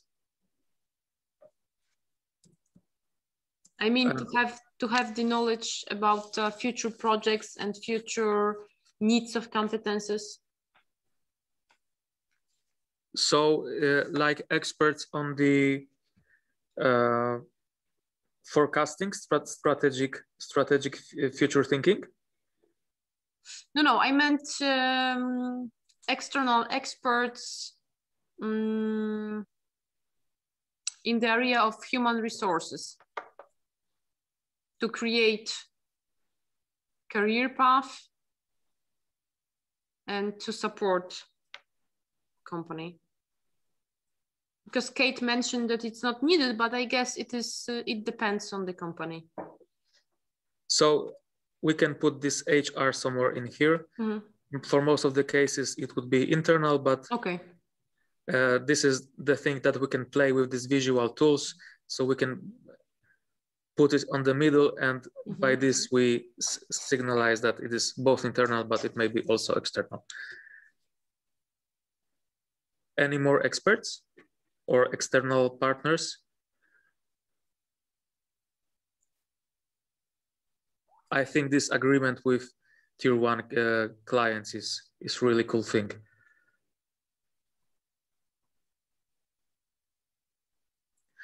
Uh, I suppose as this is an internal program, um, it's not relevant to discuss the revenue streams because this is typically for a business venture. So we would discuss some external revenue streams.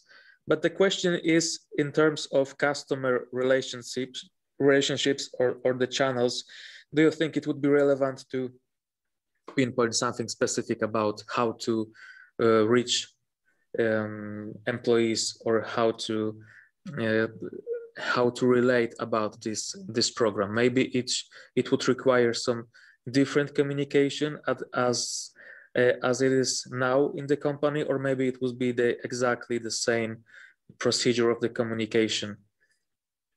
Uh, Kamil mentioned this this this this regular communication. So I think it it can be moved here like a kind of relationship.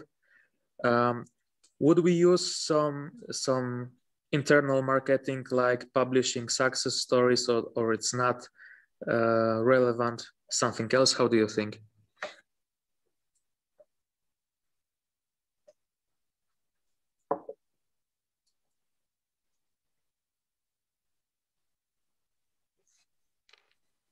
from one point of view success stories would uh, attract more people. It would allow us also to get more resources from the market. From the other hand, uh, it would it would uh, announce uh, the other the competitors who can take our experts that okay hey hello guys we have those you can have them. Something like that. Okay so one last question because now i'm thinking that revenue is not exactly the thing that we need here but uh, in order to make this a business case we would need uh, to be clear what is a uh, profit of the company that would try to deliver this kind of program. So instead of revenue, think about non-economic or economic profit, but let's have a quick discussion lasting what would be the KPIs that we could measure if this kind of uh, initiative makes sense. Maybe less number of complaints from the clients. So a, a better, better quality of service, quicker, um, less mistakes. Mm -hmm. Yeah, that can be. What else? Could you could you repeat what what are we looking for right now? Last thing, uh, profit for the company that we could measure in some ways. So think about the KPIs that we could use to measure the uh, so at attrition report, meaning that less people uh, leaving the company.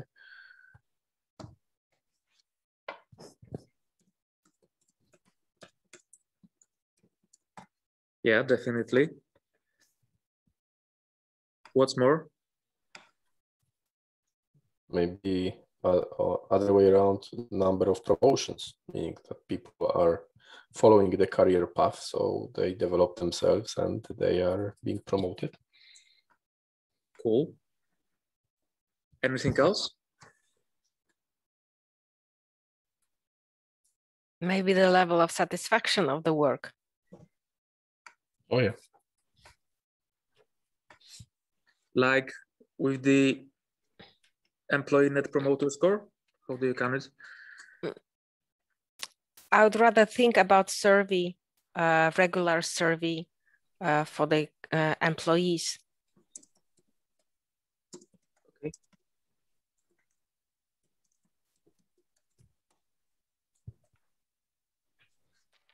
Something else?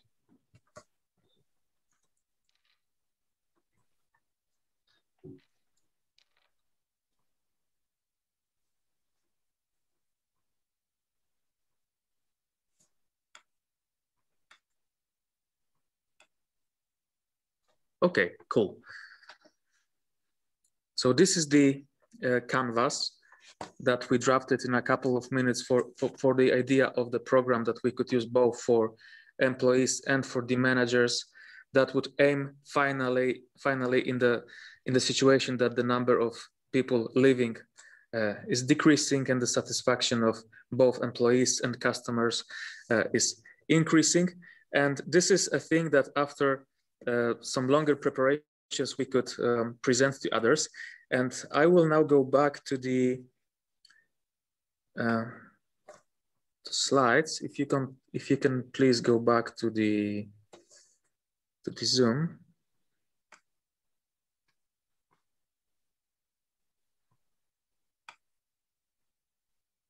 So I stopped sharing so you can share your yes, screen. Yes, yes, thank you. Done it, this we've done. Now uh, this this workshop is quite specific because we are work, working only in the one group, so there's uh, so there's no space for for presenting. If we had two teams, the teams would be working uh, separately uh, in the breakout rooms, and now we would go back to the uh, one general uh, channel, and here we would have the presentation of the other idea I'm sure the other idea would be totally different than yours. And the last step of the process before we can jump into iteration is, uh, is, is, presenting the prototype. And the uh, rule for the, the testing is, as you can see, is very popular. Design as you were right. That's why we make all those discussions. We make that voting to have a consensus about what we're going to do. So we're designing as the solution is right, but, but when we go to the testing, uh, it's not selling the solution uh, or making all those other people believe that the solution is good. We only want to present and be open to all the criticism that, that may be there. And very good method, the last method I would like to, to show you, it's very simple, like it's, it's self-explanatory, but it's very uh, fine to, to, to use with this kind of project. The feedback is given in a sentence, I like what I liked. I wish means what do you think could be improved and what if for the propositions, suggestions, ideas, uh, and so on. So I think we can skip presenting because uh, there's no one else we could present this idea to. Um, so as a uh, summary, what I would like to remind is that this design process is uh, based of, of the steps and each of the steps um, have different rules. The process is very simple, but we need to remind ourselves that when we are on the stage of the empathy, we do not run with the ideas for the solutions. When we are on the stage of the ideation, we do not run with the process of assessing those ideas. And if we think at any stage that we need to go back, we just simply go back because this is an iterative process. Um, I will, uh, you will have the access to this uh, presentation, of course. If you have any questions about the tools or methods, you can feel free to let me uh, know. Uh, because we have this small group, uh, I think this is, uh, this is all what we can do. So we're finishing this first round. now we could present the idea for the program talk to people, present it, gather as much feedback as it's possible, gather all the criticism, all the questions, all the ideas, uh, not be upset about it, but just uh, think about it as all the additional information that we may receive and just improve the idea with all the other iterations. So it's finally something that makes economical or, or any non-monetary sense. This is how the process looks like thank you that you managed to, to make this. I know this is very uh, intensive and energy consuming, so thank you for your engagement. Do you have a question regarding the process or, uh, or today workshop? Will you share with us the presentation? And the second one is, is Miro uh, free license uh, program or do you have to pay for it to, for using it? You will have the presentation, Magda, that's right?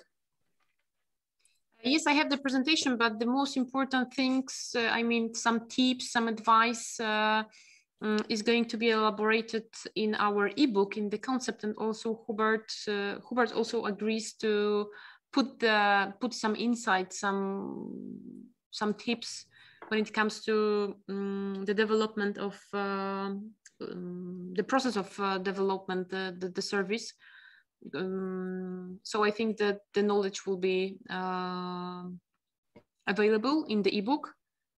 But also, uh, I can share with you the presentation if uh, Hubert agrees. I mean, sure. from my point of view, it is important because you know there were like a lot of information. We were doing things, mm. and honestly saying, I mean, the uh, title of this workshop was a little bit, uh, I'm not saying misleading, but uh, it was important for us to find out and learn uh, framework.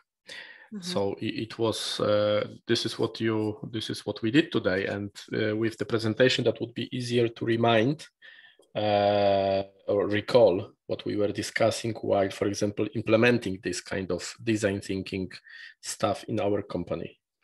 The, the, the, workshop was, let's say, content intensive. There was a lot of tools and methods. So uh, I, I, I wouldn't think that you remember all just by looking at this, so there's no problem I can provide you with the slides. And uh, about the Miro, I think there is free license, although I'm, I'm using a, a professional license. All right. With, with the free license, there's a bit less features like there was, there's no voting, for example, but to try it, there's there's a free license of, of, of Miro, and there's also Mural that's that, that that's worth checking for the online workshopping. Okay. And there's also Jamboard, I mean Google tools. Jamboard. Yeah, Jamboard is free. Okay. Okay, Okay, so so- this is all from from me. Thank you again, Magda. Uh, thank you so much. I wanted to ask you if you have any more questions to Hubert or to me. Please don't hesitate to ask. If not, I would like to thank you for your active participation and thank you so much, Hubert, for uh, your um, for the transfer of, of knowledge. And as I said before, uh, through uh, these uh, this uh, series of workshops which uh, have been conducted so far, um, and the whole knowledge uh, which was exchanged, uh, now uh, we can work on um, the final result of the project, which- is going to be the concept, the ebook, um, the concept for um, cross-border cooperation, and also Hubert um, admitted to, mm, agreed to uh, mm, elaborate um, some um, tips and advice how to work, how to use uh, given methods and tools uh, to develop, uh, to develop to, um, oh, I missed the word. Um, mm, how to work- How to work on, how to work on cross-border um, cooperation, how to develop the service. Okay, so thank you once again for today's, and also thank you, thank you to thank uh, Kamil Krzywicki. Kamil uh, um, made interpretation for us. And let's stay in touch. And please have a look at our um, cluster profile. And also at, please have a look at our website. Uh, in the middle of June, we are going to publish the ebook concept with the whole knowledge and um, information also um, transferred, al- also written by, by Hubert. So thank you once again. Thank you. Thank you. Thank you guys. Really interesting stuff. Thank you, Hubert. Thank you. Bye bye. Bye. Bye. Thank you. Bye bye. A ja na koniec powiem po polsku. Dzięki Hubert. Tak jest. Dziękujemy Dziękuję. serdecznie. Dziękuję. Dzięki, cześć. Cześć.